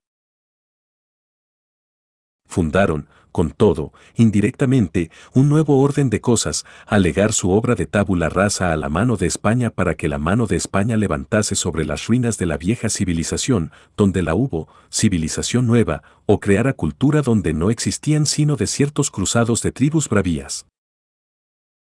Porque debe hacerse hincapié, a punto de concluir, para mejor comprender la obra de los conquistadores y de España, en algo que se indicó ya en el curso de la obra, con respecto a los indios, a saber, que eran naciones las indias en diferentes etapas de civilización.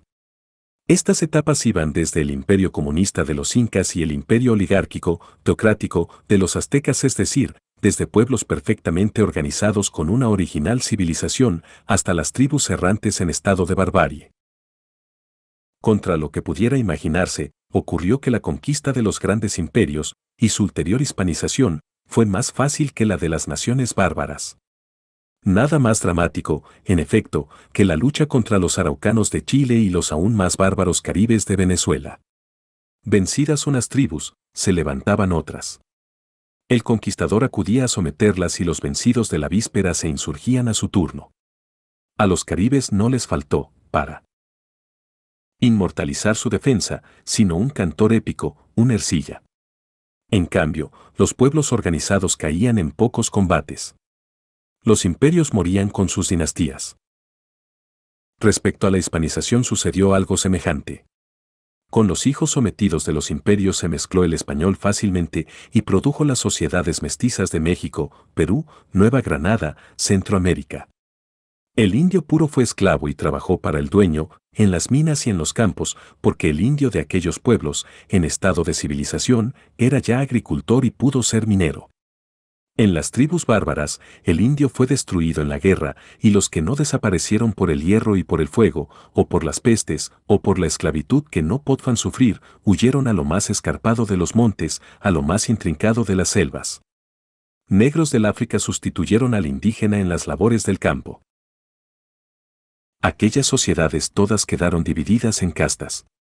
Estas castas se aborrecían unas a otras andando el tiempo, y por obra de las guerras civiles, de la forzosa convivencia secular, de la evolución democrática de las ideas y del temperamento sensual de los habitantes, aquellas castas se han ido fundiendo con lentitud y extrema repugnancia, y han ido dando origen a sociedades heterogéneas. Pero en estas sociedades impera, sobre todos los demás, el elemento caucásico. Aún en aquellos pueblos en que está en minoría, la raza blanca les infunde su espíritu. Ella impera en sociedad, de modo exclusivo, celoso e intransigente, posee la riqueza, es ama de la tierra, practica el comercio, ejerce el poder público e impone sus ideas culturales. En muchas de estas sociedades el elemento superior, el caucásico, no ha sido renovado todavía en cantidad suficiente para absorberlos por completo a todos. Tarde o temprano ocurrirá. En algunos países ya ha ocurrido. Pero vuélvase a los héroes de la conquista, primeros progenitores de las actuales sociedades americanas. Gracias a ellos pudo España crear lo que, bueno o malo, existió durante siglos y fue raíz de lo que existe hoy y en lo futuro existirá. España, por su parte, dio lo que tenía. Pobre fue siempre en hombres de Estado, en ascendistas, en buenos y pulcros administradores de la cosa pública, fértil en burócratas inescrupulosos, en jueces de socaliña, en oligarquías que pusieron su conveniencia por encima de la conveniencia de la nación. Largas páginas se han dedicado en esta obra a comprobarlo. Lleguemos ahora a la conclusión de aquellas prolijas premisas, cómo iba a darnos España lo que no tenía. ¿Cómo culpar a los conquistadores de ser como por herencia, por educación, por tradición, por oficio, por época y por medio tenían que ser? La historia no se cultiva por el placer baldío de condenar ni de exaltar.